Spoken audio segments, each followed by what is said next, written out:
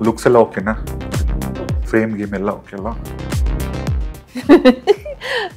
Looks ಬಗ್ಗೆ ಯಾಕೆ ಹದಿಮೂರು ವರ್ಷಕ್ಕೆ ಹೀರೋಯಿನ್ ಆದಂತ one of the heroine S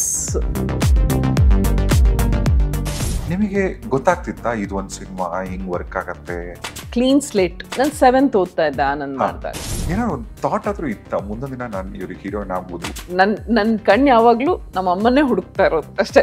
ನಾಯಿ ಬೆಕ್ಕು ಪ್ರಾಣಿ ಪಕ್ಷಿ ಜೊತೆ ಹಾವು ಕೂಡ ಸಾಕಿದ್ರೆ ಟೈಮ್ ಅಲ್ಲಿ ಒಂದು ಮಿನಿ ಝೂ ತರ ಇತ್ತು ಮನೆ. ನಿಮ್ಮನೆ ಒಂದು ಹನ್ನೆರಡು ನಾಯಿ ಬೆಕ್ಕು ಅದ್ರ ಜೊತೆಗೆ ಒಂದು ಹಾವು ನಾಗರಹಾವು ಇಟ್ಕೊಂಡಿದ್ದ. ನಾನು ಹುಟ್ಟಿದಾಗ ಒಂದ್ ಸ್ವಲ್ಪ ಜಲಸಿ. ನಮ್ಮ ಅಜ್ಜಿ ಕೇಳಿದಾಗ ಏನೋ ತಂಗಿ ಹುಟ್ಟಲ್ಲ ಅಂತ. ಹ್ಞೂ ಏನೋ ಒಂದು ಹುಟ್ಟಿದೆ ಬಿಳಿ ಏನೋ ಹೆಗ್ಣ ತರ ಇದೆ ಅಂತನೂ ಏನೋ ಹೇಳಿದ್ನಂತೆ.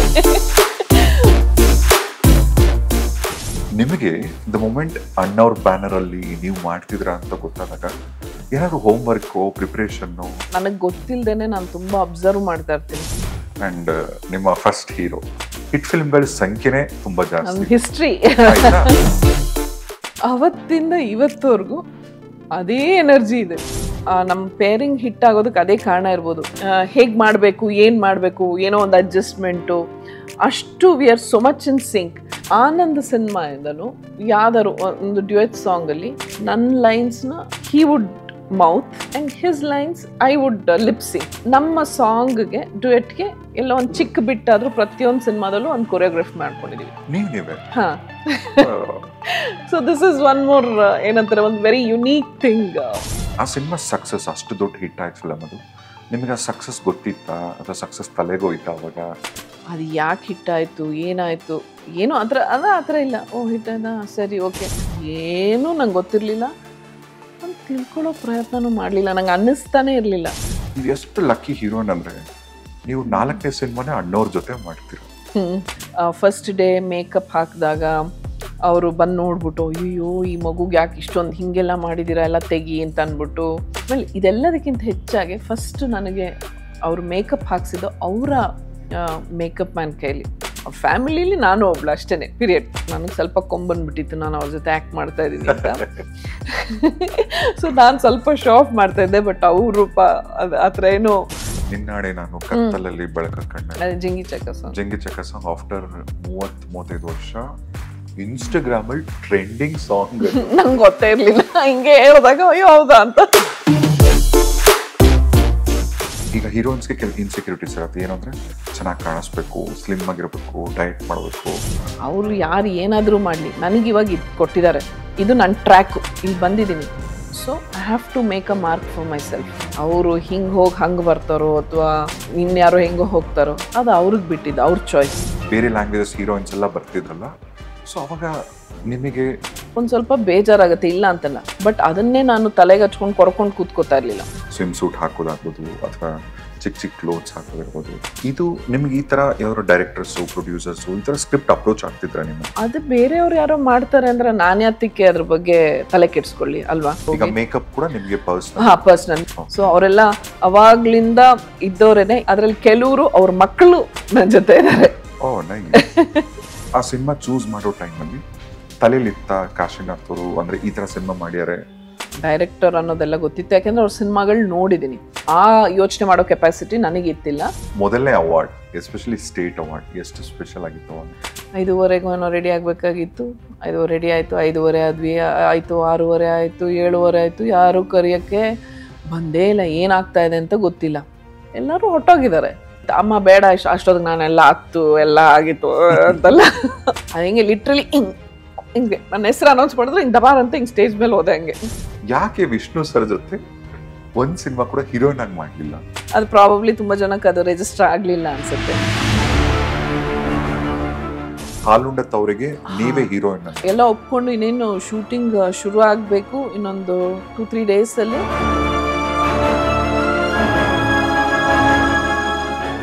ಪ್ರತಿಯೊಬ್ರು ಅಂಬರೀಶ್ ಅವ್ರ ಬಗ್ಗೆ ಅವ್ರು ಮಾಡಿದಂಥ ಒಳ್ಳೆ ಕೆಲಸಗಳನ್ನ ಎಲ್ಲರೂ ಸ್ಮರಿಸ್ತಾರೆ. ಆಸ್ ಎ ಕೋ ಸ್ಟಾರ್ ತುಂಬಾ ಹತ್ತಿರದಿಂದ ನೋಡಿದವರು. ಏ ಅವಳಿದಲ್ಲ ಅವಳು ಕ್ಲೋಸ್ ಅಪ್ ತೆಗಿರೋ ಅವಳು ಎಷ್ಟು ಚೆನ್ನಾಗಿದ್ದಾಳೆ ನನ್ನ ಮುತ್ತಿ ಯಾಕೆ ತೋರಿಸಿದ್ರೆ ಈ ಥರ ಈ ಥರ ಎಲ್ಲ. ಅವಾಗ ಈ ಕ್ಯಾರವಾನ್ ಕಲ್ಚರ್ ಎಲ್ಲ ಇತ್ತಿಲ್ಲ. ಏ ಹೋಗಮ್ಮ ಪರವಾಗಿಲ್ಲ ನಿಧಾನಕ್ಕೆ ಮಾಡ್ಕೊಂಡು ನಾನು ನಿದ್ದೆ ಮಾಡ್ತೀನಿ. ಅಂಡ್ ಅನಂತ್ ನಗರ್ ಅಂತೂ ಸೂಪರ್ ಸೀನಿಯರ್ ನಿಮ್ಗೆ. ಹಾ. ಅವ್ರ ಜೊತೆ ಕೂಡ ಸ್ಕ್ರೀನ್ ಶೇರ್ ಮಾಡಿದ್ರು. ಅವಾಗ ಹೇಳೋರು ಅಯ್ಯೋ ನಿನ್ ಜೊತೆ ಮಾಡಕ್ ಸ್ವಲ್ಪ ಒಂಥರ ಯೂಸ್ಫುಲ್ಸ್ ಆಗ್ತಾ ಇದೆ. ಯಾಕೆಂದ್ರೆ I still remember you as a child actor ಅಂತ ಅಂದ್ಬಿಟ್ಟು. ನಗು ಕಂಟ್ರೋಲ್ ಮಾಡ್ಕೊಳ್ಳೋದಿದೆಯಲ್ಲ ಸೊ ಅದು that used to be very difficult and Shankar ನಗರ್ನ meet ಮಾಡಿದ್ರೆ? ಅವ್ರ ಜೊತೆ ಆ ಸಿನಿಮಾ ಮಾಡಿದೆ ಬಟ್ ಅನ್ಫಾರ್ಚುನೇಟ್ಲಿ ಏನಾಯ್ತು ಅಂದ್ರೆ ಆ, ಆ ಸಾಂಗ್ ಡ್ಯುಯೆಟ್ ಸಾಂಗ್ ಶೂಟ್ ಆಗಕ್ ಮುಂಚೆನೆ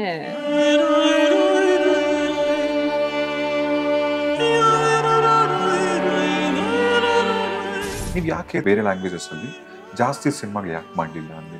ಅಯ್ಯೋ ನನಗಿಲ್ಲಿ ಈ ತರ ಏನಂತಾರೆ ರೆಡ್ ಕಾರ್ಪೆಟ್ ಹಾಕಿ ಈ ತರ ರೋಲ್ ಕೊಟ್ಟು ಜಾಮ್ ಜೂಮ್ ಅಂತ ಇರಬೇಕಾದ್ರೆ ಯಾಕೆ ಮಾಡಬೇಕು? ಒನ್ ಫೈನಲ್ ಡೇ ಮದುವೆ ಆಗಬೇಕು ಅಂತ ಪ್ಲಾನ್ ಮಾಡ್ತೀರ ಅಮ್ಮನ ಮುಂಚಿಂದನೂ ಹೇಳೋರು. ಟ್ವೆಂಟಿ ಟ್ವೆಂಟಿ ಒನ್ ಅಷ್ಟೇ. ಅದಾದ್ಮೇಲೆ ಮಾಡಕ್ ಬಿಡಲ್ಲ. ನಿಮ್ಮ ರಿಯಲ್ ಲೈಫಲ್ಲಿ ಏನು ನಡೀತಿತ್ತಲ್ಲ? ಆ dark side of the story ಪರಿಸ್ಥಿತಿ ನಿಮ್ಮ ಕೈಯಲ್ಲಿ ಹ್ಯಾಂಡಲ್ ಮಾಡ್ಕೊಳ್ಳೋಂಗಿತ್ತ ಅಥವಾ ಇಲ್ಲ ನಿಮಗೆ? ನಾನು ಏಕ್ದಮ್ ಯಾವುದು ಬಿಡ್ಲಿಲ್ಲ. ನಾನು ಟ್ರೈ ಮಾಡೋಷ್ಟು ಮಾಡಿದೆ. ಇವಾಗ ಹಾಲು ಚೆಲ್ಲದೆ ಇರೋಂಗೆ ನೋಡ್ಕೋಬೋದು. ಚೆಲ್ಲೋದ್ಮೇಲೆ ಹೆಂಗೆ ಅಲ್ವಾ? ಇಂಜೆಕ್ಷನ್ ಎಲ್ಲ ರೆಡಿ ಮಾಡಿದ್ದ. ಅಂದ್ರೆ ಅಷ್ಟು ಕ್ರೂಯಲ್ ವ್ಯಕ್ತಿ ಜೊತೆ ಹೇಗ್ ಮೇಡಮ್ ನೀವು ಅದು? ಬಾಳ್ವೆ ಹೇಗ್ ನಡೆಸಿದ್ರಿ ಅದು ಆವಾಗಿನ ಮೆಂಟಾಲಿಟಿ ಹಂಗಿತ್ತು. ಅದೇ ಹೇಳಿದ್ದು ಒಂದು ಪೀಕ್ಗೆ ಹೋದ್ಮೇಲೆ.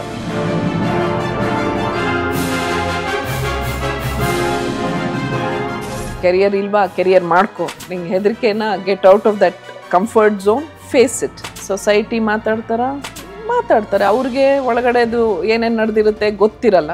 ಅವ್ರಿಗೆ ಅವ್ರಿಗೆ ಅವ್ರ ಪಾಯಿಂಟ್ ಆಫ್ ವ್ಯೂ ಅವ್ರು ಹೇಳ್ತಾರೆ.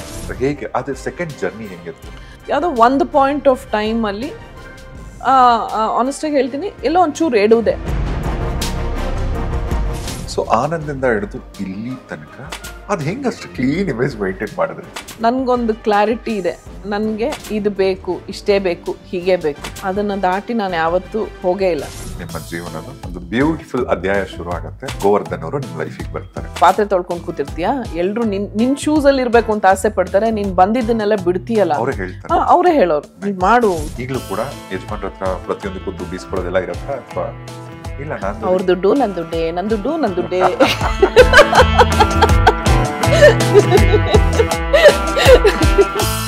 ಇನ್ಸ್ಟಾಗ್ರಾಮ್ ಅಲ್ಲಿ ನೀವು ನಿಮ್ಮ ಮಗಳ ಜೊತೆ ಮಾಡೋದು ಇಲ್ಲ ಅದಕ್ಕೆ ನಿಮ್ಗೆ ಗೊತ್ತಿಲ್ಲ ನಾನು ಅದಕ್ಕೆ ಎಷ್ಟು ಕಷ್ಟಪಟ್ಟಿರ್ತೀನಿ ಅಂತ.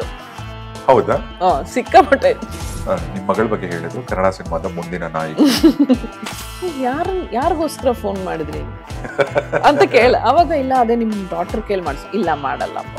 ಅಂಡ್ ನಿಮ್ ಮಗಳು ಬಿಟ್ಟು ನಿಮ್ಗೆ ಮೂರ್ ಜನ ಮಕ್ಕಳು ಇದ್ದಾರೆ ನಿಮ್ ಮಕ್ಕಳ ಬಗ್ಗೆ ಹೇಳಿ. ಇವ್ರ ಮೂರ್ ಜನ ಫಸ್ಟ್ ಆಮೇಲೆ ನನ್ನ ಮಗಳು. Please don't buy pets this is a request through your serial journey I am learning so many new things so many dimensions about life food discipline ಹೇಳಿ. ಏನೇನು ನಿಮ್ಮ ನಾನು ತಿನ್ನೋಷ್ಟು ಸ್ವೀಟ್ ಯಾರಾದ್ರು ತಿನ್ಬಿಟ್ರೆ ದೇವರೇ ಗತಿ.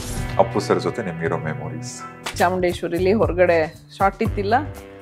ಅಲ್ಲಿ ಕೂತ್ಕೊಂಡಿದ್ವಿ ಇಬ್ರು ಅವಾಗ ನನ್ಗೆ ಆಶ್ಚರ್ಯ.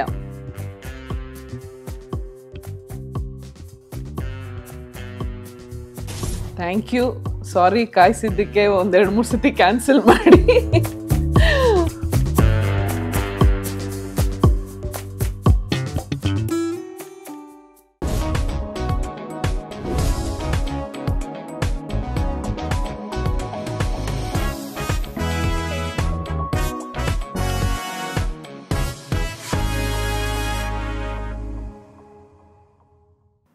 ಇವತ್ತು ನನ್ನ ಪಾಡ್ಕಾಸ್ಟ್ ಇರ್ತಕ್ಕಂಥ ಈ ಸ್ಪೆಷಲ್ ಸೆಲೆಬ್ರಿಟಿ ಸ್ಪೆಷಲ್ ಅಂತ ಹೇಳೋದೇ ಬೇಡ ಯಾಕಂದ್ರೆ ಅವರೇ special one of the most requested podcast ಇವ್ರನ್ನ ಕರೆಸಿ ಇವ್ರನ್ನ ಕರೆಸಿ ಅಂತ.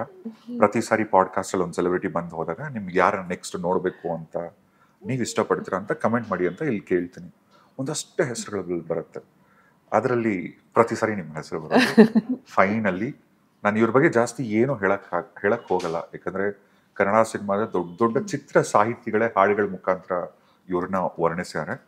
ಸಿಂಪಲ್ ಆಗಿ ಹೇಳಬೇಕು ಅಂದ್ರೆ ಕನ್ನಡದ ಎಲ್ಲ ಚಿತ್ರ ಪ್ರೇಮಿಗಳಿಗೂ ಒಂದು ಇಂಟ್ರಡಕ್ಷನ್ನೇ ಕೊಡದೇ ಇರತಕ್ಕಂಥ ಹೆಸರು ಇವ್ರದ್ದು ಅಂಡ್ ತೊಂಬತ್ತರ ದಶಕದಲ್ಲಿ ಕನ್ನಡ ಸಿನಿಮಾನ ರೂಲ್ ಮಾಡಿದಂಥ ರಾಣಿ.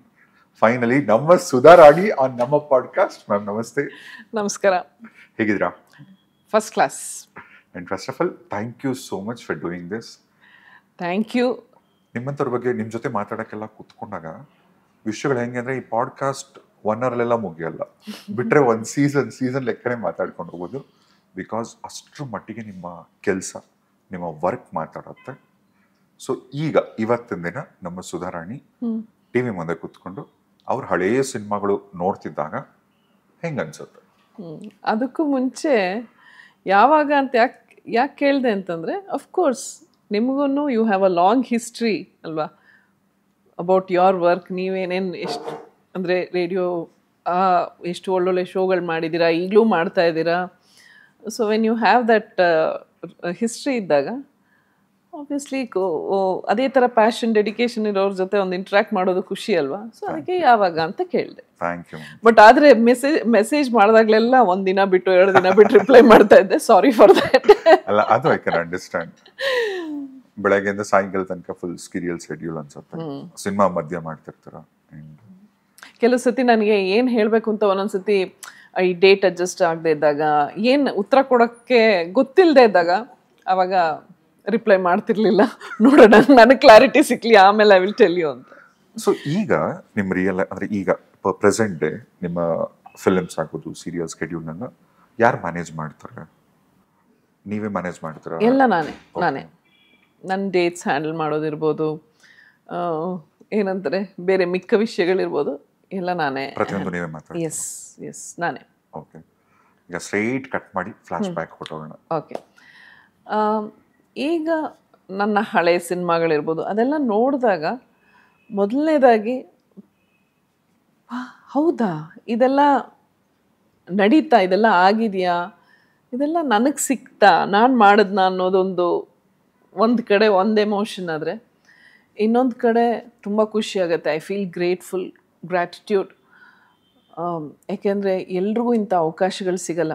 ಲಕ್ಷಾಂತರ ಜನದಲ್ಲಿ ನನಗಿಂತ ಇನ್ನೂ ಹೆಚ್ಚು ಟ್ಯಾಲೆಂಟ್ ಇರೋರು ನೋಡೋಕ್ಕೆ ಚೆನ್ನಾಗಿರೋರು, ಇನ್ನೂ ಎಲ್ಲ ರೀತಿಯಲ್ಲೂ ಪರ್ಫೆಕ್ಟ್ ಆಗಿರೋರು ಬೇಕಾದಷ್ಟು ಜನ ಇದ್ದಾರೆ ಆದರೆ ಆ ಥರ ಸಾವಿರಾರು ಜನ, ಲಕ್ಷಾಂತರ ಜನದ ಮಧ್ಯ ನನಗೆ ಈ ಅವಕಾಶ ಸಿಕ್ಕಿದೆ. ಸೊ ನನಗೆ ಅದನ್ನ ನೆನೆಸ್ಕೊಂಡಾಗಲೆಲ್ಲ ಅಪ್ಪ ಎಷ್ಟು ಲಕ್ಕಿ ಅಲ್ವಾ ನಾನು. ಹೌ ಬ್ಲೆಸ್ಡ್ ಐ ಆಮ್ ಅಂತ ಅನಿಸುತ್ತೆ.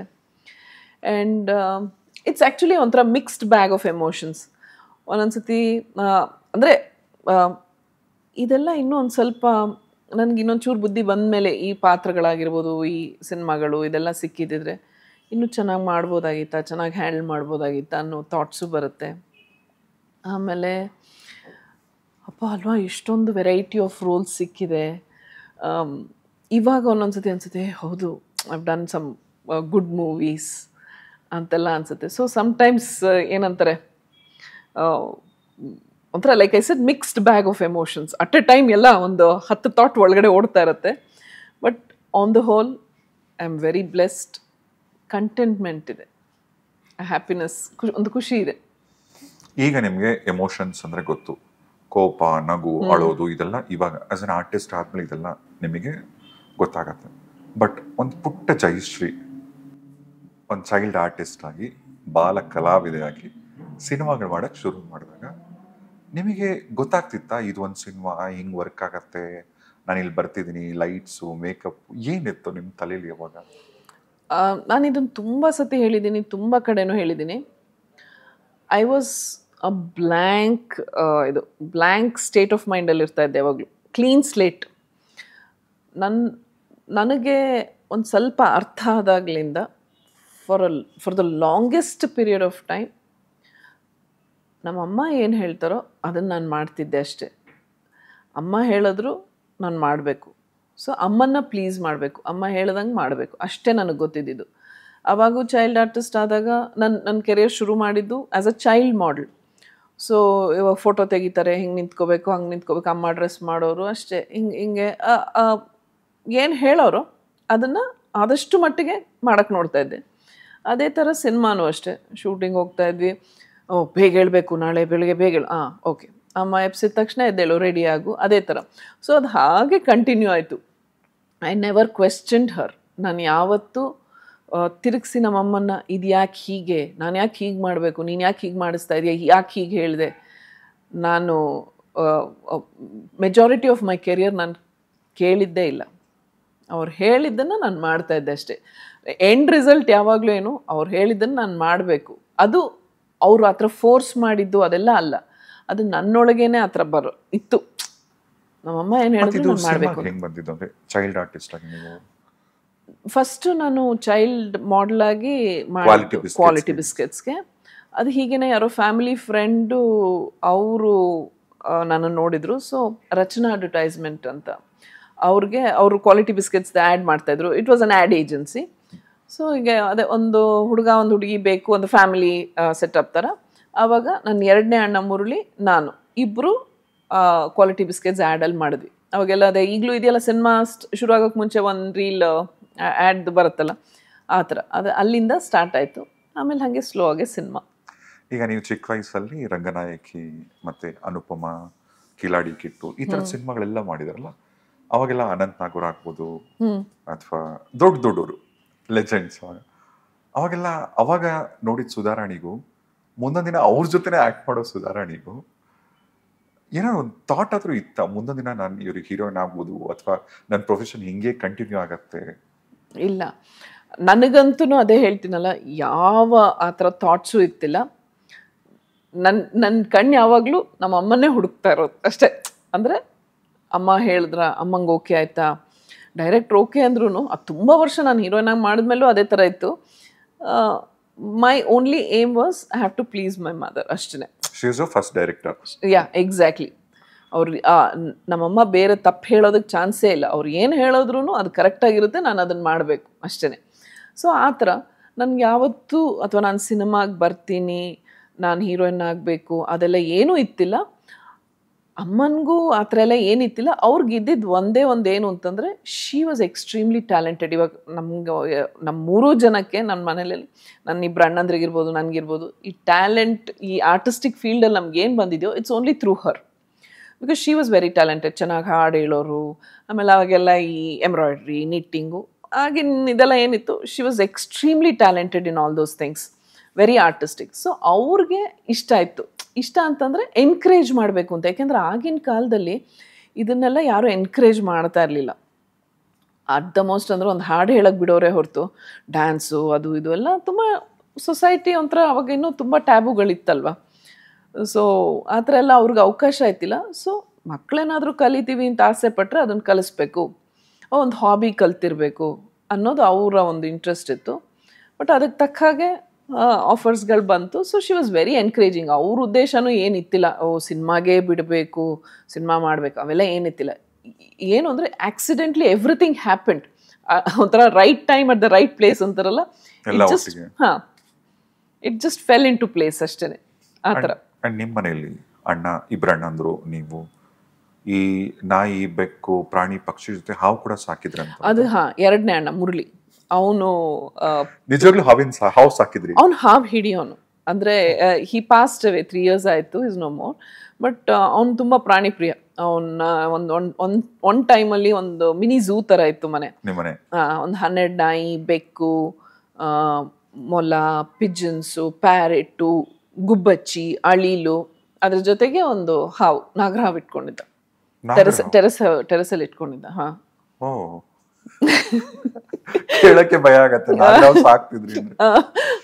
ಆಫ್ ಕೋರ್ಸ್ ಹಲ್ ಕಿತ್ತಿದ್ದು but he kept it as a pet okay ಅಂದ್ರೆ ದೊಡ್ಡವರಾದ್ಮೇಲೆ ಅಥವಾ ನೀವು ಚಿಕ್ಕ ಮಕ್ಕಳಲ್ಲಿದ್ದಾಗ ಅವನು both my brothers are quite older then me so ಅವನು ಈ ವಾಸ್ ಅ ಟೀನೇಜರ್ ಒಂದು ಐ ಥಿಂಕ್ ಅವ್ನಿಗೆ ಅವಾಗ ಒಂದು ಸಿಕ್ಸ್ಟೀನ್ ಸೆವೆಂಟೀನ್ ಇತ್ತು ಅನ್ಸುತ್ತೆ. ನೀವು ಹೋಗಿ ನೋಡ್ತಿದ್ರಿ ಹಾವೆಲ್ಲ ಇಲ್ಲ ಅವನ ತಮ್ ತರೋನು ಕೆಳಗಡೆ. ತರೋನು ಕೆಳಗಡೆ. ಸೊ ಹಾಗಾಗಿ ಅಂದ್ರೆ ನಮ್ಮ ಅಮ್ಮಂಗೆ ಡೌಟ್ ಇತ್ತು. ದಿನ ಟೆರೆಸ್ಗೆ ಇದು ಕಾಯ್ ತುರಿದ್ಮೇಲೆ ಕರೆಕ್ಟ್ ಚಿಪ್ಪು. ಚಿಪ್ಪಲ್ಲಿ ಹಾಲು ತಗೊಂಡೋಗೋದು ಅದೆಲ್ಲ ಮಾಡೋನು. ಇವನ್ ಎಲ್ಲಿಗೆ ಹೋಗ್ತಾನೆ ಅಂತ. ಮನೆ ತುಂಬಾ ಇಷ್ಟೊಂದಿತ್ತಲ್ಲ ಬೆಕ್ಕಿನ್ ಬೆಕ್ಕಿನ ಮರಿನೋ ಯಾವ್ದಕ್ಕೂ ಹೋಗ್ತಾನೆ ಅಂತ. ಬಟ್ ನೋಡಿದ್ರೆ ಅದು ಹಾವಿಗೆ ಕುಡ್ಸಕ್ಕೆ. ಅವ್ರಿಗೆ ಎಲ್ಲಿ ಸಿಕ್ಕಿತ್ತಂತ ಗೊತ್ತಿಲ್ಲ. ಅವನು ಅವನು ಒಂಥರ he was like an allrounder ಅವನು. ಅವನು ಮಾಸ್ಟರ್ ಮಾಡದೇ ಇರೋ ಒಂದು ಯಾವುದೇ ಒಂದು ಕೆಲಸನೇ ಇಲ್ಲ. ಅವನು ಕಾಂಪಿಟೇಷನ್ಸ್ಗೆ ಹೋಗೋನು ಅಲ್ಲಿ ಗೆಲ್ಲೋನು ರೇಸ್ ಅಂತೆ ಎವ್ರಿಥಿಂಗ್ ಹಿ ವುಡ್ ನಿಮ್ ತಂದೆ ಏನು ಅಬ್ಜೆಕ್ಟ್ ಮಾಡ್ತಿರಲಿಲ್ಲ? ಇದೆಲ್ಲ ಮನೆಯೆಲ್ಲ ಝೂಮ್ ಮಾಡಿ ಇಟ್ಟಿದ್ದೀರಾ ಇಲ್ಲ ಇಲ್ಲ. ಅಪ್ಪ ಎಲ್ಲದಕ್ಕೂ ಇವ ವೆರಿ. ಹಾ ವೆರಿ ವೆರಿ ಸಪೋರ್ಟಿವ್ ಬಟ್ ಈ ಥರ ಮೇಜರ್ ಡಿಸಿಷನ್ ಮಕ್ಕಳ ಬಗ್ಗೆ ಮೇಜರ್ ಡಿಸಿಷನ್ ಮೇಕಿಂಗ್ ಎಲ್ಲ ವಾಸ್ ಇನ್ ಅಮ್ಮಸ್ ಕಂಟ್ರೋಲ್ ಸೊ ಆ ಥರ ಏನು ಇದಿತ್ತಿಲ್ಲ ಆ್ಯಂಡ್ ಅವ್ನು ತುಂಬ ಪೆಟ್ ಮಗ ನಮ್ಮ ಅಪ್ಪನಿಗೆ. ಸೊ ಅವ್ನು ಏನೇ ಮಾಡಿದ್ರು ಎಲ್ಲ ಸರಿ. ಸೊ ಹಾಗಾಗಿ ಅವನು ನಿನ್ನ ಏನಾದ್ರು ಸಾಕು ಕತ್ತೆನಾದ್ರು ಸಾಕು ಇಟ್ಸ್ ಪರವಾಗಿಲ್ಲ ಅನ್ನೋ ಥರ. ಸೊ ಈಗ ಒಬ್ಬ ಅಣ್ಣ ಇದ್ರೇನೆ ತಂಗಿಯರಿಗೆ ಅವನ್ನ ಬರ್ಸೋದು ಕಷ್ಟ. ಇಬ್ರಿಬ್ರು ಅಣ್ಣಂದ್ರು. So how's your childhood days ದೊಡ್ಡ ಅಣ್ಣ ಅರುಣ್ ಬಂದು ಈ was very protective of me almost ಹೆಂಗೆ ಅಂತಂದರೆ ಅವನು ಒಂದು mirror reflection of my mother ಅಂತಲೇ ಹೇಳ್ಬೋದು ಆ ಥರ. ಎರಡನೇ ಅವನು ಮುರಳಿ ಬಂದು ತುಂಬ ಅವನಿಗೂ ತುಂಬ ನನ್ನ ಕಣ್ಣು ತುಂಬ ಇಷ್ಟ ಅದು ತುಂಬ ಗೋಳಿಕೊಳ್ಳೋನು. ಯಾಕೆಂದರೆ ನಮ್ಮಿಬ್ಬರಲ್ಲೂ ಏಜ್ ಗ್ಯಾಪ್ ಇತ್ತು ಅವ್ನು ಅಷ್ಟು ವರ್ಷ ಅವನೇ ಯಂಗೆಸ್ಟ್ ಆಫ್ ದ ಫ್ಯಾಮಿಲಿ ಅಲ್ವಾ? ಸೊ ಹಂಗಿದ್ಬಿಟ್ಟು ಅವ್ನು ನಾನು ಹುಟ್ಟಿದಾಗ ಅವ್ನು ಒಂದು ಸ್ವಲ್ಪ ಜಲಸಿ ಅಂದ್ರೆ ಇನ್ನು ನೈಸ್ ಆ ಟೆನ್ಷನ್ ಒಂಥರ ನಮ್ಮ ಅಜ್ಜಿ ಕೇಳಿದಾಗ ಏನೋ ತಂಗಿ ಹುಟ್ಟಲ್ಲ ಅಂತ ಹ್ಞೂ ಏನೋ ಒಂದು ಹುಟ್ಟಿದೆ ಬಿಳಿ ಏನೋ ಹೆಗ್ಣ ಥರ ಇದೆ ಅಂತನೂ ಏನೋ ಹೇಳಿದ್ನಂತೆ. ಸೊ ಬಟ್ ತುಂಬಾ ರೇಕ್ಸೋನು ಕಿತ್ತಾಡೋದು ಅದೆಲ್ಲ. ಬಟ್ ಅಷ್ಟೆಲ್ಲ ಮಾಡಿದ್ರು ಒಂದು ವರ್ಷನೂ ನನ್ನ ಬರ್ಡೇಗೆ ಗಿಫ್ಟ್ ತಂದು ಕೊಡದೇ ಇರ್ತಾ ಇರಲಿಲ್ಲ. ಇಸ್ ವಾಸ್ ವೆರಿ ವೆರಿ ಅಂದರೆ ಅವ್ನಿಗೆ ಆ ಥರ ತೋರಿಸ್ಕೊಳಕ್ ಬರ್ತಾ ಇರಲಿಲ್ಲ but he was very protective so ತುಂಬ ಜಗಳ ಆಡ್ತಿದ್ವಿ. ಅವನು ಆ್ಯಕ್ಚುಲಿ ತುಂಬ ಗೋಳಿಕೊಳ್ಳೋದು ರೇಗಿಸೋದು, ಅದೆಲ್ಲ ಮಾಡೋದು ನನ್ನ ಬೊಬ್ಬೆಗಳು ಮುರಿದು ಹಾಕೋದು, ಈ ಥರದ್ದೆಲ್ಲ ಲೈಕ್ ರೆಗ್ಯುಲರ್ ಚೈಲ್ಡ್ಹುಡ್ ಬಟ್ ಇವು ದೊಡ್ಡ ಅಣ್ಣ ಅಷ್ಟೇ ಅಷ್ಟು ಪ್ರೊಟೆಕ್ಟಿವ್ ಅದೇ ಹೇಳೋದಲ್ಲ ಲಿಟ್ರಲಿ ಅಮ್ಮನ ಥರನೇ ಇವನು ಈ ಥರ ಎಲ್ಲ ತುಂಬ ಗೋಳಿಕೊಳ್ಳೋನು ಬಟ್ ನಾನು ಅವನು ನಮ್ಮ ಫ್ಯಾಮಿಲಿ ಫಂಕ್ಷನ್ಸಲ್ಲೆಲ್ಲ ಡ್ಯಾನ್ಸ್ ಮಾಡೋದು ಅದೆಲ್ಲ ತುಂಬಾ ಒಂದಿತ್ತು. ಸೊ ಎಲ್ಲಿ ನಮ್ಮ ಫ್ಯಾಮಿಲಿ ಫಂಕ್ಷನ್ಸ್ ಏನಾದ್ರು ಆಯಿತು ಅಂದ್ರು ನಾವಿಬ್ರು ಡ್ಯಾನ್ಸ್ ಮಾಡ್ತಾ ಇದ್ವಿ. ಆ ಥರದ್ದೆಲ್ಲ. ಆ್ಯಂಡ್ ತುಂಬ ಸಿನಿಮಾಗಳು ಒಟ್ಟಿಗೆ ನಾವು ಚೈ ಅಂದ್ರೆ ಆಡ್ಸ್ ಅಲ್ಲಿ ಒಟ್ಟಿಗೆ ಆ್ಯಕ್ಟ್ ಮಾಡಿದೀವಿ. ಸಿನಿಮಾದಲ್ಲಿ ಒಟ್ಟಿಗೆ ಆ್ಯಕ್ಟ್ ಮಾಡಿದೀವಿ. ಹಾ ಅವ್ನು ಡಬ್ಬಿಂಗ್ ಮಾಡಿದಾಗ್ಲೂ ಹೀರೋಗೆ ಅವ್ನು ಡಬ್ ಮಾಡಿದ ಆ ಸಿನಿಮಾದಲ್ಲಿ ನಾನು ಹೀರೋಯಿನ್ ಸೊ ಈ ಥರ ಎಲ್ಲನೂ ಆಗಿದೆ. ಯಾ ಅಂಡ್ ಪ್ರಾಬ್ಲಿ ನೀವೇ ಅನ್ಸುತ್ತೆ. ನಾಟ್ ಸೌತ್ ಇಂಡಿಯಾ ಅಂತಾನೆ ಅಲ್ಲ ಬರೀ ಇಂಡಿಯಾಲೆ ನಮ್ಮ ದೇಶದಲ್ಲೇ ತಗೊಂಡ್ರೆ ಹದಿಮೂರು ವರ್ಷಕ್ಕೆ ಹೀರೋಯಿನ್ ಆದಂತ ಒನ್ ಆಫ್ ದ ಹೀರೋಯಿನ್ ಚಿಕ್ಕ ವಯಸ್ಸಿಗೆ ಅಂದ್ರೆ ನನಗೆ ಥ್ರೂಔಟ್ ಇಂಡಿಯಾ ಇದ್ರ ಬಗ್ಗೆ ಗೊತ್ತಿಲ್ಲ ಬಟ್ ಕನ್ನಡದಲ್ಲಿ ಎಸ್ ಓಕೆ ಅಲ್ಲ ಈಗ ಕನ್ನಡ ಅಂತ ನಾವು ತಗೊಂಡ್ರು ಕೂಡ ಬಿಕಾಸ್ ಅಕ್ರಾಸ್ ಇಂಡಿಯಾ ಒಂದು ರಿಸರ್ಚ್ ಅಂತ ಮಾಡಿದಾಗ ಬೇರೆ ಬೇರೆ ಲ್ಯಾಂಗ್ವೇಜಸ್ ನೋಡಿದಾಗ ಒಬ್ರು ಹನ್ನೆರಡು ವರ್ಷಕ್ಕೆ ಅಂತ ಒಂದು ಹೀರೋಯಿನ್ ಆಮೇಲೆ ಪ್ರಾಬ್ಲಿ ಹನ್ನೆರಡು ಹದಿಮೂರು ಈ ಥರ ನಾನು ಸೆವೆಂತ್ ಓದ್ತಾ ಇದ್ದೆ ಆನಂದ್ ಮಾಡಿದಾಗ. ಪ್ರಾಬ್ಲಿ ಈ ವಯಸ್ಸಿಗೆನೆ ಹದಿಮೂರು ವರ್ಷಕ್ಕೆ ಒಂದು ಹೀರೋಯಿನ್ ಕನ್ನಡ ಸಿನಿಮಾಗೆ ನಿಮಗೆ ದ ಮೂಮೆಂಟ್ ಅಣ್ಣವ್ರ ಬ್ಯಾನರಲ್ಲಿ ನೀವು ಮಾಡ್ತಿದ್ರ ಅಂತ ಗೊತ್ತಾದಾಗ ಏನಾದರೂ ಹೋಮ್ ವರ್ಕು ಪ್ರಿಪ್ರೇಷನ್ನು, ಶಾಪಿಂಗು? ಏನಿಲ್ಲ. ಏನೂ ಇಲ್ಲ. ಅವಾಗ ಅದ್ರದ್ದು ಆ ಮ್ಯಾಗ್ನಿಟ್ಯೂಡ್ ಕೂಡ ನನಗೆ ಅರ್ಥ ಆಗಿತ್ತಿಲ್ಲ. ಪಾರ್ವತಮ್ಮವ್ರ ಪಾರ್ವತಮ್ಮ ಅಮ್ಮನಿಗೆ ಹೇಳಿದ್ರು. ಒಂದು ಯಾವ್ದಾದ್ರು ಫೋಟೋ ಇದ್ರೆ ಕೊಡಿ ಅಂತ. ಅಮ್ಮನಿಗೆ ಮುಂಚಿನ ಒಂದು ಅಭ್ಯಾಸ ಆಯಿತು. ನಾವು ನಮ್ಮ ಮೂರು ಜನದ್ದು ಬೆಳೆಯೋ ಟೈಮಲ್ಲಿ ಐ ಥಿಂಕ್ ವರ್ಷಕ್ಕೊಂದ್ಸತಿನೋ ಫೋಟೋಸ್ ತೆಗ್ಸೋರು. ಅಂದ್ರೆ ಮಕ್ಳು ಹೇಗೆ ಚೇಂಜ್ ಆಗ್ತಾರೆ ಹೇಗೆ ಬೆಳೀತಾರೆ ಅಂತ ಎಲ್ಲ ಫೋಟೋ ಸೆಷನ್ ಪ್ರತಿ ವರ್ಷ ಮಾಡಿಸೋರು. ಸೊ ಅದು ಅದ್ಯಾವುದೋ ಇತ್ತು ಅವಾಗ ಮಾಡಿಸಿದ್ದು ಕೊಟ್ಟರು ಅವ್ರು ಓಕೆ ಅಂತಂದರು. ಆಮೇಲೆ ಒಂದು ಸತಿ ವರದಪ್ಪ ಅವ್ರು ನೋಡಬೇಕು. ಸೀರೆ ಉಡ್ಸ್ಕೊಂಡು ಕರ್ಕೊಂಬನ್ನಿ ಅಂದರು. ಸೀರೆ ಉಡ್ಸ್ಕೊಂಡು ಕರ್ಕೊಂಡು ಹೋಗಿದ್ರು. ವರದಪ್ಪ ಅವರು ಮಾತಾಡ್ಸಿದ್ರು. ಅಷ್ಟೇ ಮುಗೀತು. ಆನಂದಿಗೆ ಸೆಲೆಕ್ಟೆಡ್ ಅಷ್ಟೇ ಅಲ್ಲದೆ ಅದು ಅಷ್ಟೇ ನನ್ನ ಆಡಿಷನ್ ಅದಕ್ಕೆ ಪ್ರಿಪ್ರೇಷನ್ ಅಂತೆಲ್ಲ ಏನಿಲ್ಲ.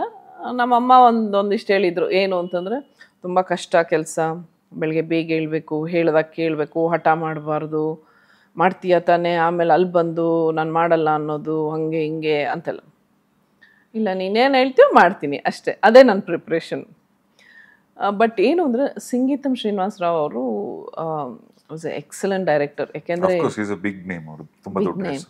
ಆ್ಯಂಡ್ ಅವ್ರಗಳಿಗೆ ಅವರು ಚೆನ್ನಾಗಿ ಅರ್ಥ ಮಾಡ್ಕೊಂಡು ಇವೆಲ್ಲ ಯಾವುದೋ ಏನು ಎಲ್ ಬೋರ್ಡ್ಗಳು ಹೆಂಗೆ ಹ್ಯಾಂಡಲ್ ಮಾಡಬೇಕು ಅನ್ನೋದು ವಾಸ್ ವೆರಿ ಇಂಪಾರ್ಟೆಂಟ್ ಅವ್ರು he would always ಇನ್ಸ್ಟ್ insist on spontaneity because I am not a method actor ಯಾಕೆಂದರೆ ನನಗೆ ಆ ಮೆಥಡ್ ಆ್ಯಕ್ಟಿಂಗು ಇದು ಪ್ರಾ ಆ್ಯಕ್ಟಿಂಗ್ ಅಂದ್ರೇ ಗೊತ್ತಿರಲಿಲ್ಲ. ಇನ್ನು ಅದರಲ್ಲಿ ಮೆಥಡ್ ಆ್ಯಕ್ಟಿಂಗ್ ಎಲ್ಲಿ? ಅದು ಚಾನ್ಸೇ ಇಲ್ಲ. ಸೊ ಹೇಳ್ಕೊಟ್ಟಿದ್ದನ್ನು ಸ್ಪಾಂಟಿನಿಟಿ ಇಟ್ಕೋ. ಒಂಥರ ತುಂಬ ಪ್ಲಾಸ್ಟಿಕ್ ಆಗಬಾರ್ದು, ಒಂದು ಸ್ಮೈಲಿಂದ ಹಿಡಿದು ಆ ಥರ. So would always insist on being spontaneous so ಇದುವರೆಗೂ ಅದನ್ನೇ ಫಾಲೋ ಮಾಡ್ಕೊಂಬಂದಿರೋದು ನಂಗೆ ಸೀನ್ ಪೇಪರೆಲ್ಲ ಕೊಟ್ಟರೆ ಓದ್ತೀನಿ ಮುಂಚೆ ಬಟ್ ಡೈಲಾಗ್ಸ್ ಮಗ್ ಹೊಡೆಯೋದು ಅದೆಲ್ಲ ಅಭ್ಯಾಸವೇ ಇಲ್ಲ. ಈಗಲೂ ನಂಗೆ ಬರಲ್ಲ. ಅಲ್ಲೋಗಿ ನಿಂತ್ಕೊಂಡು ಕ್ಯಾಮ್ರಾ ಮುಂದೆ ನಿಂತ್ಕೊಂಡ ಮೇಲೆ ಅವರು ಒಂದೆರಡು ಸತಿ ಡೈಲಾಗ್ ಓದಿದ್ರೆ ಅದನ್ನು ಕೇಳಿಸ್ಕೊಂಡು ಅಷ್ಟೇ. ನನಗೆ ಆ ಥರ ಪ್ರಿಪ್ರೇಷನು ಅದೆಲ್ಲ ಬರೋದೇ ಇಲ್ಲ. ಮ್ಯಾಮ್ ಈಗ ಕೆಲವೊಂದೆಲ್ಲ ಬ್ಲೆಸ್ಸಿಂಗ್ ಅಂತಾರಲ್ಲ ಬ್ಲೆಸ್ಸಿಂಗು ಹಾರ್ಡ್ ವರ್ಕು ಡಿಫ್ರೆನ್ಸ್ ಏನು? ಈಗ ನೀವು ಓಕೆ ನಾಟಕದ ಸೀನೆ ಈಗ ಸೀನ್ ಸಿನಿಮಾ ಸೀನೇನೆ ಡೈಲಾಗ್ಗಳು ಪೇಜ್ಗಳ ಗಟ್ಟಲೆ ಡೈಲಾಗ್ಗಳು ಕೆಲವರಿಗೆ ಅದು ಬರೀ ಲೈನ್ಸ್ ಪ್ರಾಕ್ಟೀಸ್ ಮಾಡೋದ್ರಲ್ಲೇ ದಿನಗಳು ಕಳೀತಾರೆ. ಇನ್ ಕೆಲವರು ಪೀಪಲ್ ಲೈಕ್ ಯು ಒಂದ್ಸರಿ ಸ್ಕ್ರಿಪ್ಟ್ ತೊಗೊಂಡು ಒಂದ್ಸರಿ ಓದ್ಬಿಡ್ತಾರೆ ಕ್ಯಾಮ್ರಾ ಮುಂದೆ ನಿಂತ್ಕೊಂಡ ತಕ್ಷಣ ಆಟೋಮೆಟಿಕ್ ಆಗಿ ಅದು ಹೆಂಗ್ ಬರುತ್ತದು ಅದು? ನಿಮ್ಮ ಮಜಲ್ ಮೆಮೊರಿಲಿ ಇರತ್ತಾ ಅಥವಾ? ಗೊತ್ತಿಲ್ಲ ನನಗೆ ಅದನ್ನು I will say it's a blessing ಏಕೆಂದರೆ ನಾನು ಆಗಲೇ ಹೇಳ್ದಂಗೆ ಎಷ್ಟೋ ಲಕ್ಷಾಂತರ ಜನ ಇದ್ದರು ಎಂತೆಂಥವ್ರು ದೊಡ್ಡ ದೊಡ್ಡ ಒಳ್ಳೊಳ್ಳೆ ಎಸ್ಟಾಬ್ಲಿಷ್ಡ್ ಹೀರೋಯಿನ್ಸ್ ಇದ್ದರು ಅವಾಗ್ಲೂ ಅವ್ರನ್ನೆಲ್ಲ ಬಿಟ್ಟು ನನಗಿಂತ ಒಂದು ಒಳ್ಳೆ, ಒಂದು ಇಂಟ್ರೊಡಕ್ಷನ್ ಸಿಕ್ತು ಲಾಂಚ್ ಸಿಕ್ತು, ಅಥವಾ ಮುಂದೆ ಮಾಡಿದಂಥ ಸಿನಿಮಾಗಳಿರ್ಬೋದು. So I will say that is blessing and of course hard work ಇರಲೇಬೇಕು, ಯಾವುದೂ ಬರಲ್ಲ. ಬಟ್ ಏನಾಗುತ್ತೆ ಅಂದರೆ ಈ ಬ್ಲೆಸ್ಸಿಂಗ್ ಇದ್ದಾಗ ಹಾರ್ಡ್ ವರ್ಕ್ ಹಾರ್ಡ್ ವರ್ಕ್ ಅನ್ಸಲ್ಲ. It it it ha it just happens it just happens ಅನ್ನೋದು ನನ್ನ ಒಂದು ಫೀಲಿಂಗ್ ಏನಂತಾರೆ ನನಗೆ ನನ್ನ ಇನ್ನೊಂದು ನನಗೆ ನನ್ನ ನೇಚರ್ ಏನು ಅಂತಂದರೆ, ನನಗೆ ಗೊತ್ತಿಲ್ಲದೇ ನಾನು ತುಂಬ ಅಬ್ಸರ್ವ್ ಮಾಡ್ತಾ ಇರ್ತೀನಿ. ಅದು ಯಾವಾಗಲೋ ಯಾವುದೋ ಒಂದು ಟೈಮಲ್ಲಿ ಅದು ಇಟ್ ಹೆಲ್ಪ್ಸ್ ಮೀ ಏನೋ ಅಬ್ಸರ್ವ್ ಮಾಡಿರ್ತೀನಿ ಯಾವಾಗಲೂ. ನಾನು ಇಂಟೆನ್ಷನಲಾಗಿ ಎಷ್ಟೋ ಜನ ಹೇಳ್ತಾರೆ your your looking at me like this are your staring at something like that ಅಂತ. ಅವಾಗ ಅಯ್ಯೋ ಹೌದಾ? ಅಂತ ಅನ್ಸುತ್ತೆ. ಅಂದ್ರೆ ಮುಂದೆ ಅದನ್ನ ಎಲ್ಲೋ ಒಂದು ಸೀನಲ್ಲಿ ಯಾವಾಗಲೂ ನಾಪ್ಕಕ್ಕೆ ಬರುತ್ತೆ. ಏ ಹೌದಲ್ವಾ? ಈ ಥರ ನಾನು ಎಲ್ಲೋ ನೋಡಿದ್ದೆ ಅಲ್ವಾ? ಹಿಂಗಿರ್ಬೋದಲ್ವಾ? ಈ ಥರ ಟ್ರೈ ಮಾಡ್ಬೋದಲ್ವಾ? ಅಂತ. ಸೊ ದಟ್ ಹೆಲ್ಪ್ಸ್ ಬಟ್ ಈಗಲೂ ನನಗೆ ಆ ಥರ ನಾನು ತುಂಬ ಪ್ರಿಪೇರ್ ಆಗ್ತೀನಿ ಒಂದು ರೋಲ್ ಮಾಡಬೇಕಾದ್ರೆ. ನನಗೆ ಅಭ್ಯಾಸನೇ ಇಲ್ಲ. ಮೋರ್ ದೆನ್ ದಟ್ ಐ ಏನಂತಾರೆ rely upon the directors input ಏಕೆಂದರೆ ಅವ್ರಿಗೆ ಇಡೀ ಸಿನಿಮಾ ಅವ್ರಿಗೆ ಗೊತ್ತು, ಅವ್ರ ತಲೆಯಲ್ಲಿರುತ್ತೆ ಇಡೀ ಸಿನಿಮಾ. ಯಾವ ಪಾತ್ರ ಹೇಗಿರಬೇಕು, ಹೇಗೆ ಮಾಡಬೇಕು, ಎಷ್ಟರ ಮಟ್ಟಿಗೆ ಮಾಡಿಸ್ಬೇಕು ಅನ್ನೋದು ಅವ್ರಿಗೆ ಗೊತ್ತಿರುತ್ತೆ. ಸೊ, ನಾನು ಏನೋ ಪ್ರಿ ಅಸಂಪ್ಷನ್ ಮಾಡ್ಕೊಂಬಿಟ್ಟು, ಇಲ್ಲ ನಾನು ಹೀಗೆ ಮಾಡ್ತೀನಿ, ಹಾಗೆ ಮಾಡ್ತೀನಿ ಅಂತ I don't go with that mentality ಅವ್ರಿಗೆ ಗೊತ್ತಿರುತ್ತೆ, ಈ ಕ್ಯಾರೆಕ್ಟರ್ ಇಷ್ಟು ಮಾಡಿದ್ರೆ ಇವರು ಅದಕ್ಕಿಂತ ಒಂಚೂರು ಕಮ್ಮಿ ಮಾಡಬೇಕು, ಒಂಚೂರು ಜಾಸ್ತಿ ಮಾಡಬೇಕು. ಆ್ಯಕ್ಷನ್ ರಿಯಾಕ್ಷನ್ ಎಲ್ಲ ಅವ್ರಿಗೆ ಗೊತ್ತಿರುತ್ತೆ. ಸೊ ಅವ್ರು ಏನು ಹೇಳ್ತಾರೋ ಅವ್ರನ್ನ probably they are to I study oh ಇವ್ರು ಇದನ್ನು ನನ್ನಿಂದ ಇದನ್ನು ಎಕ್ಸ್ಪೆಕ್ಟ್ ಮಾಡ್ತಾರೆ. ಈ ಥರ ಹಿಂಗೆ ಬೇಕು ಅನ್ನೋದು ಎಕ್ಸ್ಪೆಕ್ಟ್ ಮಾಡ್ತಾರೆ. ಈ ಕ್ಯಾರೆಕ್ಟರ್ ಈ ಥರ ಪರ್ಫಾರ್ಮ್ ಮಾಡಬೇಕು ಅಂತ. So I go according to that and ನಿಮ್ಮ ಫಸ್ಟ್ ಹೀರೋ ನಾನು ರೇಡಿಯೋಗೆ ಬಂದಿದ್ದು ನಾನು ಶಿವಣ್ಣನ್ ಶಿವಣ್ಣನ ಜೊತೆ ನಾನು ಮಾಡಿದಂಥ ಒಂದು ಮೊದಲ ಸಂದರ್ಶನ ಮೊದಲ ಇಂಟರ್ವ್ಯೂಲಿ ಶಿವಣ್ಣಂಗೆ ಆ್ಯಕ್ಚುಲಿ ವೆರಿ ಕ್ಯೂರಿಯಸ್ ನಾನು ನೋಡಬೇಕು ಯಾ ಕೇಳಬೇಕು ಶಿವಣ್ಣನ ಬಾಯಲ್ಲಿ ಅಂತ. ಬಿಕಾಸ್ ಶಿವಣ್ಣ ಅವ್ರದ್ದು ಪ್ರೇಮ ಅವ್ರದ್ದು ಹಿಟ್ ಪೇರು ಓಮು ನಮ್ಮೂರ ಮಂದರು ಶಿವಣ್ಣ ಅವ್ರದ್ದು ರಾಧಿಕಾ ಕುಮಾರಸ್ವಾಮಿ ಅವ್ರದ್ದು ಕೂಡ ಹಿಟ್ ಪೇರು ಅಂದ್ರೆ ಅಣ್ಣ ತಂಗಿ ಸೀರೀಸ್ ಅಲ್ಲಿ. ಇನ್ನು ನಿಮ್ದು ಶಿವಣ್ಣ ಅವ್ರದಂತೂ ಹಿಟ್ ಫಿಲ್ಮ್ಗಳ ಸಂಖ್ಯೆನೇ ತುಂಬಾ ಜಾಸ್ತಿ ಹಿಸ್ಟ್ರಿ ಆಯ್ತಾ? ನಾನು ಕೇಳ್ಬೇಕಿತ್ತು. ಶಿವಣ್ಣ ಈ ಮೂರು ಜನರ ಹೆಸರು ಹೇಳಿದೆ ಪ್ರೇಮ ಅವರು ಸುಧಾರಾಣಿಯವರು ಪ್ರೇಮ ಅವರು ಆಮೇಲೆ ರಾಧಿಕಾ ಕುಮಾರಸ್ವಾಮಿ ಅವರು. ಮೂರು ಜನದಲ್ಲಿ ಯಾರು ನಿಮ್ಮ ಫೇವ್ರೆಟ್ ಕೋ ಸ್ಟಾರ್ ಅಥವಾ ಫೇವ್ ನಿಮ್ಮ ಫೇವ್ರೆಟ್ ಪೇರ್ ಯಾರ ಜೊತೆ ಅನ್ಸತ್ತೆ ಅಂತ? ನಾನು ಎಕ್ಸ್ಪೆಕ್ಟ್ ಮಾಡಿದೆ ಶಿವಣ್ಣ ಇಲ್ಲ ಡಿಪ್ಲೊಮ್ಯಾಟಿಕ್ ಆಗಿ ಆನ್ಸರ್ ಕೊಡ್ತಾರೆ. ಇಲ್ಲಪ್ಪ ನನಗೆ ಮೂರು ಜನ ಕೂಡ ಇಷ್ಟ ಹಂಗೆ ಹಿಂಗೆ ಅಂತ. ನಿಮ್ಗೆ ಐಡಿಯಾನೇ ಇಲ್ಲ not even a second Rajesh undoubtedly it is Sudharani always Sudharani as ನಿಮ್ಮ ಕೋ ಸ್ಟಾರ್ ಶಿವಣ್ಣ ಅವಾಗ ಆ ನನ್ನ ಟೈಮಿನ ಶಿವಣ್ಣನ ಬಗ್ಗೆ ಹೇಳಿ. ಅವತ್ತಿಂದ ಇವತ್ತವರೆಗೂ ಅದೇ ಎನರ್ಜಿ ಇದೆ. ಅದೇ ಪ್ಯಾಷನ್ ಇದೆ ಅದೇ ಡೆಡಿಕೇಶನ್ ಇದೆ. ದಟ್ಸ್ ಅಮೇಝಿಂಗ್ ಈಗ ಈಗ ಒಂದು ರೀಸೆಂಟಾಗಿ ಅರ್ಜುನ್ ಜನ್ಯ ಅವ್ರ ಸಿನಿಮಾದಲ್ಲಿ ಹೇಳ್ಬೋದು ಬೇಡ ಗೊತ್ತಿಲ್ಲ ಹೇಳ್ಬಿಟ್ಟೆ. ವರ್ಕ್ ಟುಗೆದರ್ ಸೇಮ್ ಅದೇ ಅದೇ ಲೆವೆಲ್ ಎನರ್ಜಿ ಅದೇ. ಇಂಟ್ರೆಸ್ಟ್ ಅದೇ ಹುಮ್ಮಸ್ಸು. ಒಂಚೂರು ಏನಂತಾರೆ ಒಂಚೂರು ಏ ಕಮ್ಮಿ ಆಗಿಲ್ಲ. ಅಂದರೆ ಹೋಗ್ತಾ ಹೋಗ್ತಾ ಒಂದೊಂದು ಆ ಕ್ಯಾಶುವಲ್ನೆಸ್ ಬರುತ್ತಲ್ಲ ಅದು ಇಲ್ವೇ ಇಲ್ಲ ಸೊ ದಟ್ಸ್ ಹಿಸ್ ಸೀಕ್ರೆಟ್ ಇಷ್ಟು ವರ್ಷ ಆದ್ರೂ ಅದೇ ಥರ he has maintain and definitely is a wonderful co star to work with ಅಂದರೆ ಅದು ಅಗೇನ್ ಅದು ಪ್ರಾಬಬ್ಲಿ ನಮ್ಮ ಪೇರಿಂಗ್ ಹಿಟ್ ಆಗೋದಕ್ಕೆ ಅದೇ ಕಾರಣ ಇರ್ಬೋದು.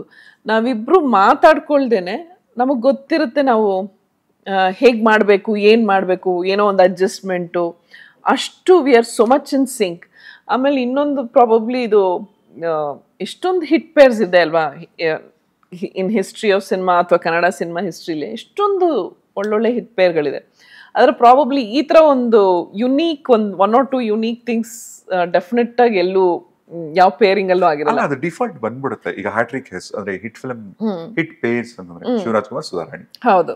ಇಟ್ಸ್ ಅಂಡರ್ಸ್ಟುಡ್ ಯಾ ನಾವು ಆನಂದ್ ಸಿನಿಮಾಯಿಂದನು ಯಾವ್ದಾರು ಒಂದು ಡ್ಯುಯೆಟ್ ಸಾಂಗಲ್ಲಿ ನನ್ನ ಲೈನ್ಸ್ನ he would mouth and his lines I would lip sync take ಅಲ್ಲ? ಟೇಕಲ್ಲಿ ಅವಾಗೆಲ್ಲ ಮಾನಿಟರ್ ಅದೆಲ್ಲ ಇತ್ತಿಲ್ವಲ್ಲ? ಸೊ ಅದು ನಮ್ಮೆಲ್ಲ ಸಿನಿಮಾಗಳಲ್ಲೂ ಮಾಡಿದೀವಿ. ಇಬ್ರು ಮಾಡಿದೀವಿ. ಅದು ಹೆಂಗೋ ಗೊತ್ತಿಲ್ಲ. ಅದು ಎಲ್ಲೋ ಒಂದ್ ಕಡೆ ಅದು ಆತರ ಬಂದೇ ಬರುತ್ತೆ.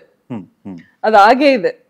ಆಮೇಲೆ ನೋಡ್ಕೊಂಡಾಗ ಅಯ್ಯೋ ಮೇಲ್ ವಾಯ್ಸ್ ನಾನು ಲಿಪ್ಸಿಂಗ್ ಮಾಡಿರ್ತೀನಿ. ಫಿಮೇಲ್ ವಾಯ್ಸ್ಗೆ ಇವಡ ಮೊದಲ ಇದು ಸಾಂಗ್ ಲಿರಿಕ್ಸ್ ಗೊತ್ತಾಗಲ್ಲ ಸ್ಕ್ರೀನ್ ಗೊತ್ತಾಗುತ್ತೆ. ಎಷ್ಟೊಂದು ಕಡೆ ಎಲ್ಲ ಸಾಂಗಲ್ಲಿ ಗೊತ್ತಾಗಿದೆ. ನೀಲಮೇಘದಲ್ಲಿ ಗೊತ್ತಾಗತ್ತೆ ಗಾಜನೂರಿನ ಗಂಡು ಆ ಸಾಂಗಲ್ಲಿ ಗೊತ್ತಾಗತ್ತೆ. ಕೆಲವು ಕಡೆ ಗೊತ್ತಾಗಿಲ್ಲ. ಅದೊಂದು ವಿಷಯ. ಆಮೇಲೆ I think probably we are the first ಏನಂತಾರೆ? Hattrick pair first hattrick pair ಅಂತಲ್ಲ? ನಮ್ಮ ಸಾಂಗ್ಗೆ ಡುಯೆಟ್ಗೆ ಎಲ್ಲ ಒಂದು ಚಿಕ್ಕ ಬಿಟ್ಟಾದ್ರೂ ಪ್ರತಿಯೊಂದು ಸಿನಿಮಾದಲ್ಲೂ ಒಂದು ಕೊರಿಯೋಗ್ರಫಿ ಮಾಡ್ಕೊಂಡಿದೀವಿ. ನೀವು ನೀವೇ? ಹಾ. ಎಲ್ಲ ಎಲ್ಲ ಸಿನಿಮಾದಲ್ಲೂ ಇದೆ ಅಂದ್ರೆ except for Anand except for Anand. Okay masters ಎಲ್ಲ ಡಾನ್ಸ್ ಮಾಸ್ಟರ್ಸ್ ಎಲ್ಲ ಅಂದ್ರೆ ಅಂದ್ರೆ ಇವಾಗ ಜಿಂಗಿ ಚಕ್ಕ ಫಸ್ಟ್ ಬಿಟ್ಟೆಲ್ಲ ನಾವೇ ಮಾಡ್ಕೊಂಡಿರೋದು. ಆಮೇಲೆ ಸಮರದಲ್ಲಿ ಈ ಸಾಂಗ್ ಇದೆಯಲ್ಲ ಅದು ಫುಲ್ ಸಾಂಗ್ ನೀವೇ ಮಾಡಿರೋದು? ನಾವಿಬ್ರೆ.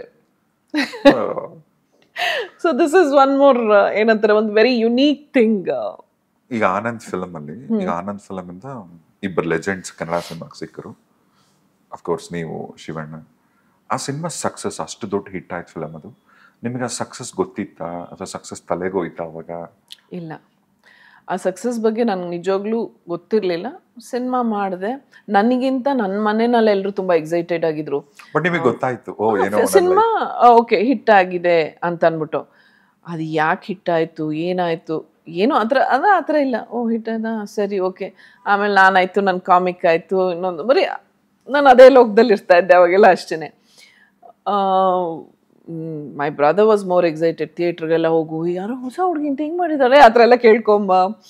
ಆ ಥರ ಎಲ್ಲ. ಬಟ್ ಅವಾಗ ಅದು ಯಾವುದು ನನಗೆ ಅನ್ನಿಸ್ತಾ ಇರಲಿಲ್ಲ. ಈಗ ವೆನ್ ಐ ಲುಕ್ ಬ್ಯಾಕ್ ಮೊನ್ನೆ ರೀಸೆಂಟಾಗಿ ಯಾವಾಗಲೂ ಏನೋ ಮಾತಾಡ್ತಾ ಇದ್ದಾಗ ನನ್ನ ಹಸ್ಬೆಂಡ್ ಹತ್ರ ಹೇಳ್ತಾ ಇದ್ದೆ. ಒಂಥರ ಇದೆಲ್ಲ ನಿಜವಾಗ್ಲೂ ನಡೀತಾ, ಒಂಥರ ಸರಿಯಲ್ ಎಕ್ಸ್ಪೀ ಎಕ್ಸ್ಪೀರಿಯನ್ಸ್ ಅಂತ ಅನ್ಸುತ್ತೆ.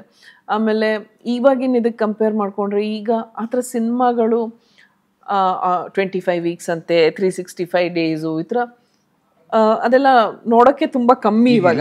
ಇಲ್ವೇ ಇಲ್ಲ ಅಫ್ಕೋರ್ಸ್ ಇವಾಗ ಮಲ್ಟಿಪಲ್ ಸ್ಕ್ರೀನ್ಸಲ್ಲಿ ರಿಲೀಸ್ ಮಾಡ್ತಾರೆ ಸೊ ಮುಂಚೆ ಸಿನಿಮಾಗಳು ಇಪ್ಪತ್ತೈದು ವಾರ ಆಗುವಂಥ ಕಲೆಕ್ಷನ್ ಈಗ ಒಂದು ವಾರ ಹದಿನೈದು ದಿನದಲ್ಲಿ ಆ ಥರ ಆಗುತ್ತೆ. That's it has changed in a different way but ಆ ಥರ ಒಂದು ಆ ಸಕ್ಸಸ್ ಆ ಕ್ರೇಜು ಜನಗಳ ಒಂದು ಅಭಿಮಾನ ಅದೆಲ್ಲ ಏನಿತ್ತು ಅದೊಂದು ಅದೊಂದು ಡಿಫ್ರೆಂಟ್ ಎಕ್ಸ್ಪೀರಿಯನ್ಸ್ ಇವಾಗ ಆ, ಮನಮೆಚ್ಚಿದ ಹುಡುಗಿ ಟೈಮಲ್ಲೆಲ್ಲ ಶೂಟಿಂಗ್ ಮಾಡುವಾಗ ಏನಾಗಿತ್ತು ಅಷ್ಟೊತ್ತಿಗೆ ಆನಂದದೆಲ್ಲ ಮುಗ್ದಿತ್ತಲ್ಲ ನಾವು ಮೈಸೂರು ಹತ್ರ ಮಹದೇವಪುರ ಅನ್ನೋ ಹಳ್ಳಿಲಿ ಶೂಟ್ ಮಾಡ್ತಾ ಇದ್ದಿದ್ದು. ಸೊ ಸಂಜೆ ವಾ ಬೆಳಗ್ಗೆ ತುಂಬ ಬೇಗ ಹೊರಟೋಗ್ತಾ ಇದ್ವಿ ಲೊಕೇಶನ್ಗೆ ಆ್ಯಂಡ್ ಆವಾಗ ಅಲ್ಲೆಲ್ಲ ಇದು ರೈತರು ಅವರು ಎಲ್ಲ ತೋ ತೋಡ್ ಇದಕ್ಕೆ ಅಲ್ಲ ಹೊಟ್ಟೋಗಿ ಅವರು ಕೆಲಸಕ್ಕೆಲ್ಲ ಹೋಗೋರಲ್ಲ ಗದ್ದೆ ಉಳಕ್ಕೆ ಅದಕ್ಕೆ ಇದಕ್ಕೆಲ್ಲ. ಸೊ ಸಂಜೆ ಬರೋ ಅಷ್ಟೊತ್ತಿಗೆ ಏನಾಗೋದು ಜನಗಳೆಲ್ಲ ಬಂದಿರೋರು ಅವ್ರಿಗೆ ನೋಡೋ ಕ್ರೇಜು ಏನು ಕಾರ್ಗಿರೆಲ್ಲ ಹೋಗೋಕ್ಕೆ ಬಿಡ್ತಾ ಇರಲಿಲ್ಲ. ಅವಾಗ ಏನು ಮಾಡೋರು ನಮ್ಮನ್ನ ಆ ಯೂನಿಟ್ ಗಾಡಿ ಮೇಲೆ ಬಸ್ ಮೇಲೆ ಹತ್ಸೋರು. ಅಂದ್ರೆ ಜನಗಳು ನೋಡೋದಿಕ್ಕೆ. ಆ ತರ ಹಳ್ಳಿ ಹಳ್ಳಿ ಜನ ಎಲ್ಲ ಬಂದು ಸೇರ್ಕೊಂಡ್ಬಿಡೋರು. ಸೊ ಈ ತರ ಈ ತರ ಎಕ್ಸ್ಪೀರಿಯನ್ಸ್ ಇರ್ಬೋದು. ಅಥವಾ ಐ ಥಿಂಕ್ ಆನಂದ್ ಸಿನಿಮಾ ಅನ್ಸುತ್ತೆ. ಹುಬ್ಳಿನಲ್ಲಿ ಒಂದು ಫಂಕ್ಷನ್ ಮಾಡಿದ್ರು. ಅಲ್ಲಿ ಹೋದಾಗಲೂ ಅಷ್ಟೇ ಆ ಜನ ಜಾತ್ರೆ. ಅಲ್ಲೂ ಹಿಂಗೇನೆ ಬಸ್ ಮೇಲೆ ಕೂರಿಸಿದ್ರು. ಅಂದ್ರೆ ಆ ತರ ಕ್ರೌಡ್ ಕ್ರೌಡ್ ಕಂಟ್ರೋಲ್ ಮಾಡೋಕ್ಕಾಗ್ತಾ ಇಲ್ಲ. ಕಾರ್ಗಿರ್ ಮುಂದಕ್ಕೆ ಹೋಗೋದಕ್ಕೆ ಚಾನ್ಸ್ ಇಲ್ಲ. ಸೊ ಆ ಥರ ಬಸ್ ಮೇಲೆ ಹತ್ತಿಸಿ ಎಲ್ಲ ಸೊ ಇದೆಲ್ಲ ನೆನೆಸ್ಕೊಂಡಾಗ ಅಯ್ಯೋ ಹೌದಾ? ಈ ಥರ ಎಲ್ಲ ಆಗಿತ್ತಾ? ನನ್ನ ನನ್ನ ತಲೆ ಎಲ್ಲಿತ್ತು ಅವಾಗ? ನಾನು ಅವಾಗ ಏನು ಯೋಚನೆ ಮಾಡ್ತಾ ಇದ್ದೆ? ಅಂತೆಲ್ಲ ಅನಿಸುತ್ತೆ. ಗೊತ್ತಿಲ್ಲ ಅವಾಗ ಏನು ಯೋಚನೆ ಮಾಡ್ತಾ ಇದ್ದೆ ಅಂತ ಇವಾಗ ಜ್ಞಾಪಕ ಇಲ್ಲ ಬಟ್ ನಾವು when I look back I feel wow and ಜೊತೆಗೆ ನಿಮ್ಮ ಮನಮೆಚ್ಚಿತ ಹುಡುಗಿ ಫಿಲ್ಮ್ ಏನಿತ್ತಲ್ಲ ಅವಾಗೆಲ್ಲ ಈ ಬಿ ಸಿ ಸೆಂಟರ್ಸ್ ಎಲ್ಲ ಏನು ಕರಿತೀವಿ? ಉತ್ತರ ಕರ್ನಾಟಕದ ಕಡೆ ಬೆಳಗಾವಿ ಕಡೆ ಸೆಕೆಂಡ್ ಶೋ ಇರ್ತಿತ್ತಲ್ಲ ರಾತ್ರಿ ಒಂಬತ್ತು ಗಂಟೆಯಿಂದ ಹನ್ನೆರಡು. ಹನ್ನೆರಡು ಗಂಟೆ ಆದ್ಮೇಲೆ ಕೂಡ ಗಲಾಟೆ ಮಾಡೋರಂತೆ ಇನ್ನೊಂದು ಶೋ ಹೌದು ಹಾಕಿ ಹೌದು. ಮೊನ್ನೆ ಯಾರು ನನಗೆ ಅಲ್ಲ that is a kind of ಒಂದು ನಂಗೆ ಅದ್ರ ಬಗ್ಗೆ ಅದೇ ಹೇಳೋದಲ್ಲ ನನ್ಗೆ ಅದ್ರ ಬಗ್ಗೆ ಅವಾಗ ನನ್ನ ಕೆರಿಯರ್ ಹೆಂಗಿತ್ತು ಯಾವ ಥರ ಏನಾಗ್ತಿತ್ತು ಅನ್ನೋದು ಏನೂ ನಂಗೆ ಗೊತ್ತಿರಲಿಲ್ಲ. ನಾನು ತಿಳ್ಕೊಳ್ಳೋ ಪ್ರಯತ್ನನೂ ಮಾಡಲಿಲ್ಲ ನಂಗೆ ಅನ್ನಿಸ್ತಾನೆ ಇರಲಿಲ್ಲ. ಬಟ್ ಈಗ ಲೈಕ್ ಇವಳು ಕಳಿಸ್ತಾ ಇರ್ತಾಳೆ ಮ್ಯಾಮ್ ಹಿಂಗಿತ್ತಂತೆ ಹಂಗಿತ್ತಂತೆ ಅಂತೆಲ್ಲ ಕಳಿಸ್ದಾಗ ಅಯ್ಯೋ ಹೌದಾ? ಇದೆಲ್ಲ ಆಗಿತ್ತಾ? ಅಂತೆಲ್ಲನೂ ಅನ್ಸುತ್ತೆ. ಒಂಥರ ಖುಷಿ ಆಗತ್ತೆ. ಏಯ್ಟೀಸ್ ಅಲ್ಲಿ ಏನು ನಮ್ಮ ಹಳಬರೆಲ್ಲ ಸೀನಿಯರ್ಸ್ ಒಳ್ಳೊಳ್ಳೆ ಅದಾದ್ಮೇಲೆ ಒಂದು ಹೊಸ ಟ್ರೆಂಡ್ನ ಕ್ರಿಯೇಟ್ ಮಾಡುವಂಥದ್ದು. ಅವಾಗೆಲ್ಲ ಹೆಂಗೆ ಅಂದ್ರೆ ಹತ್ತು ವರ್ಷ ಒಂದು ಹೀರೋಯಿನ್ ಅಂದ್ರೆ ಒಂದು ಟ್ರೆಂಡ್ ಆಮೇಲೆ ಅದು ಐದು ವರ್ಷ ಆಗ್ತಾ ಬಂತು. ಇವಾಗೆಲ್ಲ ಒಂದ್ ಎರಡು ವರ್ಷ ಒಂದು ಹೀರೋಯಿನ್ ಇದ್ರೇನೆ ಕಷ್ಟ. ಜನ ಮರ್ತು ಬಿಡ್ತಾರೆ ಬೇಗ ಅಥವಾ ಅವ್ರಿಗೆ ಒಳ್ಳೆ ಅವಕಾಶ ಸಿಗೋದೋ ಇಲ್ಲೋ ಗೊತ್ತಾಗಲ್ಲ. ಬಟ್ ನಿಮ್ಮಂತ ನಿಮ್ ಟೈಮಲ್ಲೆಲ್ಲ ಬಂದಾಗ ನೀವು ಎಷ್ಟು ಲಕ್ಕಿ ಹೀರೋಯಿನ್ ಅಂದ್ರೆ ನೀವು ನಾಲ್ಕನೇ ಸಿನಿಮಾನೇ ಅಣ್ಣವ್ರ ಜೊತೆ ಮಾಡ್ತೀರ. ಅಂಡ್ ಅಣ್ಣವ್ರ ಮನೆಯವರಿಗೆ ಪಾರ್ವತಮ್ಮ ಅವರಿಗಂತೂ ತುಂಬಾನೇ ಪ್ರೀತಿ ನಿಮ್ ಮೇಲೆ. ಇಬ್ರಿಗೂ. ಓಕೆ. ಮೊದಲನೇ ಸಾರಿ ಅಣ್ಣ ಅವ್ರನ್ನ ಅದಕ್ಕೆ ಮುಂಚೆ ನೀವು ಮೀಟ್ ಮಾಡಿದ್ರ ಆನಂದಲ್ಲಿ but as a co actor ತಂದೆ ಮಗಳಾಗಿ ದೇವತಾ ಮನುಷ್ಯಲ್ಲಿ ಸ್ಕ್ರೀನ್ ಶೇರ್ ಮಾಡ್ತಾರೆ. ನಾನು ಚಿಕ್ಕ ವಯಸ್ಸಿಂದನೂ ಅವ್ರನ್ನ ನೋಡಿದ್ದೀನಿ ಮುಂಚಿಂದನೂ ತುಂಬ ಏನಂತಾರೆ ಹುಚ್ಚು ಅವರು ಅಂತಂದರೆ ಅವ್ರ ಸಿನಿಮಾಗಳು ಒಂದು ಬಿಡ್ತಾ ಇರಲಿಲ್ಲ. ಆಬ್ವಿಯಸ್ಲಿ ಮನೆಯವರೆಲ್ಲರೂ ಹೋಗುವಾಗ ನಾವು ಎಲ್ಲರೂ ಫುಲ್ ಫ್ಯಾಮಿಲಿನೇ ಅವ್ರ ಫ್ಯಾನ್ಸು ಸೊ ಹಾಗಾಗಿ ಎಲ್ಲ ಮುಂಚಿಂದನೂ ಪರ್ಸ್ನಲ್ ಆಗೂ ಅವ್ರನ್ನ ನೋಡಿದ್ದೀನಿ ಚಿಕ್ಕ ವಯಸ್ಸಿಂದನೂ. ಆಮೇಲೆ ಒಂದಷ್ಟು ಪರ್ಸ್ನಲ್ ಸ್ಟೋರೀಸ್ ಹೇಳಿ ಮ್ಯಾಮ್ ನೀವು ಅಣ್ಣವ್ರ ಜೊತೆ ಶೂಟಿಂಗ್ ಸೆಟಲ್ ಕೂತಿದ್ದು ಮಾತಾಡಿದ್ದು ಅಥವಾ ಅವ್ರು ಹೇಗಿದ್ರು? ಸೊ ಹಾಗಾಗಿ ಅವರು ಮುಂಚಿಂದ ನೋಡಿದ್ರಿಂದ ಅದೊಂದು ಬಟ್ ಆಮೇಲೆ ಆನಂದ್ಗೆ ಅವರೇ ಸೆಲೆಕ್ಟ್ ಮಾಡಿ ಫಸ್ಟ್ ಡೇ ಮೇಕಪ್ ಹಾಕಿದಾಗ ಅವರು ಬಂದು ನೋಡ್ಬಿಟ್ಟು ಅಯ್ಯೋ ಈ ಮಗುಗೆ ಯಾಕೆ ಇಷ್ಟೊಂದು ಹಿಂಗೆಲ್ಲ ಮಾಡಿದ್ದೀರಾ ಎಲ್ಲ ತೆಗಿ ಅಂತ ಅಂದ್ಬಿಟ್ಟು ಆಮೇಲೆ ಒಂಥರ ಅದೇ ತುಂಬ ಏನೇನೋ ಎಲ್ಲ ಹೇರ್ ಡ್ರೆಸ್ಸು ಇದು ಆ ಥರದ್ದೆಲ್ಲ ಏನೇನೋ ಮಾಡಿದರು. ಸೊ ಅದೆಲ್ಲ ತೆಗೆಸ್ಬಿಟ್ಟು ಆಮೇಲೆ ಇದೆಲ್ಲದಕ್ಕಿಂತ ಹೆಚ್ಚಾಗಿ ಫಸ್ಟ್ ನನಗೆ ಅವರು ಮೇಕಪ್ ಹಾಕ್ಸಿದ್ದು ಅವರ ಮೇಕಪ್ ಮ್ಯಾನ್ ಕೈಲಿ. ಅವರ ಪರ್ಸ್ನಲ್ ಮೇಕಪ್ ಮ್ಯಾನ್ ಯಾರಿದ್ರು ಅವ್ರ ಕೈಲಿ ಅವ್ರ ಕೈಲಿ ನನಗೆ ಮೇಕಪ್ ಹಾಕ್ಸಿದ್ರು. ನೀವು ಹಾಕಿ ಅವ್ರು ಇವಳಿಗೆ ಅಂತ ಅಂದ್ಬಿಟ್ಟು. ಸೊ ಬಟ್ಟೆ ಇಡೋದು ಅಂತ ಹತ್ರ ಥರ ಇಟ್ಟು ಅವ್ರ ಕೈಯಲ್ಲಿ ಮೇಕಪ್ ಹಾಕ್ಸಿದ್ರು. ಸೊ ಅವಾಗ್ಲಿಂದ ಒಂಥರ ದಟ್ಟು ಏನಂತಾರೆ ಲಿಟ್ರಲಿ ಲಿಟ್ರಲಿ ಅಲ್ಲ ಫ್ಯಾಮಿಲಿಲಿ ನಾನು ಒಬ್ಳು ಅಷ್ಟೇನೆ ಪೀರಿಯಡ್ ಅವರು ನಿಮ್ಮನ್ನ ಎಷ್ಟು ಚೆನ್ನಾಗಿ ಪ್ರೊಟೆಕ್ಟ್ ಮಾಡೋರಲ್ಲ ಅಂದ್ರೆ ಓ ಎಸ್ ಓ ಎಸ್ ತುಂಬ ಆಯಿತು. ಸೊ ಆ ಥರ ಒಂದು ಇಂಟ್ರೆಸ್ಟ್ ಶೂಟಿಂಗ್ ಎಕ್ಸ್ಪೀರಿಯನ್ಸ್ ಹೇಳಿ ಅಣ್ಣವ್ರ ಜೊತೆ ಎಲ್ಲೆಲ್ಲಿದ್ರಿ? ದೇವತಾ ಆನಂದ್ ಮಾಡುವಾಗ ಕೆಮ್ಮಣ್ಗುಂಡಿನಲ್ಲಿ ಅವ್ರದ್ದು ಇದು ಯಾವ ಸಿನಿಮಾ ಅನುರಾಗ ಅರಳಿತ್ತು ನಡೀತಾ ಇತ್ತು. ಅವ್ರದ್ದು ಸಾಂಗ್ ಅವ್ರದ್ದು ಗೀತ ಅವ್ರದ್ದು ಗಂಗಾ ಯಮುನಾ ಹಾ.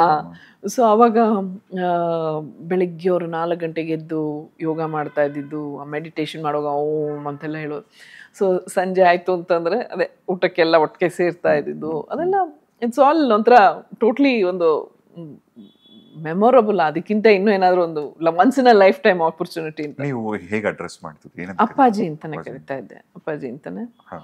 ಅವರು ಕಂದ, ಮರಿ, ಪುಟ್ಟ ಅಂತೆಲ್ಲ. ಆಮೇಲೆ ಅವ್ರಿಗೆ ಮನೆ ಮೆಚ್ಚಿದ ಗೌರಿ ಮಗು ಚಂದಿರಂತೆ, ಆ ಸಾಂಗ್ ತುಂಬ ಇಷ್ಟ.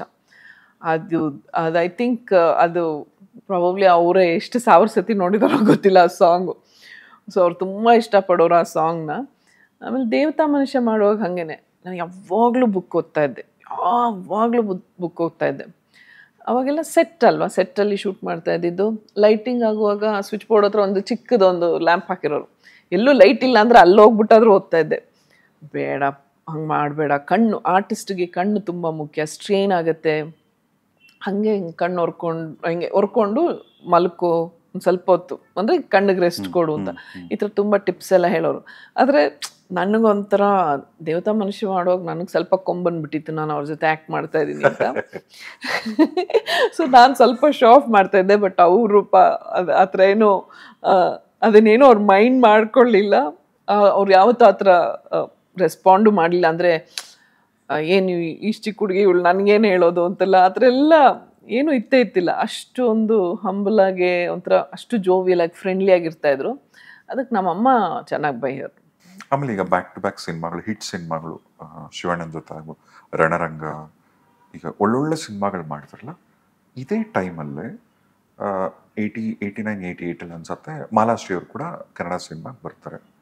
ನೀವು ಕನ್ನಡದ ಹೀರೋಯಿನ್ನು, ಅಷ್ಟೊತ್ತಿಗೆ ಪೀಕಲ್ಲಿ ಸಕ್ಸಸ್ ಇದ್ದಂಥ ಹೀರೋಯಿನ್ನು, ಈಗ ಮಾಲಾಶ್ರೀ ಅವ್ರು ಬಂದ ತಕ್ಷಣ, ಈಗ ನಿಮ್ಮ ಅವರ ನಡುವೆ ಹೇಗಿತ್ತು, ಅವಾಗ ಮೀಟ್ ಮಾಡಿದಾಗ ಮಾತಾಡ್ತಿದ್ರಪ್ಪ, ಅಂದರೆ ಚೆನ್ನಾಗಿತ್ತ ರ್ಯಾಪು ಈಗ ಪೇಪರ್ಗಳಲ್ಲೆಲ್ಲ ಈಗ ಪರಭಾಷೆ ನಟಿ ಅಥವಾ ನಮ್ಮ ಕನ್ನಡದ ನಟಿ ಅಂದ್ರೆ ನಿಮಗೆ ತಾರತಮ್ಯ ಗೊತ್ತಾಗತ್ತಲ್ಲ? ಅವಾಗ ನಿಮ್ಮ ನಡುವೆ ಹೇಗಿತ್ತು? ಮಾಲಾಶ್ರೀ ಅವ್ರಿಗೂ ನಿಮ್ಗೂ ಆ, ಆಬ್ಸಲ್ಯೂಟ್ಲಿ ಫ್ರೆಂಡ್ಲಿ ಕಾರ್ಡಿಯಲ್ ನಥಿಂಗ್ ಆ ಥರದ್ದೆಲ್ಲ ಫ್ರಮ್ ಡೇ ಒನ್ ಆ ಥರದಲ್ಲೇ ಏನಿತ್ತಿಲ್ಲ. ಯಾಕೆಂದರೆ ಸಿ ಅವಾಗ ಎಲ್ಲ ಥರ ಜಾನರ್ ಮೂವೀಸು ಬರ್ತಾ ಇತ್ತು. ಆ್ಯಂಡ್ ಪ್ರತಿಯೊಬ್ಬರಿಗೂ ಅವ್ರದ್ದೇ ಆದ ಒಂದು ನೀಶ್ ಇತ್ತು ಒಂದು ಮಾರ್ಕೆಟ್ ಇತ್ತು. ಏನಂತಾರೆ ಇವಾಗ ಅವ್ರ ರೋ ಇದು ಏನಂತಾರೆ ಸ್ಟ್ರಾಂಗ್ ಆ ಥರ ರೋಲ್ಸ್ ಆ ಥರ ಮಾಡ್ತಾ ಇದ್ರೆ ನಾನು ಆಲ್ಮೋಸ್ಟ್ ಎಲ್ಲ ಬೇರೆ ಎಲ್ಲ ವೆರೈಟಿ ರೋಲ್ಸ್ ನಾನು ಮಾಡ್ತಾ ಇದ್ದೆ. So there was no that it was a very healthy competition ಆ ಥರ ಬ್ಯಾಕ್ ಬೈಟಿಂಗು ಆ ಥರದ್ದೆಲ್ಲ ಇತ್ತೇ ಇತ್ತಿಲ್ಲ. ಆ ಥರ ಒಂದು ನೆಗೆಟಿವ್ ಇದಾಗುವಂಥದ್ದು ಏನೂ ಇತ್ತಿಲ್ಲ. So we all had our space and ಎಲ್ಲೂ ಆ ಥರ ಒಂಥರ ಏನಂತಾರೆ ಆ್ಯನಿಮಾಸಿಟಿ ಬೆಳೆಯೋದಕ್ಕೆ ಅದೆಲ್ಲ ಬರಲೇ ಇಲ್ಲ. ಚಾನ್ಸೇ ಇತ್ತಿಲ್ಲ. ಮತ್ತೀಗ ರಣ ಯಾವುದು ಮನಮೆಚ್ಚಿದ ಮನಮೆಚ್ಚಿದ ಹುಡುಗಿ ಫಿಲಮ್ ಅಲ್ಲಿ ನಿನ್ನಾಡೆ ನಾನು ಕತ್ತಲಲ್ಲಿ ಬೆಳಕ ಕಣ್ಣ ಜಂಗಿ ಚಕಸ ಜಂಗಿ ಚಕಸ ಸಾಂಗ್ ಆಫ್ಟರ್ ಮೂವತ್ ಮೂವತ್ತೈದು ವರ್ಷ ಇನ್ಸ್ಟಾಗ್ರಾಮ್ ಅಲ್ಲಿ ಟ್ರೆಂಡಿಂಗ್ ಸಾಂಗ್ ನಂಗೆ ಗೊತ್ತೇ ಇರ್ಲಿಲ್ಲ. ಹಿಂಗೆ ಹೇಳಿದಾಗ ಅಯ್ಯೋ ಹೌದಾ ಅಂತ. ನಿಮ್ ರೀಲ್ಸ್ ನಿಮ್ ಸಾಂಗ್ಸ್ ನೋಡಿದಾಗ ಒಂದ್ಸರಿ ಪ್ರತಿ ಸರಿ ನೋಡಿದಾಗ ಹೆಂಗ್ ಅನ್ಸುತ್ತೆ? ಆ ಸಾಂಗ್ಸ್ ಎಲ್ಲ ಇವಾಗ ಟ್ರೆಂಡಿಂಗ್ ಆ್ಯಕ್ಚುಲಿ ತುಂಬ ಖುಷಿ ಆಗುತ್ತೆ. ಬರೀ ಸಾಂಗ್ಸ್ ಅಲ್ಲ, ಇವಾಗ ಎಷ್ಟೋ ಕಡೆ ಬಂದು, ಅಂದರೆ ದೊಡ್ಡವ್ರು ಇರ್ಬೋದು, ಅಥವಾ ಆ ಟೈಮಲ್ಲಿ ನನ್ನ ಸಿನಿಮಾಸ್ ನೋಡಿದಂಥವ್ರು ಇರ್ಬೋದು. ಆ್ಯಂಡ್ ಈಗ ಯಂಗರ್ ಜನ್ರೇಷನ್ ಮೊನ್ನೆ ಎಲ್ಲೋ ಶೂಟಿಂಗ್ ಮಾಡ್ತಾ ಇದ್ದಾಗ, ಎಲ್ಲ they they all must be around ಏನಂತಾರೆ ಸೆವೆಂತ್ ಏಯ್ತು ಆ ಥರ ಓದ್ತಾ ಇರೋ ಮಕ್ಕಳೆಲ್ಲ ಅವ್ರುಗಳು ಜೋರಾಗಿ ಕಿರ್ಚ್ಕೊಂಡು, ನಾವು ನಿಮ್ಮ ಸೀರಿಯಲ್ ನೋಡ್ತಾ ಇದ್ದೀವಿ ನಿಮ್ಮ ಸಿನಿಮಾ ನೋಡಿದ್ದೀವಿ ಅಂತೆಲ್ಲ ಅಂತಂದಾಗ ಒಂದು ಕಡೆ ಆಶ್ಚರ್ಯನೂ ಆಯ್ತು ಈ ಮಕ್ಳಿಗೆ ಹೆಂಗೆ ಹೌ ವಿಲ್ ದೇ ರಿಲೇಟ್ ಯಾಕೆಂದ್ರೆ ಆ ಟೈಮ್ ಫ್ರೇಮ್ನವ್ರು ಅಲ್ಲ ಅಲ್ವಾ? ಟೋಟ್ಲಿ ಡಿಫ್ರೆಂಟ್ ಜನ್ರೇಷನ್ ಆ್ಯಂಡ್ ಈಗಿನ ಈಗ ಬರುವಂಥ ಸಿನಿಮಾಗಳಿರ್ಬೋದು ಅಥವಾ ಆ ಕಾಂಟೆಂಟ್ ಇರ್ಬೋದು ಅಥವಾ ಏನಂತಾರೆ ಅವ್ರಿಗೆ ಆಡಿಯನ್ಸ್ ಈ ಥರ ಕೇಳ್ತಾರೆ ಆ ಥರ ಕೇಳ್ತಾರೆ ಅನ್ನೋದಕ್ಕೂ ಆಗ ಬಂದಂಥ ಸಿನಿಮಾಗಳಿಗೂ ತುಂಬ ವ್ಯತ್ಯಾಸ ಇದೆ. ಅಫ್ಕೋರ್ಸ್ ಕಾಂಟೆಂಟ್ ಅವಾಗ ತುಂಬ ಸ್ಟ್ರಾಂಗ್ ಆಗಿರ್ತಾ ಇತ್ತು ಕತೆಗಳು ತುಂಬ ಚೆನ್ನಾಗಿರ್ತಾ ಇತ್ತು. ಈಗ ಇಟ್ಸ್ ಮೋರ್ ಟೆಕ್ನಿಕಲ್ಲು ಅದೆಲ್ಲ ಏನಂತಾರೆ ಆ ಗ್ಲ್ಯಾಮರ್ ಅದೆಲ್ಲ ಇದೆ. ಅವಾಗ ಅನ್ಸುತ್ತೆ ಈ ಮಕ್ಳಿಗೆಲ್ಲ ಹೆಂಗೆ? How can they relate to me ಅಂತ. But at the same time ತುಂಬ ಖುಷಿನೂ ಆಗುತ್ತೆ. That you know I am lucky ಏನಂತಾರೆ ಎಂಟೈರ್ ಡ್ಯಾಸ್ಪುರ ಅಂತರ ಆ ಏಜ್ ಗ್ರೂಪಿಂದ ಈಗಿನ ಈಗಿನವ್ರಿಗೂ ಕನೆಕ್ಟ್ ಆಗಿದೆಯಲ್ಲ ಅಂತ ಅಂದ್ಬಿಟ್ಟು ಖುಷಿ ಆಗುತ್ತೆ. ಮತ್ತೆ ಮ್ಯಾಮ್ ನಾನು ಯಾವುದೋ ನ್ಯೂಸ್ ಪೇಪರ್ ಓದಿದ್ದೆ ನನಗೆ ಟಾಪ್ಕ. ಮಾಲಾಶ್ರೀ ಅವ್ರು ಆ್ಯಕ್ಟ್ ಮಾಡಿದ ತಕ್ಷಣ ಅವ್ರ ಸಿನಿಮಾಗಳು ಮಾಲಾಶ್ರೀ ಅವ್ರ ಒಂದು ಎರ ಶುರು ಆದ ತಕ್ಷಣ ಆ ಟೈಮಲ್ಲಿ ಮಾಲಾಶ್ರೀ ಅವರು ಅಂದರೆ ಈಗ ಮಾಲಾಶ್ರೀ ಅವರು ಕೂಡ ಅವರು ಒಳ್ಳೊಳ್ಳೆ ಸಿನಿಮಾ ಮಾಡಿದ್ರು. ಈಗ ನೀವು ನೀವು ಕೂಡ ಸಕ್ಸಸ್ಫುಲ್ ಪೀಕ್ ಹೀರೋಯಿನ್ ಅವಾಗ ಮಾಲಾಶ್ರೀ ಅವರು ಫಿಲ್ಮ್ಗಳ ಹಾವಳಿಗಳ ನಡುವೆ ಕನ್ನಡ ಸಿನಿಮಾಗೆ, ಅಂದರೆ ಕನ್ನಡ ಸಿನಿಮಾಲಿ ಕನ್ನಡದ ಹೀರೋನ್ ಅಂತ ಒಂದು ಸ್ಟ್ರಾಂಗ್ ಆಗಿ ನಿಂತಿದ್ದು ಸುಧಾರಣೆ ಒಬ್ಬರೇ ಅಂತ. ಈಗ ನೀವು ಮಾಲಾಶ್ರೀಯವರು ಸಿಕ್ಕಾಗ ಅವಾಗೆಲ್ಲ ಪೇಪರ್ಗಳಲ್ಲಿ ಮಾತ್ರ ಎಲ್ಲೋ ಒಂದು ಕಡೆ ಈ ಗಾಸಿಪ್ ಕಾಲಮ್ಗಳು ಬರೆಯೋದು ಅಲ್ಲಿ ಸುಧಾರಣೆ ಮಾಲಾಶ್ರೀಗೆ ಆಗಲ್ವಂತೆ. ಅಂದರೆ ಈ ಥರದ್ದು ಏನಾದರೂ ಸುದ್ದಿಗಳು ಬಂದಾಗ ಈಗ ಇಮ್ಯಾಜಿನ್ ಮಾಡ್ಕೊಳ್ಳಿ ಇಬ್ರು ಇಮ್ಯಾಜಿನ್ ಏನು ರಿಯಲ್ ಆಗಿ ನಡೆದಿರೋದು. ಇವ್ರ ಸಕ್ಸಸ್ಫುಲ್ ನಂಬರ್ ಒನ್ ಹೀರೋಯಿನ್ ಅವಾಗ ಮಾಲಾಶ್ರೀ ಅವರು ಕೂಡ ಸಕ್ಸಸ್ಫುಲ್ ನಂಬರ್ ಒನ್ ಹೀರೋಯಿನ್ ಅಕ್ಕಪಕ್ಕ ಕುತ್ಕೊಂಡಾಗ, ಮಾತಾಡಿದಾಗ, ನೀವು ಜೊತೆಲೆಲ್ಲ ಇದ್ದಾಗ ನಿಮ್ಮ ಕಾನ್ವರ್ಸೇಷನ್ಸ್ ಏನಾಗೋದು? ಏನೇನ್ ಮಾತಾಡ್ತಿದ್ರಿ ಅವಾಗ? ಏನಿಲ್ಲ. ಆವಾಗಿನ ನಮ್ಮ ಏನು ಏಜ್ ಗ್ರೂಪ್ ಆಗ ಏನು ಮಾತಾಡ್ತಾರೆ? ಅಷ್ಟೇ ಏನೋ ಮೇಕಪ್ಪು ಡ್ರೆಸ್ಸು ಆಮೇಲೆ ಅಯ್ಯೋ ಅಲ್ಲಿಗೆ ಔಟ್ಡೋರ್ಗೆ ಹೋಗಿದ್ದೆ ಹಂಗಿತ್ತು ಈ ಥರ ಆಯಿತು ಈ ಕ ಏನೋ ಏನೋ ಒಂದು ಆ ಲೊಕೇಶನಲ್ಲಿ ಹಿಂಗಾಗೋಯ್ತು ಓ ಈ ಶೂಟಿಂಗಲ್ಲಿ ಹಿಂಗಾಯಿತು ಬರೀ ಇಂಥದ್ದೇ. ಅಷ್ಟೇ it was all very actually very very healthy ಇದು. ಆ ಥರದ್ದು ಬೇರೆ ಏನಂತಾರೆ ಏರ್ಪೋರ್ಟ್ ಲುಕ್ಸ್ ಆಳು ಮೂಳು. ಚಾನ್ಸ್ ಇಲ್ಲ ಅವಾಗ ಈ ಥರ ಟ್ರೆಂಡೇ ಇತ್ತಿಲ್ವಲ್ಲ ಅವಾಗ ವಿ ವರ್ ಆಲ್ ಏನಂತಾರೆ we came from that school of thought that each one is unique ಎಲ್ಲರೂ ಒಂದೇ ಥರ ಕಾಣಿಸೋಕೆ ಶುರು ಆಗ್ಬಿಟ್ರೆ ಎಲ್ಲರೂ ಒಂದೇ ಥರ ಮಾಡೋಕ್ಕೆ ಶುರು ಆಗ್ಬಿಟ್ರೆ, ಅದರಲ್ಲಿ ಏನಿದೆ? ಇವಾಗ ನಮ್ಮ ಕೈಯಲ್ಲೇ ಎಲ್ಲ ಬೆಟ್ಗಳು ಸಮ ಇಲ್ಲ ಅಂತಂದಮೇಲೆ ಎಲ್ಲರೂ ಒಂದೇ ಥರ ಏನು ಇದ ಜೆರಾಕ್ಸ್ ಮಿಷಿನ್ ಥರ ಒಂದೇ ಥರ ಇರೋಕ್ಕಾಗತ್ತಾ? ಕಾಪೀಸ್ ಥರ ಇಲ್ಲ ಅಲ್ವಾ? ಸೊ ನನಗೆ ನನ್ನದೇ ಆದ ಒಂದು ಸ್ಟೈಲ್ ಇತ್ತು, ಮಾಲಂಗೆ ಅವ್ರದ್ದೇ ಆದ ಒಂದು ಸ್ಟೈಲ್ ಇತ್ತು, ಇನ್ನೊಬ್ರಿಗೆ ಅವ್ರದ್ದೇ ಆದ ಒಂಥರ ಅವ್ರ ಸ್ಟೈಲ್ ಇತ್ತು, ಅವ್ರು ಮಾಡುವಂಥ ಸಿನಿಮಾಗಳೇ ಬೇರೆ ಥರ ಇತ್ತು, ಅಥವಾ ಅವ್ರು ಮಾಡ್ತಾ ಇದ್ದಿದ್ದಂಥ ರೋಲ್ಗಳು ಬೇರೆ ಥರ ಇತ್ತು, ನಾನು ಮಾಡ್ತಾ ಇದ್ದಿದ್ದು ಬೇರೆ ಥರ ಇತ್ತು. So the competition was healthy there was no animosity ಆ ಥರದ್ದೆಲ್ಲ ಇಲ್ಲ. ಚಾನ್ಸೇ ಇತ್ತಿಲ್ಲ. ಅಲ್ಲ, ಈಗ ಹೀರೋಯಿನ್ಸ್ ಜರ್ನಿ ಹೆಂಗೆ ಶುರು ಆಗುತ್ತೆ? ಜನರಲ್ ಆಗಿ ಹೆಂಗಿರುತ್ತೆ ಅಂದರೆ, ಒಂದು ಹೀರೋಯಿನ್ ಬರ್ತಾರೆ ಸಕ್ಸಸ್ಫುಲ್ ಆಗ್ತಾರೆ, ಆಮೇಲೆ ಸೆಕೆಂಡ್ ಇನ್ನೊಬ್ರು ಯಾರೋ ಹೀರೋಯಿನ್ ಬರ್ತಾರೆ, ಒಂದು ಜನ್ರೇಷನ್ ಶಿಫ್ಟ್ ಆಗತ್ತೋ, ಒಂದು ಟ್ರೆಂಡ್ ಕ್ರಿಯೇಟ್ ಆಗುತ್ತೋ, ಈ ಥರ. ನಿಮ್ಮ ಜರ್ನಿ ಎಷ್ಟು ಬ್ಯೂಟಿಫುಲ್ ಆಗಿದೆ ಅಂದರೆ, ಸುಧಾರಾಣಿಯವರು ಆನಂದಿಂದ ಶುರು ಮಾಡಿ, ಮಾಲಾಶ್ರೀಯವರು ಬಂದಾಗ ಕೂಡ ಸುಧಾರಾಣಿಯವರು ನಂಬರ್ ಒನ್ ಶ್ರುತಿಯವರು ಬಂದ್ಮೇಲೂ ಕೂಡ she was number one Prema ಅವ್ರು ಬಂದಾಗೂ ಕೂಡ ನೀವು ಈಕ್ವಲ್ ಆಗಿ ಇದ್ರಿ. ಹೆಂಗ್ ಪಾಸಿಬಲ್ ಅದು? ಅಂದ್ರೆ ನಿಮ್ಮ ನೀವು ಹೆಂಗ್ ಅಪ್ಡೇಟ್ ಮಾಡ್ಕೋತಿದ್ರ? ಅಥವಾ ಯಾಕಂದ್ರೆ ಈಗ ಹೀರೋಯಿನ್ಸ್ಗೆ ಕೆಲವು ಇನ್ಸೆಕ್ಯೂರಿಟೀಸ್ ಇರುತ್ತೆ ಏನು ಅಂದ್ರೆ ಚೆನ್ನಾಗಿ ಕಾಣಿಸ್ಬೇಕು ಸ್ಲಿಮ್ ಆಗಿರಬೇಕು ಡಯಟ್ ಮಾಡಬೇಕು, ಅಥವಾ ಇಂಥ ಪರ್ಟಿಕ್ಯುಲರ್ ಕ್ಯಾರೆಕ್ಟರ್ ಚೂಸ್ ಮಾಡಬೇಕು ಅಂತ. ನಿಮಗೆ ಈ ಥರದ ಕಾಂಪಿಟೇಷನ್ಸ್ ಅಂತ ಬರ್ತಿದ್ದಾಗ ಹುಟ್ಕೋತಿದ್ದಾಗ ಹೀರೋಯಿನ್ಸ್ ಎಲ್ಲ, ನಿಮಗೆಲ್ಲೋ ಒಂದು ಕಡೆ ಆ ಇನ್ಸೆಕ್ಯೂರಿಟಿ ಇತ್ತ ನಿಮಗೆ? ಇಲ್ಲ. ಏಕೆಂದರೆ ಯಾಕೆಂದರೆ ನನ್ನ ಫೋಕಸ್ ಒಂದೇ ಇದ್ದಿದ್ದು. Because having come from a very conservative family and ಅಮ್ಮ ಹೇಳಿ ಹೇಳಿ ಹೇಳಿ ನನಗೆ ನಾನೀಗ ಆಯ್, ಇಲ್ಲಿ ಬಂದಿದ್ದೀನಿ. So I have to make a mark for myself so ಅವರು ಯಾರು ಏನಾದರೂ ಮಾಡಲಿ. ನನಗೆ ಇವಾಗ ಇದು ಕೊಟ್ಟಿದ್ದಾರೆ. ಇದು ನನ್ನ ಟ್ರ್ಯಾಕು ಸೊ ನಾನು ಇಲ್ಲಿ ಕರೆಕ್ಟಾಗಿ ನನ್ನ ಟ್ರ್ಯಾಕಲ್ಲಿ ನಾನು ಓಡಬೇಕು. ಅಷ್ಟೇ ನನ್ನ ಗುರಿ ಇದ್ದಿದ್ದು ನನ್ನ, ಏನಂತಾರೆ, ಇದು ನನ್ನ ಎಂಡ್ ಎಂಡ್ ಪಾಯಿಂಟ್ ಅಲ್ಲಿದೆ. ಸೊ ನಾನು ಈ ಟ್ರ್ಯಾಕಲ್ಲಿ ನಾನು ಕರೆಕ್ಟಾಗಿ ಓಡಬೇಕು.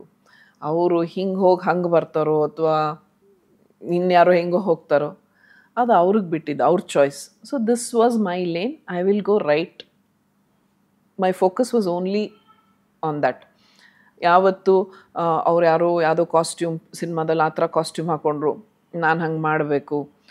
ಆವಾಗಲೂ ಇತ್ತಿಲ್ಲ, ಇವಾಗಲೂ ಇಲ್ಲ. ನನಗೇನು ಸೂಟ್ ಆಗುತ್ತೋ, ಅಮ್ಮ ಹಾಗೆ ಮಾಡ್ತಾ ಇದ್ದಿದ್ದು. ನನಗೆ ನನಗೆ ಯಾವ ಟೈಪ್ ಡ್ರೆಸ್ಸಿಂಗ್ ಸೂಟ್ ಆಗುತ್ತೆ, ಆ ಥರ ಮಾಡ್ಕೊ.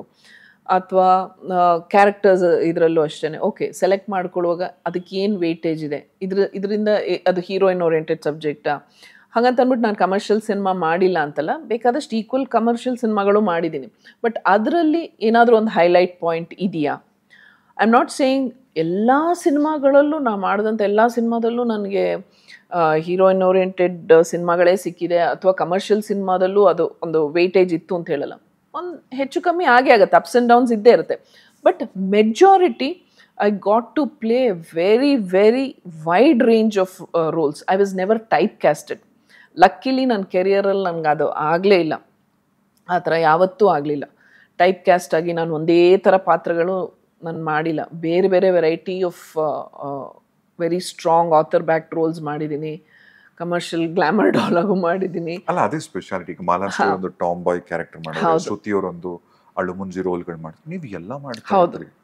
So it was one conscious effort ಅಲ್ಲಂತೂ ಇತ್ತು. ಅಂದರೆ ಸುಮ್ಮನೆ ಲೆಕ್ಕಕ್ಕೊಂದು ಸಿನಿಮಾ ಮಾಡಬೇಕು ಅಥವಾ ಕಾನ್ಸ್ಟೆಂಟಾಗಿ ಚಾಲ್ತಿಲಿರಬೇಕು ಅದಕ್ಕೋಸ್ಕರ ಸಿನಿಮಾ ಮಾಡಬೇಕು ಆ ಥರ ಇತ್ತೇ ಇತ್ತಿಲ್ಲ. They I was very very particular role strong ಆಗಿರಬೇಕು. ಅದರಲ್ಲಿ ಏನಾದರೂ ಒಂದು ಒಂದು ಯುನೀಕ್ನೆಸ್ ಅದು ಒಂದೇ ಸೀನಲ್ಲಿ ಬಂದು ಹೋಗಲಿ. ಅದಕ್ಕೆ ಏನಾದರೂ ಒಂದು ಇಂಪಾರ್ಟೆನ್ಸ್ ಇರಬೇಕು. ಜನದ ಮನಸ್ಸಲ್ಲಿ ಉಳಿಯುವಂಥ ಒಂದು ಪಾತ್ರ ಆಗಿರಬೇಕು ಅನ್ನೋದೇ that was the main criteria so ಹಾಗಾಗಿ ನನಗೆ ಆ ಕಡೆ ಈ ಕಡೆ ನಾನು ಯಾವತ್ತೂ ನೋಡೇ ಇಲ್ಲ. ಅಲ್ಲ ಮ್ಯಾಮ್ ಯಾಕಂದರೆ ಸಿಂಪಲ್ ಆಗಿ, ಈಗ ಇಬ್ಬರು ಫ್ರೆಂಡ್ಸ್ ಏನೇ ಇನ್ಸ್ಟಾಗ್ರಾಮಲ್ಲಿ ಒಂದು ಅಕೌಂಟ್ ಕ್ರಿಯೇಟ್ ಮಾಡಿ, ಒಂದು ರೀಲ್ ಅಪ್ಲೋಡ್ ಮಾಡಿದ್ರೆ, ಅಪ್ಪಿ ತಪ್ಪಿ ಅವನು ಒಂದು ಮಿಲಿಯನ್ನೋ ಎರಡು ಮಿಲಿಯನ್ನೋ ಹೋಗಿದ್ರೆ ನೆಕ್ಸ್ಟ್ ಅದು ಹೆಂಗೆ ನನ್ನ ಮಗಂದು ಅಷ್ಟು ಬಂದ್ಬಿಡ್ತು. ಅಂದರೆ ಒಂದು ರೀಲ್ಸು ವ್ಯೂಸ್ಗೆನೆ ಇಷ್ಟು ಮಟ್ಟಿಗೆ ಕ್ಲಾಶಸ್ ಇರುತ್ತೆ. ಅಂಥದ್ದು ನೀವು ಒಂದು ಸಕ್ಸಸ್ಫುಲ್ ನಂಬರ್ ಒನ್ ಪ್ಲೇಸಲ್ಲಿ ಇದ್ದು ಬೇರೆಯವ್ರು ಯಾರ್ದೋ ಒಂದು ಸಿನಿಮಾ ಸಿಲ್ವರ್ ಜೂಬ್ಲಿ ಆಯಿತು ಹಂಡ್ರೆಡ್ ಡೇಸ್ ಆಯಿತು ಅವ್ರು ಯಾರೋ ಮಾರ್ಕೆಟಿಗೆ ಬಂದ್ರಂತೆ ಈ ಕಡೆ ರೋಜಾನ್ ಕರ್ಕೊಂಬಂದ್ರು ರಮ್ಯ ಕೃಷ್ಣ ಬಂದ್ರು ಬೇರೆ ಲ್ಯಾಂಗ್ವೇಜಸ್ ಹೀರೋಯಿನ್ಸ್ ಎಲ್ಲ ಬರ್ತಿದ್ರಲ್ಲ ಸೊ ಅವಾಗ ನಿಮಗೆ ಆರ್ ದ ಲೈಕ್ ಇವಾಗ ಹೇಳ್ದಂಗೆ ಓಕೆನಾ ಅಥವಾ ಅಲ್ಲ ಅದು ಬಂದ್ ಬೇಕಾದಷ್ಟು ಬರೋರು ಬಟ್ ಏನಾಗೋದು ಅಂತಂದ್ರೆ ಒಂದು point the times majority I can say ninety nine percent of the times ಈ ಮೆಜಾರ್ ಎಲ್ಲ ಸಿನಿಮಾಗಳು, ಅಂದರೆ ನಾನು ಮಾಡಬಹುದು ಅಂತ ಸಿನಿಮಾಗಳು ಫಸ್ಟ್ ನನಗೆ ಬರ್ತಾ ಇದ್ದಿದ್ದು. ಆಮೇಲೆ ಆಗಲ್ಲ ಡೇಟ್ಸ್ಗೋ ಇನ್ನೊಂದಕ್ಕೂ ಅಂತಂದರೆ ಅದು ಬೇರೆಯವ್ರಿಗೆ ಹೋಗೋದು. So that was that was there ಆಮೇಲೆ ಇನ್ನೊಂದೇನು ಅಂತಂದರೆ ನನಗೆ ಮುಂಚಿಂದನೂ ಇವಾಗ ಅದು ಆಗಬೇಕು ಅಂತಂದರೆ I firmly believe if something is destined to be destined to happen ನೀವು ಏನೇ ಮಾಡಿದ್ರು ಅದು ಹಾಗೇ ಆಗುತ್ತೆ. I am a firm believer of that so ಇದು ಆಗಲಿಲ್ವಾ ಒಂದು ಸ್ವಲ್ಪ ಬೇಜಾರಾಗುತ್ತೆ ಇಲ್ಲ ಅಂತಲ್ಲ. ಬಟ್ ಅದನ್ನೇ ನಾನು ತಲೆಗೆ ಹಚ್ಕೊಂಡು ಕೊರ್ಕೊಂಡು ಕೂತ್ಕೋತಾ ಇರಲಿಲ್ಲ. ನೆಕ್ಸ್ಟ್ ನಾನು ಏನು ಮಾಡಲಿ? ಅದ್ರ ಬಗ್ಗೆ ಯೋಚನೆ ಮಾಡ್ತಾ ಇದ್ದೆ. ಏನು ಮಾಡಬೇಕು? ಆಮೇಲೆ ಈ ಇವಾಗ ನನಗೆ ಒಂದು ರೆಸ್ಪಾನ್ಸಿಬಿಲಿಟಿ ಇದೆ. ಸೊ ನಾನು ಅದನ್ನು ಅದನ್ನು ಉಳಿಸ್ಕೋಬೇಕು ಅಂದ್ರೂ ನಾನು ಏನೆಲ್ಲ ಮಾಡಬೇಕು ಅನ್ನೋದು ಯಾವಾಗಲೂ ನನ್ನ ತಲೆಯಲ್ಲಿ ಇರ್ತಾ ಇತ್ತು. ಅದು ಬಿಟ್ಬಿಟ್ಟು, ಅಯ್ಯೋ, ಅವ್ರನ್ನ ಕರ್ಕೊಂಬಂದ್ರೆ ಹೌದು, ನಾನು, ನನಗೆ ಅದು ಬರ್ತಾನೆ ಇರಲಿಲ್ಲ. ಓ, ಇದು ಹೌದಾ, ಹಿಂಗಾಯ್ತಾ, ಅವ್ರು ಮಾಡಿದ್ರಾ? ಓಕೆ. ಈಗ nineties, probably eighties end nineties ಅಷ್ಟೊತ್ತಿಗೆ ಈಗ ಬೇರೆ ಲ್ಯಾಂಗ್ವೇಜ್ ಹೀರೋಯಿನ್ಸ್ನ ಕನ್ನಡಕ್ಕೆ ಕರ್ಕೊಂಬರಕ್ಕೆ ಶುರು ಮಾಡ್ತಿದ್ರು. ಕನ್ನಡ ಅಥವಾ ಹಿಂದಿಯಿಂದ ಕೂಡ ಬಂದು ಹೋಗಿದ್ರು. ಸೊ ಇಂಥ ಟೈಮಲ್ಲಿ ಬರೀ ಆ್ಯಕ್ಟಿಂಗ್ ಜೊತೆಗೆ ಈಗ ಹೀರೋಯಿನ್ಸಲ್ಲಿ ಗ್ಲಾಮರಸ್ ಆಗಿ ತೋರಿಸ್ಬೇಕು ಅಂತ ಪ್ಲ್ಯಾನ್ ಮಾಡ್ತಿದ್ರು ಡೈರೆಕ್ಟರ್ಸು ಸ್ವಿಮ್ ಸೂಟ್ ಹಾಕೋದಾಗ್ಬೋದು ಅಥವಾ ಚಿಕ್ಕ ಚಿಕ್ಕ ಕ್ಲೋತ್ಸ್ ಹಾಕೋದಿರ್ಬೋದು. ಇದು ನಿಮ್ಗೆ ಈ ಥರ ಯಾವ್ದಾರು ಡೈರೆಕ್ಟರ್ಸು ಪ್ರೊಡ್ಯೂಸರ್ಸು ಈ ಥರ ಸ್ಕ್ರಿಪ್ಟ್ ಅಪ್ರೋಚ್ ಆಗ್ತಿದ್ರ ನಿಮ್ಮನ್ನ? ಬರೋದು. ಬೇಕಾದಷ್ಟು ಇನ್ಶಿಯಲ್ ಇದರಲ್ಲೆಲ್ಲ ತುಂಬ ಸಿನಿಮಾಗಳ ಹತ್ರ ಬರೋದು. ಬಟ್ ಅವಾಗ ವೆರಿ ವೆರಿ ಕ್ಲಿಯರ್ ಅಮ್ಮ ಫಸ್ಟ್ ಆಫ್ ಆಲ್ ನೋ ಅಂತ ಹೇಳೋರು. So even I was not comfortable there ಒಂದು ಅದಕ್ಕೊಂದು ಎಲ್ಲದಕ್ಕೊಂದು ಲಿಮಿಟ್ ಇದೆ. ಅದನ್ನು ಬಿಯಾಂಡ್ ಎಕ್ಸೆಸಿವ್ ಆಗಿ ಮಾಡ್ತಾ ಇತ್ತು ಅಂದರೆ ಅದು ಚೆನ್ನಾಗೂ ಇರೋದಿಲ್ಲ. ಆ್ಯಂಡ್ ಅದ್ರದ್ದು ಅವಶ್ಯಕತೆ ಎಷ್ಟಿದೆ? ಆ ನಿಜವಾಗ್ಲೂ ಆ ಸಿನಿಮಾ ಅದು ಕೇಳತ್ತಾ ಕತೆ ಕೇಳತ್ತಾ ಅದಕ್ಕೆ ಬೇಕಾ ಕ್ಯಾರೆಕ್ಟ್ರಿಗೆ ಬೇಕಾ? ಆ ಬೇಸಿಸ್ ಮೇಲೆ ಹೋಗ್ತಾ ಇದ್ದಿದ್ದು.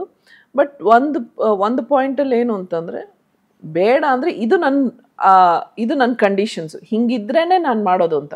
ಸೊ ಒಂದು ಒಂದು ಟೈಮ್ ಫ್ರೇಮ್ ಆದಮೇಲೆ ಇಂಡಸ್ಟ್ರಿಯವ್ರಿಗೂ ಗೊತ್ತಿತ್ತು ಓ ಎಂಥ ಸಿನಿಮಾ ಈ ಥರದ್ದೆಲ್ಲ ಇದ್ದರೆ ಅವ್ರು ಮಾಡಲ್ಲ ಅಂತ. ಸೊ ಅಂಥ ಸಿನಿಮಾಗಳನ್ನ ಬರ್ತಾನೆ ಇರಲಿಲ್ಲ. ಸೊ ಅದು ಬೇರೆಯವ್ರು ಯಾರೋ ಮಾಡ್ತಾರೆ ಅಂದ್ರೆ ನಾನು ಯಾತಕ್ಕೆ ಅದ್ರ ಬಗ್ಗೆ ತಲೆ ಕೆಡಿಸ್ಕೊಳ್ಳಿ ಅಲ್ವಾ? ಅದು ಅವ್ರಿಗೆ ಓಕೆ ಅದು ನನಗೆ ನನಗೆ ಬೇಡ.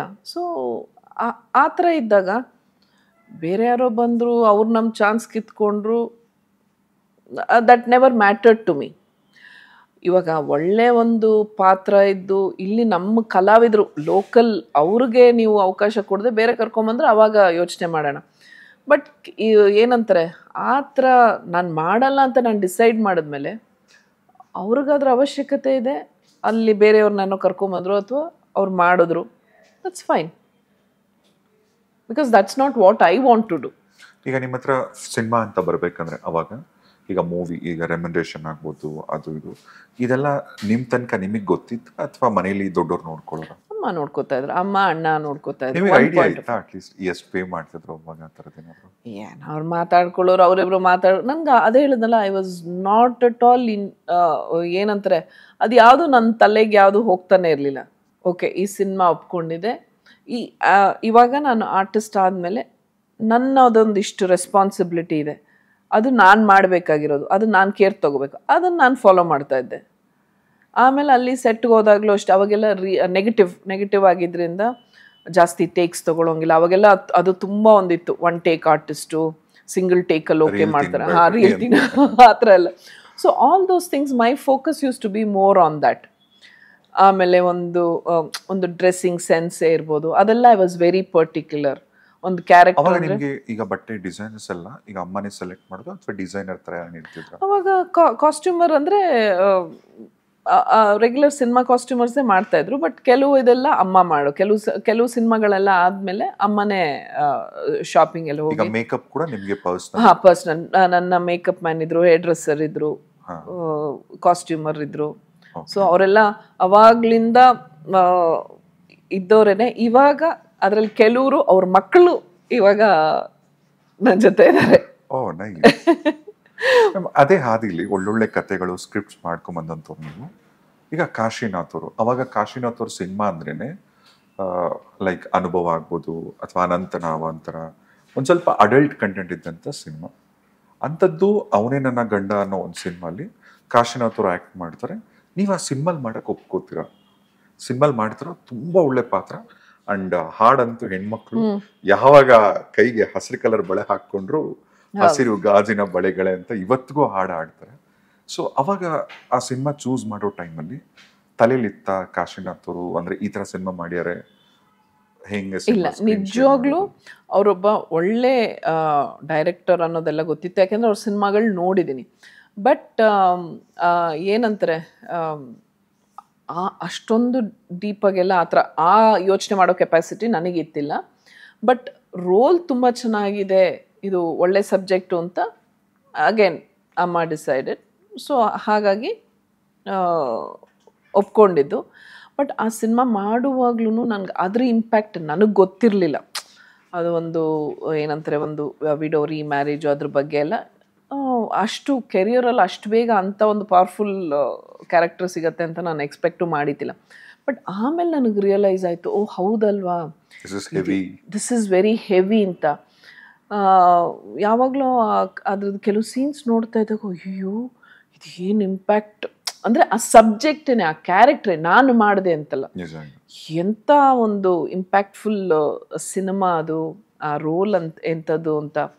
ಆಮೇಲೆ ಆ ಹಾಡೆಲ್ಲ ನೋಡ್ತಾ ಇದ್ದಾಗ ಅನ್ನಿಸ್ತು. ಹೌದಲ್ವಾ? ನಾನು ಆ್ಯಂಡ್ ಅಗೇನ್ ಅಲ್ಲೂ I have been lucky or blessed I have to say ಇವಾಗ ಲೈಫಲ್ಲಿ ಒಂದು ಇಂಪಾರ್ಟೆಂಟ್ ಘಟ್ಟಗಳೇನಿದೆ ಅದಕ್ಕೆ ಲಿಂಕ್ ಆಗುವಂಥ ಹಾಡುಗಳೆಲ್ಲ ನನಗೆ ಸಿಕ್ಕಿದೆ. ಅಲ್ವಾ?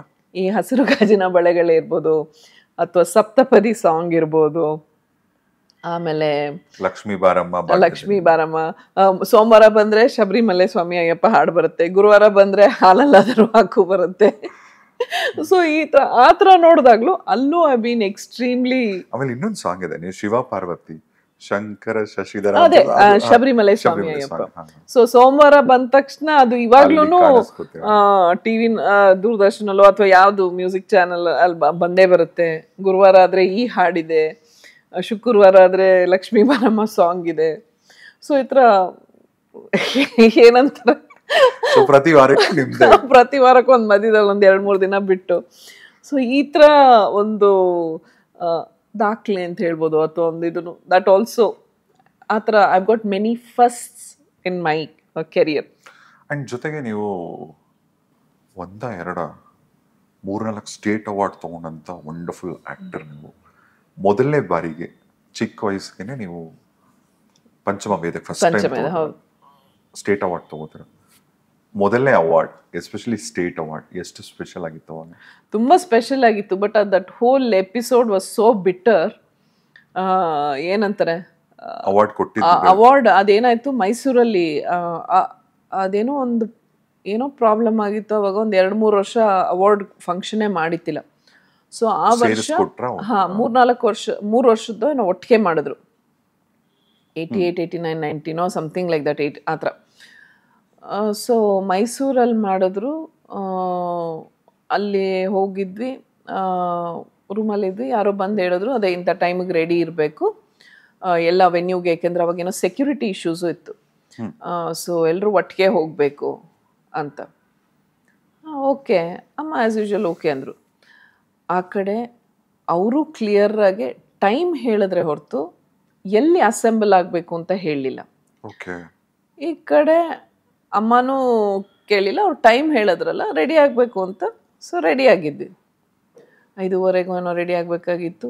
ಐದುವರೆ ರೆಡಿ ಆಯಿತು ಐದೂವರೆ ಆದ್ವಿ ಆಯಿತು ಆರೂವರೆ ಆಯಿತು ಏಳುವರೆ ಆಯಿತು ಯಾರೂ ಕರೆಯೋಕ್ಕೆ ಬಂದೇ ಇಲ್ಲ ಏನಾಗ್ತಾ ಇದೆ ಅಂತ ಗೊತ್ತಿಲ್ಲ.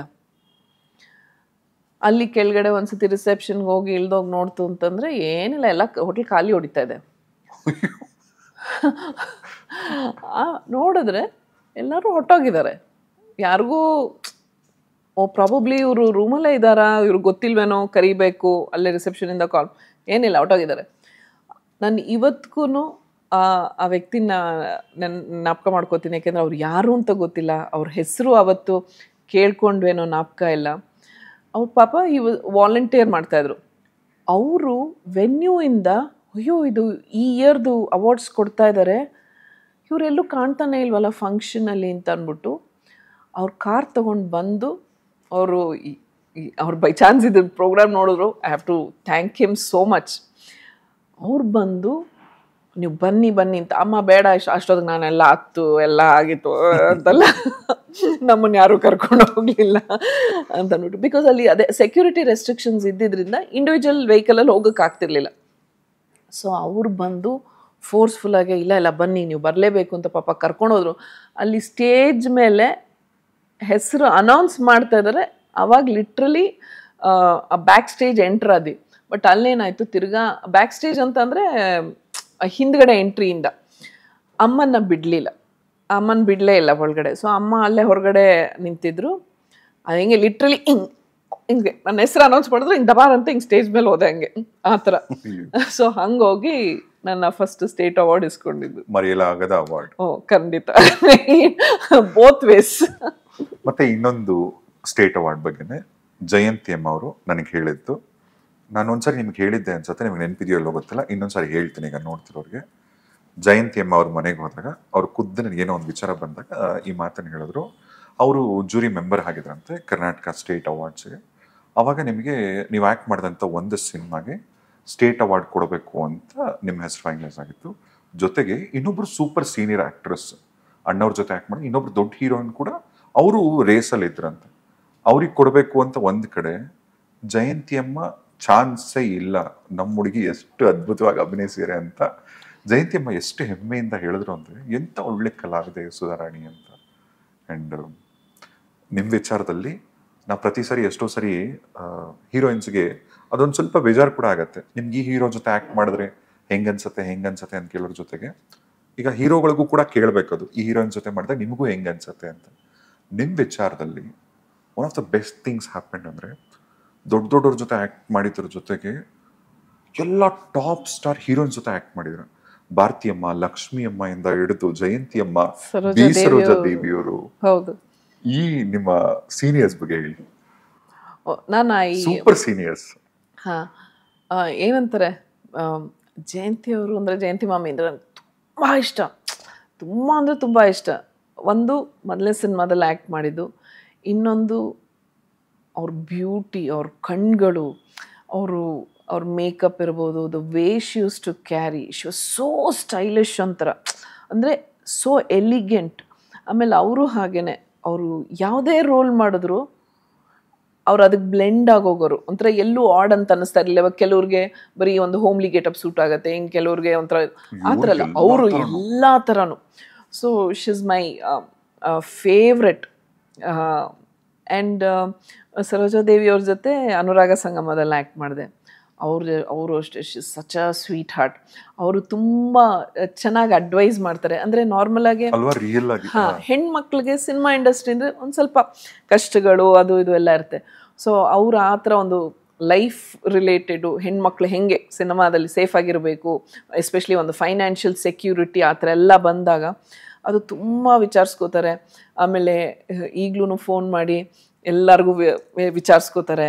ಒಂದೊಂದ್ಸತಿ ಸಡನ್ನಾಗೆ ಮನೇಲಿದ್ಯಾ? ಬರ್ತೀನಿ ಅಂತ. ಅಂದರೆ ಇತ್ತೀಚೆಗೆ ಕೋವಿಡ್ ಆದಮೇಲೆ ಬಂದಿಲ್ಲ, ಬಟ್ ಆ ಥರ ಎಲ್ಲ. ಭಾರತೀಯ ಅಮ್ಮವರು ಅಷ್ಟೇ ವೆರಿ ನೈಸ್ ಅವರು ಅದೇ ಥರ ವೆರಿ ಎಲಿಗೆಂಟ್ ಗ್ರೇಸ್ಫುಲ್ ಆ್ಯಂಡ್ ಲಕ್ಷ್ಮಿಯವರು ಅಂತೂ ಇನ್ನೊಂದು ಇನ್ನೊಂದು ಡಿಫ್ರೆಂಟ್ ಲೆವೆಲ್ ಅವ್ರ ಹತ್ರ ಆ್ಯಕ್ಟಿಂಗ್ ರಿಲೇಟೆಡ್ ಎಲ್ಲ ಸುಮಾರು ಅಬ್ಸರ್ವ್ ಮಾಡಿ ಆ ಥರ ಕಲ್ತಿದ್ದೀನಿ. ವೆರಿ ವೆರಿ ಅವರು ಅಷ್ಟೇ ವೆರಿ ಸ್ಪಾಂಟೇನಿಯಸ್ ಅವ್ರ ಆ ಕಣ್ಣಲ್ಲೇ ಆ್ಯಕ್ಟ್ ಮಾಡಿಬಿಡ್ತಾರೆ. ಅಲ್ಲ ಆ್ಯಕ್ಚುಲಿ ನಿಮ್ಮದು ನಿಜವಾದ ಒಂದು ಕುಟುಂಬ ತರನೇ ಅನ್ಸೋದು ಅಲ್ವಾ? ಹೌದು. ಕುಟುಂಬ ಕುಟುಂಬನೇ.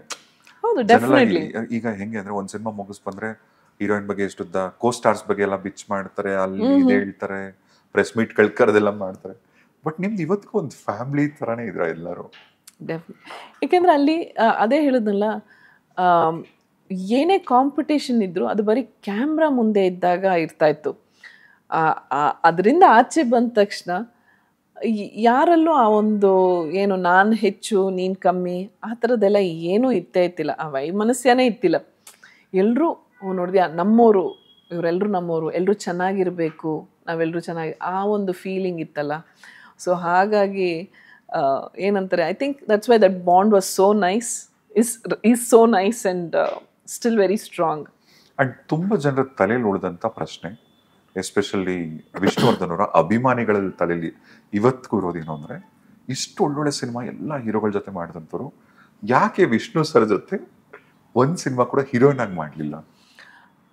ಮಹಾಕ್ಷತ್ರಿಯದಲ್ಲಿ ಆ್ಯಕ್ಚುಲಿ ಅದು ಡಬಲ್ ರೋಲ್ ಅದು ಪೇರ್ ಆಗೇನೆ ಒಂದು ಪೇರು ಇನ್ನೊಂದು ರಾಮ್ ಕುಮಾರ್ ಪೇರ್ ಆ ಥರನೇ ಇದ್ದಿದ್ದು.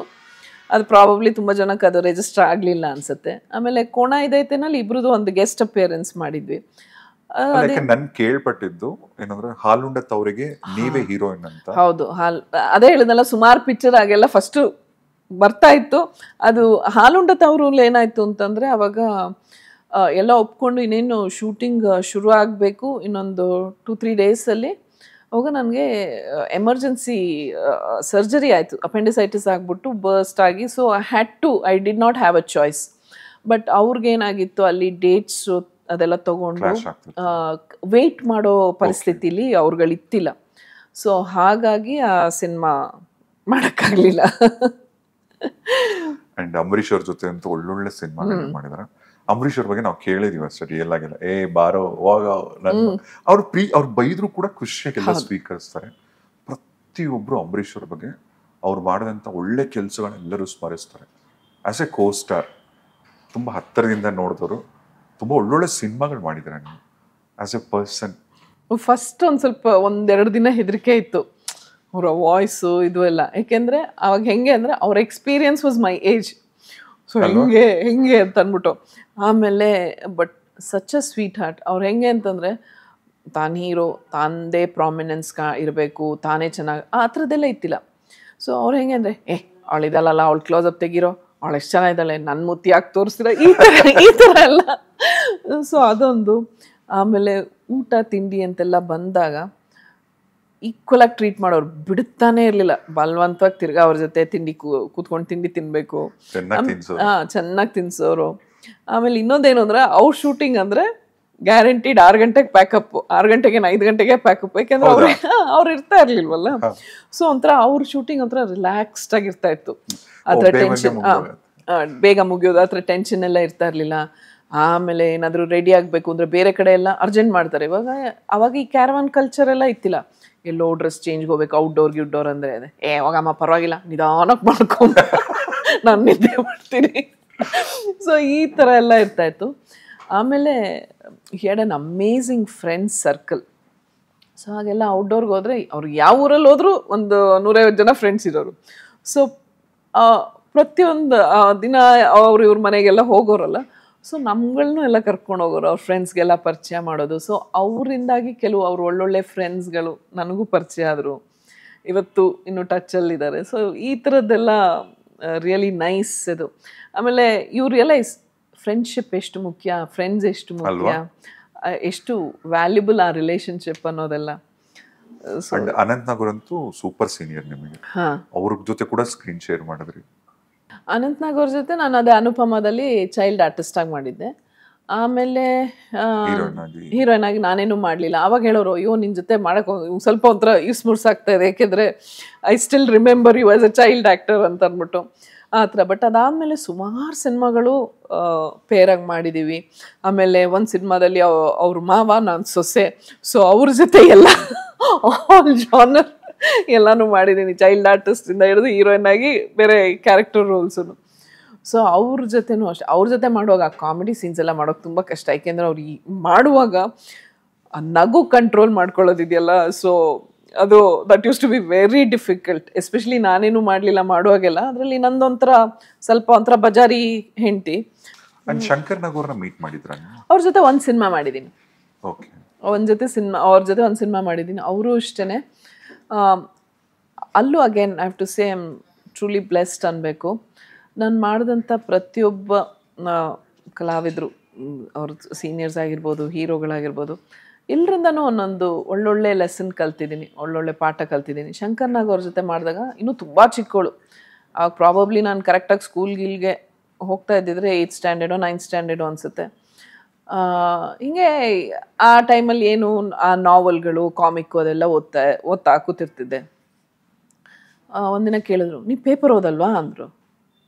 ಇಲ್ಲ ಅಂದೆ.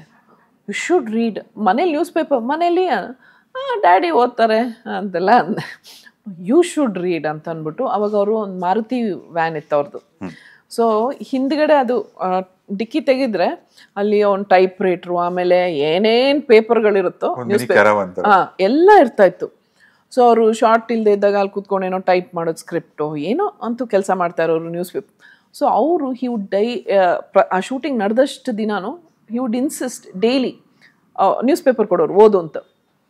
ಸೊ ಓದಿ ತಿಳ್ಕೋಬೇಕು ಓದಬೇಕು ಕಲಾವಿದರು ಓದಬೇಕು ಯಾಕೆಂದರೆ ಪ್ರಪಂಚದಲ್ಲಿ ಏನು ನಡೀತಾ ಇದೆ ಅಂತ ಅದು ಒಂದು ತಿಳ್ ತಿಳ್ಕೊಳ್ಳೋದು ಇರುತ್ತೆ ಇನ್ನೊಂದು ಅಪ್ಡೇಟ್ ಆಗ್ಬೇಕು. ಅಪ್ಡೇಟ್ ಆಗಬೇಕು ಆಮೇಲೆ ಜೊತೆಗೆ ಯಾವುದೋ ಒಂದು ವಿಷಯ ನಮಗೆ ಹೆಲ್ಪ್ ಆಗುತ್ತೆ ಅಥವಾ ಅದರಿಂದ ಒಂದು ಐಡಿಯಾ ಬರ್ಬೋದು. ಏನೋ ಒಂದು ಕತೆಗೆ ಐಡಿಯಾ ಬರ್ಬೋದು ಅಥವಾ ಏನೋ ಒಂದು ಇನ್ಸ್ಪೈರ್ ಇನ್ಸ್ಪೈರ್ ಆಗ್ಬೋದು ಅಂತ. ಸೊ ಹೀಗೆ ಅವ್ರ ಜೊತೆ ಆ ಸಿನಿಮಾ ಮಾಡಿದೆ ಬಟ್ ಅನ್ಫಾರ್ಚುನೇಟ್ಲಿ ಏನಾಯಿತು ಅಂದರೆ ಆ ಸಾಂಗ್ ಡುವೆಟ್ ಸಾಂಗ್ ಶೂಟ್ ಆಗೋಕ್ಕೆ ಮುಂಚೆನೇ ಆಕ್ಸಿಡೆಂಟ್ ಆಗಿ he passed away that that was an unfortunate thing but ಒಟ್ಟಿನಲ್ಲಿ ಅವ್ರ ಜೊತೆ ಆ್ಯಕ್ಟ್ ಮಾಡಿದೆ. ಮತ್ತೆ ಇನ್ನೊಂದು ಈಗ ಕೆಲವೊಂದು ಸಿನಿಮಾಗಳಾಯ್ತಾ? ನೀವು ಬಿಟ್ಟಂತ ಕೆಲವೊಂದು ಸಿನಿಮಾಗಳು ತುಂಬಾ ದೊಡ್ಡ ದೊಡ್ಡ ಸಿನಿಮಾಗಳಾಯ್ತು. ಅಂದ್ರೆ ನೀವು ಮಾಡಕ್ ಆಗ್ತಿರ್ತಕ್ಕಂಥ ಸಿನಿಮಾಗಳು ಒಂದು ರೆಕಾರ್ಡ್ನ ಕ್ರಿಯೇಟ್ ಮಾಡಿದಂಥ ಸಿನಿಮಾಗಳಾಯ್ತು. ಆಯ್ತಾ ಈಗ I can take the name I will take the names because ಆ ಹೀರೋಯಿನ್ಸ್ ಹೇಳಿದ್ದಾರೆ. ಹೌದು. ಇದೇ ಪಾಡ್ಕಾಸ್ಟ್ ಅಲ್ಲಿ ಕೂತ್ಕೊಂಡಂತ ಹೀರೋಯಿನ್ಸ್ ಕೂಡ ಹೇಳಿದ್ದಾರೆ. ಇಲ್ಲ ನಾನೆಲ್ಲ ಸುಧಾರಣೆಯವ್ರ ಚಾಯ್ಸ್ ಆಮೇಲೆ ನಾನು ಬಂದೆ ಅಂತ. ಈ ಕೆಲವು ಸಿನಿಮಾಗಳ ಹೆಸರು ಹೇಳ್ತೀನಿ. ನಿಮ್ಗೆ ಯಾಕೆ ಏನ್ ವಾಟ್ ಇಸ್ ಎಗಿನ್ ಈಗ ಓಂ ಸಿನಿಮಾಗೂ ಕೂಡ ಪಾರ್ವತಮ್ಮ ರಾಜ್ಕುಮಾರ್ ಅವರು ಹೇಳಿದ್ರಂತೆ. ಸುಧಾರಾಣಿ ಅಂತ. ಹೌದು. ಅದೇನಾಯ್ತು ಅಂತಂದ್ರೆ ಅವಾಗ ನಾನೊಂದು ಒಟ್ಟಿಗೆ ಒಂದು ನಾಲ್ಕು ಸಿನಿಮಾನ ಏನೋ ಮಾಡ್ತಾ ಇದ್ದೆ. Continues back to back. Date adjust ಆಗಲಿಲ್ಲ. ಒಂದು ಗ್ಯಾಪೇ ಇತ್ತಿಲ್ಲ. ಔಟ್ಡೋರ್ ಇತ್ತು ತಮ್ ತಮಿಳ್ ಸಿನಿಮಾ ಯಾವುದೋ ಮಾಡ್ತಾ ಇದ್ದೆ. ಸೊ ಹಾಗಾಗಿ ಏನಾಯಿತು ಯಾವ ಡೇಟ್ ಅವರು ಆಪ್ಷನ್ ಕೊಟ್ರು ಅದು ಯಾವುದೂ ವರ್ಕೌಟ್ ಆಗಲಿಲ್ಲ. ಸೊ ಹಾಗಾಗಿ ಆ್ಯಂಡ್ ಅಗೇನ್ ಏನಂತಾರೆ ಏನೋ ಒಂದು ವಾರ ಹದಿನೈದು ದಿನ ಅಥವಾ ಮೋಸ್ಟ್ ಒಂದು ತಿಂಗಳು. ಆ ಥರ ಅಂದರೆ ಯಾರಾದರೂ ಅಕಾಮಿಡೇಟ್. ಹಾಂ ಅಕಾಮಿಡೇಟ್ ಮಾಡಿರೋರು. ಬಟ್ ಇಲ್ಲಿ ಅವರು ಕೇಳದಂತ ಯಾವ dates ಇತ್ತಿಲ್ಲ so the way free dates ಥರ ಬೇಕಾಗಿತ್ತು. ಯಾವ ಡೇಟ್ಸು ಇತ್ತೈತಿಲ್ಲ ಒಂದು ಸಿನಿಮಾ ಶುರು ಮಾಡಬೇಕು ಅಂದ್ಕೊಂಡಾಗ ಅದು ಒಂದು ಮೂರ್ನಾಲ್ಕು ದಿನ ಮೂರ್ನಾಲ್ಕು ತಿಂಗಳು ಪೋಸ್ಟ್ಪೋನ್ ಆಗುತ್ತೆ ಅಂತಂದರೆ ಅವಾಗ that was not the way cinema used to work ಒಂದು ಆರು ತಿಂಗಳಲ್ಲಿ ಸ್ಟಾರ್ಟ್ ಟು ಫಿನಿಶ್ ಅಂದರೆ ಶೂಟ್ ಸ್ಟಾರ್ಟ್ ಆಗಿ ಡಬ್ಬಿಂಗ್ ಆ ಕೆಲಸ ಒಂದು ಆರು ತಿಂಗಳಲ್ಲೆಲ್ಲ ಮುಗಿಸೋರು. ಸೊ ಹಾಗಾಗಿ ಇಟ್ ವಾಸ್ ನಾಟ್ ಫೇರ್ ತುಂಬ ಟ್ರೈ ಮಾಡಿದ್ರೂ ಅದು ಆಗಲಿಲ್ಲ. ಹಾಗಾಗಿ ಆ ಸಿನಿಮಾ ಮಾಡೋಕ್ಕಾಗಲಿಲ್ಲ. ಜನ್ಮದ ಜನ್ಮ ಜೋಡಿ ಕೂಡ ನೀವಿದ್ರೆ ಜನ್ಮದ ಜೋಡಿ ನಮ್ಮೂರ ಮಂದರು. ಆಮೇಲೆ ಇನ್ನೊಂದು ಮೂವಿ ಯಾವುದು ಮ್ಯಾಮ್ ತುಂಬಾ ಫೇಮಸ್ ಹಿಟ್ ಮೂವಿ ಅದು. America America. ಹಾಂ. ಹೌದು. ಸೊ ಆಮೇಲೆ ಅನ್ಸುತ್ತಾ "ಥ, ನಾನು ಈ ಸಿನಿಮಾ ಮಾಡಬೇಕಿತ್ತು? ಅನಿಸಿದೆ. ನಾನು ಇಲ್ಲ ಅಂತ ಹೇಳಲ್ಲ. ಖಂಡಿತವಾಗ್ಲೂ ಅನಿಸೆ ಅನ್ಸುತ್ತೆ. ಯಾವ್ದಾದ್ರು ಒಂದು ಒಳ್ಳೆ ಸಿನಿಮಾ ನೋಡಿದಾಗ ಅನಿಸೆ ಅನಿಸುತ್ತೆ ಛೆ ಮಿಸ್ ಆಯ್ತಲ್ಲ ಅಂತ. ಬಟ್ ಹಾಗಂತ ಅಂದ್ಬಿಟ್ಟು ಅದ್ರ ಬಗ್ಗೆನೇ ಕೊರ್ಕೊಂಡು ಕೂತ್ಕೊಳ್ಳೋಕ್ಕಾಗಲ್ಲ ಅಲ್ವಾ? And it is not right also it is not right also ಅದರಿಂದ ಇನ್ನೂ ಹೊಸಬ್ರು, ಬೇರೆ ಬೇರೆ ಕಲಾವಿದರು ಬಂದರು. ಏನಂತಾರೆ? ಇನ್ನು ಒಂದು ವೆರೈಟಿ ಥರ.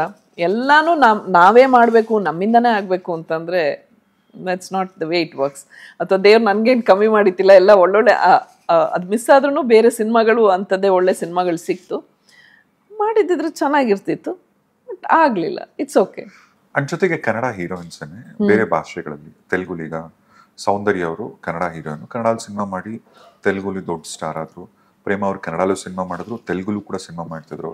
ಮಾಲಾಶ್ರೀ ಅವ್ರು ಕನ್ನಡಲ್ಲಿ ಮಾಡಿ, ಆಮೇಲೆ ತೆಲುಗುಲು ಕೂಡ ಸಿನಿಮಾ ಮಾಡ್ತಿದ್ರು. ನೀವು ಯಾಕೆ ತೆಲುಗು, ತಮಿಳ್ ಅಥವಾ ಬೇರೆ ಲ್ಯಾಂಗ್ವೇಜಸ್ ಅಲ್ಲಿ ಜಾಸ್ತಿ ಸಿನಿಮಾಗಳು ಯಾಕೆ ಮಾಡಲಿಲ್ಲ ಅಲ್ಲಿ?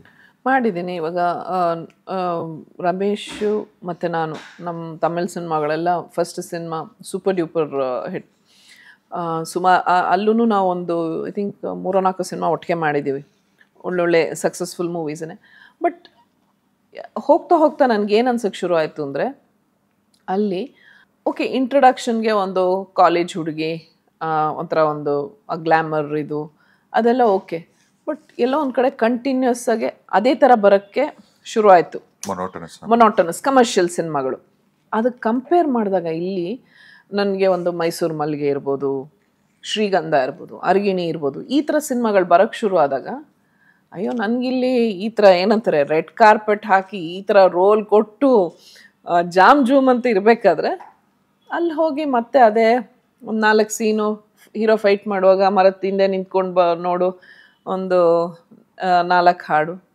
ಯಾಕೆ ಮಾಡಬೇಕು? ಆ್ಯಂಡ್ ಅದ್ ಎಲ್ಲದಕ್ಕಿಂತ ಹೆಚ್ಚಾಗಿ ಇದು ನನ್ನ ಮದರ್ ಟಂಗ್ ಇಲ್ಲಿ ನಾನು ಕಂಫರ್ಟಬಲ್ ಆಗಿದ್ದೀನಿ. ಎಲ್ಲೋದ್ರು ಇಲ್ಲೇ ಬರಬೇಕು. ಎಲ್ಲೋದ್ರೂ ನಾನು ವಾಪಸ್ ಆರಾಮಾಗಿ ಮನೆಗೆ ಹೋಗ್ಬೋದು ನನ್ನ ಜನ ನಮ್ಮ ನನ್ನ familiar surroundings so this was a conscious decision ನನಗೆ ವಾಸ್ ನೆವರ್ ಆಗ ದುಡ್ಡು ಕೂಡ ಟೆಂಪ್ಟಿಂಗ್ ಫ್ಯಾಕ್ಟರ್ ಅಲ್ವಾ? ಅಂದ್ರೆ ಬಿಕಾಸ್ ಇಲ್ಲಿ ಫಾರ್ ಎಕ್ಸಾಂಪಲ್ ಕನ್ನಡ ಸಿನಿಮಾಗೆ ಒಂದು ಹತ್ತು ರೂಪಾಯಿ ಸಿಕ್ಕರೆ ನೀವು ಬೇರೆ ಭಾಷೆಯಲ್ಲಿ ಮೂವತ್ತು ನಲ್ವತ್ತು ರೂಪಾಯಿ ಸಿಗೋದು. ಅಂದ್ರೆ ಇನ್ ದ ಸೆನ್ಸ್ ನಾನು ಸುಮ್ಮನೆ ಟಚ್ ನನಗೆ ಯಾವತ್ತೂ ಆ ಥರ difference ಅನ್ನಿಸ್ಲಿಲ್ಲ. In fact I felt it here it was better than there ಅಂತ.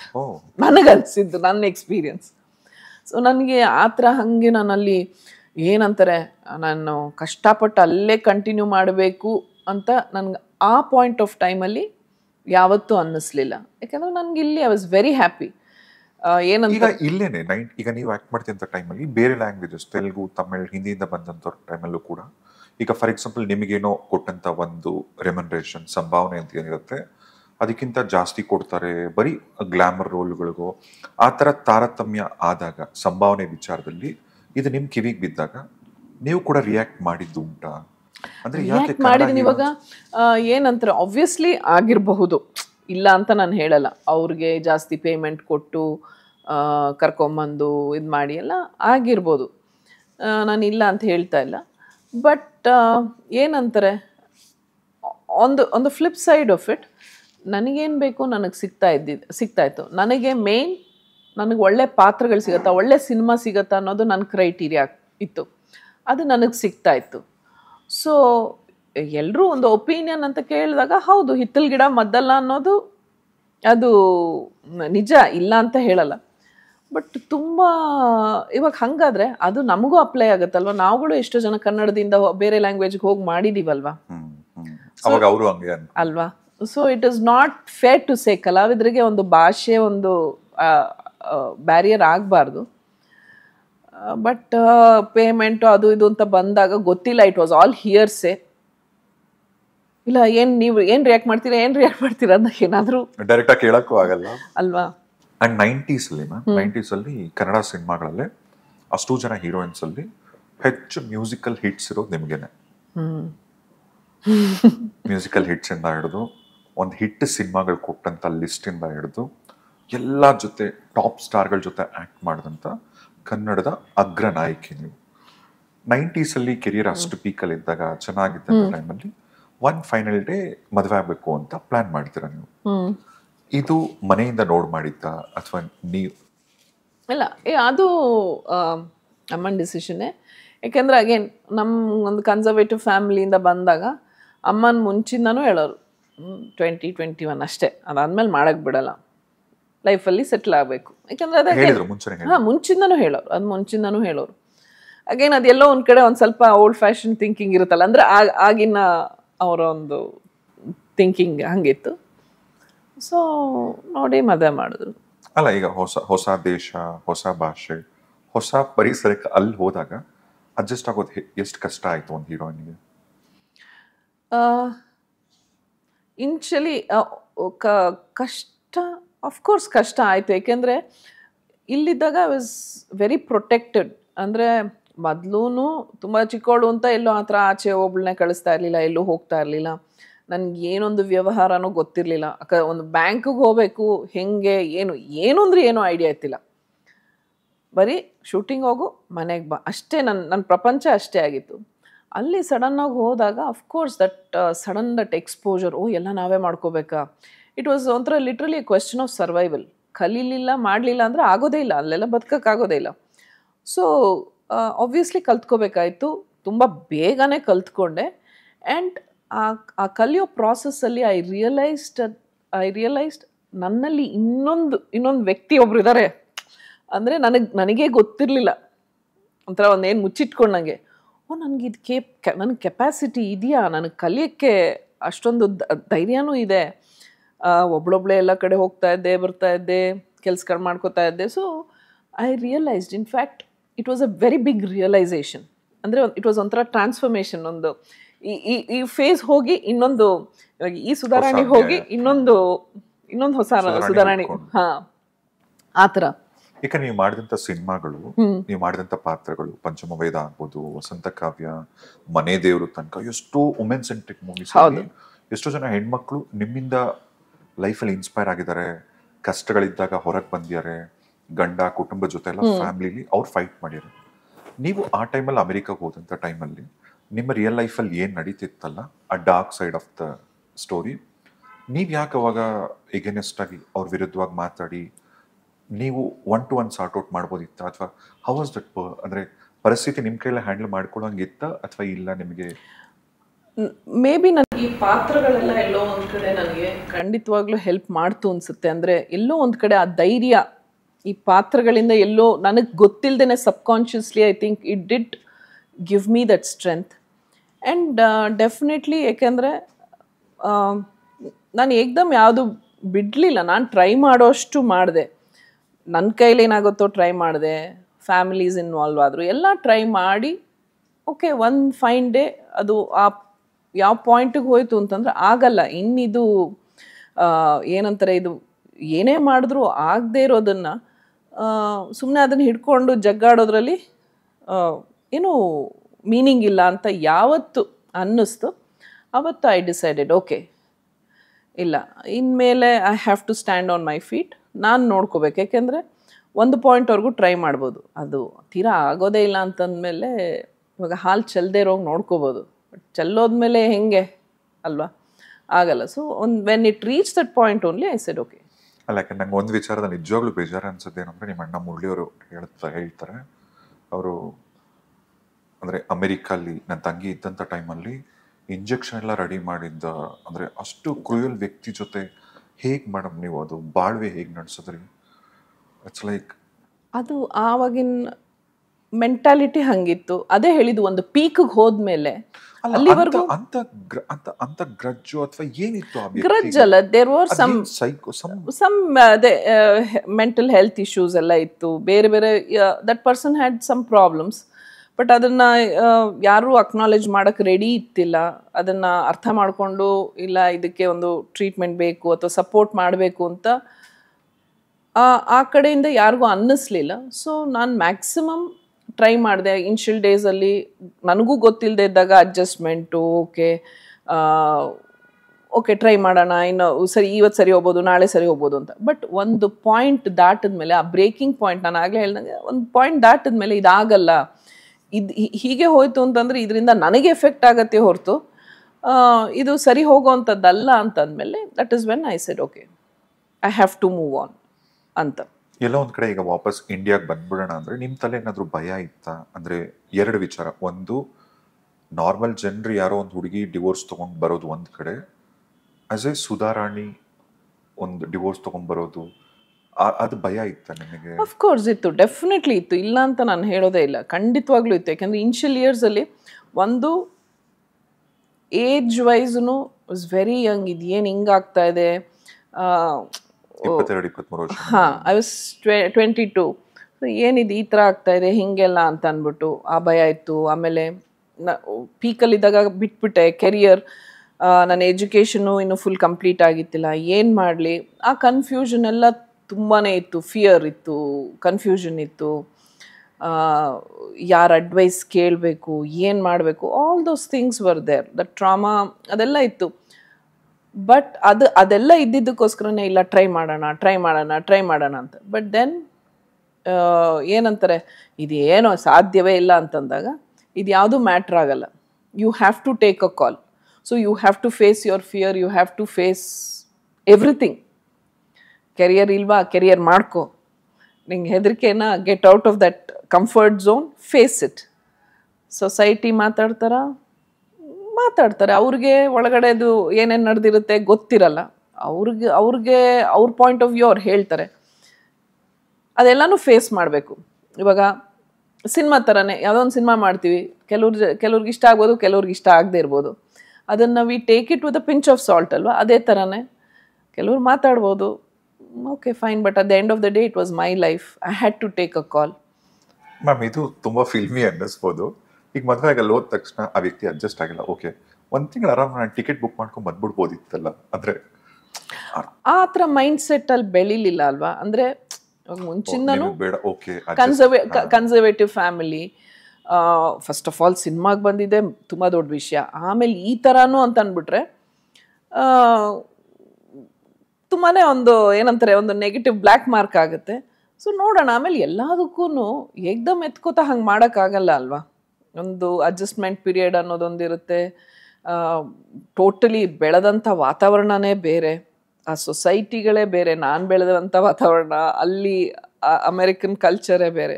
ಸೊ ಹೀಗೆಲ್ಲ ಇದ್ದಾಗ okay you had to give time but time ಕೊಟ್ಟು ಕೊಟ್ಟು ಆಗದೆ ಇದ್ಮೇಲೆ ಇಟ್ಸ್ ಫೈನ್ ಅಂಡ್ ಆ ಟೈಮಲ್ಲಿ ಅಂಬರೀಶ್ ಅವರು ಅಣ್ಣವ್ರ ಕುಟುಂಬ ಹೆಲ್ಪ್ ಮಾಡಿದ್ರು ಈ ವಿಚಾರವಾಗಿ ಅಂತ? They were all very supportive very supportive ಅಂತಂದರೆ ಏನ ಏನಂತಾರೆ? ಫೋನ್ ಗಿನ್ ಮಾಡಿದಾಗ ಧೈರ್ಯವಾಗಿರು ಆ ಥರ. ಬಟ್ ದೆನ್ ಫೈನಲಿ ನನ್ನ ಇಶ್ಯೂಸ್ನ ನಾನೇ ಸಾರ್ಟ್ ಔಟ್ ಮಾಡ್ಕೊಂಬರ್ಬೇಕಲ್ವಾ? ಅದು ಏನಂತಾರೆ ರೆಸ್ಪಾನ್ಸಿಬಿಲಿಟಿನ ಬೇರೆ ಯಾರ ಮೇಲೂ ಹಾಕೋಕ್ಕಾಗಲ್ಲ. ಸೊ ನನಗೇನು ಕರೆಕ್ಟ್ ಅನ್ನಿಸ್ತು ಹೇಗೆ ಕರೆಕ್ಟ್ ಅನ್ನಿಸ್ತು I took I took a call I ಈಗ ಟುಕ್ ಫೈನಲ್ ಈಗ ಫೈನಲ್ ನೀವು ಇಂಡಿಯಾಗೆ ಬಂದ್ರಿ ಬೆಂಗಳೂರಿಗೆ ಬಂದ್ರಿ. ಇವಾಗ ಸಿನಿಮಾಲಿ ಮತ್ತೆ ನೀವು ಓಡಾಡಿ ಬೆಳೆದಂಥ ಜಾಗನೇ. ಇದು ಹೇಗೆ ಅಂದ್ರೆ ಹಾವಾಡಿಗನ್ಗೆ ಪ್ರತಿ ಸಾರಿ ಓ ನಾನು ಹಾವು ಹಿಡಿತೀನಿ ಅಂದ್ಬಿಟ್ಟು ಪ್ರತಿ ಸಾರಿ ಅವನು ನನಗೆ ಎಕ್ಸ್ಪೀರಿಯನ್ಸ್ ಇದೆ ಅಂದ್ಬಿಟ್ಟು ಸಿಕ್ಕದಂಗೆಲ್ಲ ಅವ್ನು ಹಾವು ಹಿಡಿಯಕ್ಕಾಗಲ್ಲ ಯಾವಾಗ ಕಚ್ಚುತ್ತೋ ಗೊತ್ತಿಲ್ಲ. ಅಂದ್ರೆ ಇಟ್ಸ್ ಅ ರಾಂಗ್ ಕಂಪ್ಯಾರಿಸನ್ ನಾನು ಹೇಳೋದೇನು ಅಂದ್ರೆ ಸಿನಿಮಾ ಜಗತ್ ನಿಮಗೆ ಗೊತ್ತು ಸಿನಿಮಾ ಫೀಲ್ಡ್ ನಿಮಗೆ ಗೊತ್ತು ಸಕ್ಸಸ್ ಕೂಡ ನೋಡಿದ್ರೆ. ಇಲ್ಲಿ ಮತ್ತೆ ನೀವು ಶುರು ಮಾಡ್ತಿರಲ್ಲ ಸಿನಿಮಾ. ಅವಾಗ ಮತ್ತೆ ಹೆಂಗ್ ಅಪ್ಡೇಟ್ ಆಗ್ಬೇಕಿತ್ತ? ಅಥವಾ ಹೇಗೆ ಮತ್ತೆ ಆಫರ್ಸ್ ಎಲ್ಲ ನಾರ್ಮಲ್ ಆಗಿ ಬರ್ತಿತ್ತ? ನೀವು ಪ್ರಿಪೇರ್ ಆದ್ರೆ ಹೇಗೆ? ಅದು ಸೆಕೆಂಡ್ ಜರ್ನಿ ಹೆಂಗಿತ್ತು? ಲಕ್ಕಿ ಅಗೇನ್ ಲಕ್ಕಿಲಿ ನನಗೆ ಎಲ್ಲೂ ಮ, ಆ ಥರ ತುಂಬ ಒಂದು ಸುದೀರ್ಘ ಗ್ಯಾಪ್ ಆ ಥರ ಎಲ್ಲ ಏನೂ ಆಗಲಿಲ್ಲ. ಸೊ ಸಿನಿಮಾಗಳು ಮಾಡ್ತಾನೆ ಇದ್ದೆ ಅಲ್ಲಿದ್ದಾಗ್ಲೂ ನಾನೇನು ಮಾಡಲಿಲ್ಲ, ಮಾಡಿದೆ, ಸ್ಪರ್ಶ ಮಾಡಿದೆ ಅದೆಲ್ಲ. ಅದಾದಮೇಲೂ ಫಿಲಮ್ಸ್ಗಳು ಬರ್ತಾ ಇತ್ತು. ಯಾವುದೋ ಒಂದು ಪಾಯಿಂಟ್ ಆಫ್ ಟೈಮಲ್ಲಿ ಆನೆಸ್ಟಾಗಿ ಹೇಳ್ತೀನಿ, ಎಲ್ಲೋ ಒಂಚೂರು ಎಡುವುದೆ ಅಂದರೆ ನಾನು ನನ್ನ ಫ್ರೆಂಡ್ಶಿಪ್ಸ್ಗೆ ತುಂಬ ಇಂಪಾರ್ಟೆನ್ಸ್ ಕೊಟ್ಟು ಅಥವಾ ಇನ್ನೇನೋ ಒಂದು ಆಬ್ಲಿಗೇಷನ್ಗೆ ಕೆಲವೊಂದು ಸಿನಿಮಾಗಳು ಮಾಡಿದೆ which was which really didn't help me in my career ಅದು ಮಾಡದೇ ಇದ್ದಿದ್ರೆ ಚೆನ್ನಾಗಿರ್ತಿತ್ತು ಬಟ್ ಇಟ್ಸ್ ಓಕೆ ಅದರಿಂದ ಅಲ್ಲೂ ನಾನು ಪಾಠ ಕಲಿತೆ.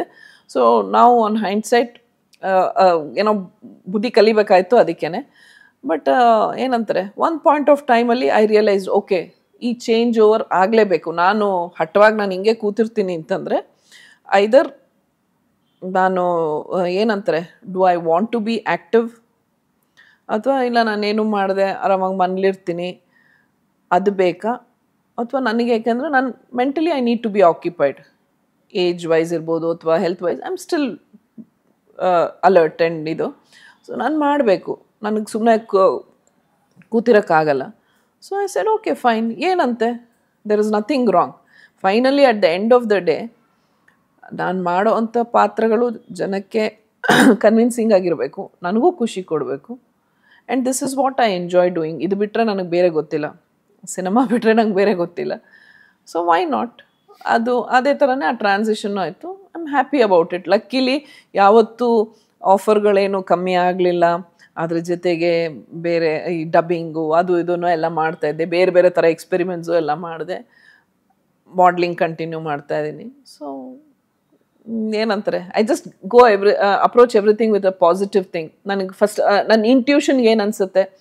ಇವಾಗ ಎಲ್ಲರೂ ಒಂದು ಸಿನಿಮಾ ಬಂದರೆ ಮಾಡಬೇಕಾ, ಮಾಡಬಾರ್ದಾ ಅಂತ ಏನು ಅನಿಸುತ್ತೆ? ಆ ಬೇಸಿಸ್ ಮೇಲೆ ಸ್ವಲ್ಪ ಹೋಗ್ತೀನಿ. ಕತೆ ಆಫ್ಕೋರ್ಸ್ ಕತೆ ಎಲ್ಲ ಕೇಳಿದ್ಮೇಲೆ, ಓ, ಇದು ಓಕೆ ಇದು ಮಾಡ್ಬೋದು, ಹೀಗೆ, ಈ ಥರ ಅಂತಂದರೆ ಐ ಗೋ ಡು ಇಟ್ ಅಷ್ಟೇ. ಆ್ಯಂಡ್ ನಿಮ್ಮ ಪ್ರತಿ ಸಿನಿಮಾ ನೋಡಿದಾಗ ಎಸ್ಪೆಷಲಿ ಎಲ್ಲ ನೈಂಟಿ ಸಿನಿಮಾಗಳು ನೋಡಿದಾಗ, ನೀವು ತುಂಬ ಹತ್ತಿರ ಅನ್ನಿಸ್ತೀರಾ ಅನ್ನಿಸ್ತೀರ. ನಿಮ್ ನಾಟ್ ನಿಮ್ಮ ಆ್ಯಕ್ಟಿಂಗ್ ಕೂಡ ಒಂದು ನಾಟಕ ಅನ್ಸಲ್ಲ ಏನೋ ಓವರ್ ಆ್ಯಕ್ಟಿಂಗ್ ಅನ್ಸಲ್ಲ, ಕಮ್ಮಿ ಕೂಡ ಆ್ಯಕ್ಟ್ ಮಾಡಿದ್ರಿ ಅಂತ ಅನ್ಸಲ್ಲ. ಒಂಥರ ಎಷ್ಟು ಹತ್ರ, ಓ, ಯಾರು ನಮ್ಮ ದೊಡ್ಡಪ್ಪ ಮಗಳು, ನಮ್ಮ ಮಾವನ ಮಗಳು, ಒಂಥರ ತುಂಬಾ ಆ ಥರ ಆಗ್ತಿರಲ್ಲ. ಸೊ ಆನಂದಿಂದ ಹಿಡಿದು ಇಲ್ಲಿ ತನಕ ಯಾವುದೇ ಥರದ ಒಂದು ಕೆಟ್ಟ ಇಮೇಜ್ ಇಲ್ಲ ಕಾಂಟ್ರವರ್ಸೀಸ್ ಇಲ್ಲ, ಅದು ಹೆಂಗೆ ಅಷ್ಟು ಕ್ಲೀನ್ ಇಮೇಜ್ ಮೇಂಟೈನ್ ಮಾಡಿದ್ರಿ? ಆ್ಯಕ್ಟಿಂಗ್ ವಿಚಾರ ಅಂತ ಬಂದಾಗ ಯಾವ್ಯಾವ ಪಾತ್ರ ಮಾಡಿದ್ದೀನೋ, ಅದು ಯಾವ್ದು ಜನಗಳಿಗೆ ಇಷ್ಟ ಆಗಿದೆಯೋ ಇದು, ಅಲ್ಲ all that credit goes to my directors ಏಕೆಂದರೆ, ಅವರು ಆ ಥರ ಕೆಲಸ ತಗೊಂಡ್ರು. ಅಂದರೆ ದೇ ಏನಂತಾರೆ made me perform like that so that credit goes to them completely and ಮುಂಚಿಂದನೂ ನನಗೊಂದು ಕ್ಲಾರಿಟಿ ಇದೆ. ನನಗೆ ಇದು ಬೇಕು, ಇಷ್ಟೇ ಬೇಕು, ಹೀಗೆ ಬೇಕು. ಅದನ್ನು ದಾಟಿ ನಾನು ಯಾವತ್ತೂ ಹೋಗೇ ಇಲ್ಲ. ನಾನು basically very straightforward very simple person so ನನಗೆ ನನ್ನೊಂದೊಂದು ಇದಿರುತ್ತೆ ಒಂದು ಬ್ಲಾಕ್ ಅದರಲ್ಲೇ ಇರ್ತೀನಿ ನಾನು ಅಂದರೆ ಇವಾಗ ಓಕೆ ಈಗ ನೆಕ್ಸ್ಟ್ ಒನ್ ಇಯರ್ ನಾನು ಇದನ್ನು ಮಾಡಬೇಕು ಅಥವಾ ಇದನ್ನು ತೊಗೋಬೇಕು ನನಗೆ ಇದಿಷ್ಟ ಹೀಗೆ ಮಾಡ್ತೀನಿ ನಾನು ಬರೀ ಅದ್ರ ಮೇಲೆ ಫೋಕಸ್ ಮಾಡ್ತೀನಿ ಒಂದು ನೂರ ಇಪ್ಪತ್ತೆಂಟೆಲ್ಲ ಬೇಕು ಕಾಂಪ್ಲಿಕೇಟೆಡ್ ಎಲ್ಲ ಅಲ್ಲ I am very simple and ಇದುವರೆಗೂ ಇವ್ರು ಶೂಟಿಂಗ್ ಸೆಟ್ಟಿಗೆ ಲೇಟ್ ಆಗಿ ಬರ್ತಾರೆ ಅಂತ ಒಬ್ಬರು ಬಂದು ಪ್ರೆಸ್ ಒಬ್ರು ಪ್ರೊಡ್ಯೂಸರ್ ಬಂದು ಪ್ರೆಸ್ ಮೀಟ್ ಮಾಡಿರೋದನ್ನ ನೋಡಿಲ್ಲ. ಒಂದು ಕೋ ಸ್ಟಾರ್ ಒಂದು ಹೀರೋ ಜೊತೆ ಇವ್ರಿಗೆ ಅಫೇರ್ ಇದೆ ಅಂತ ಎಲ್ಲೂ ಓದಿಲ್ಲ.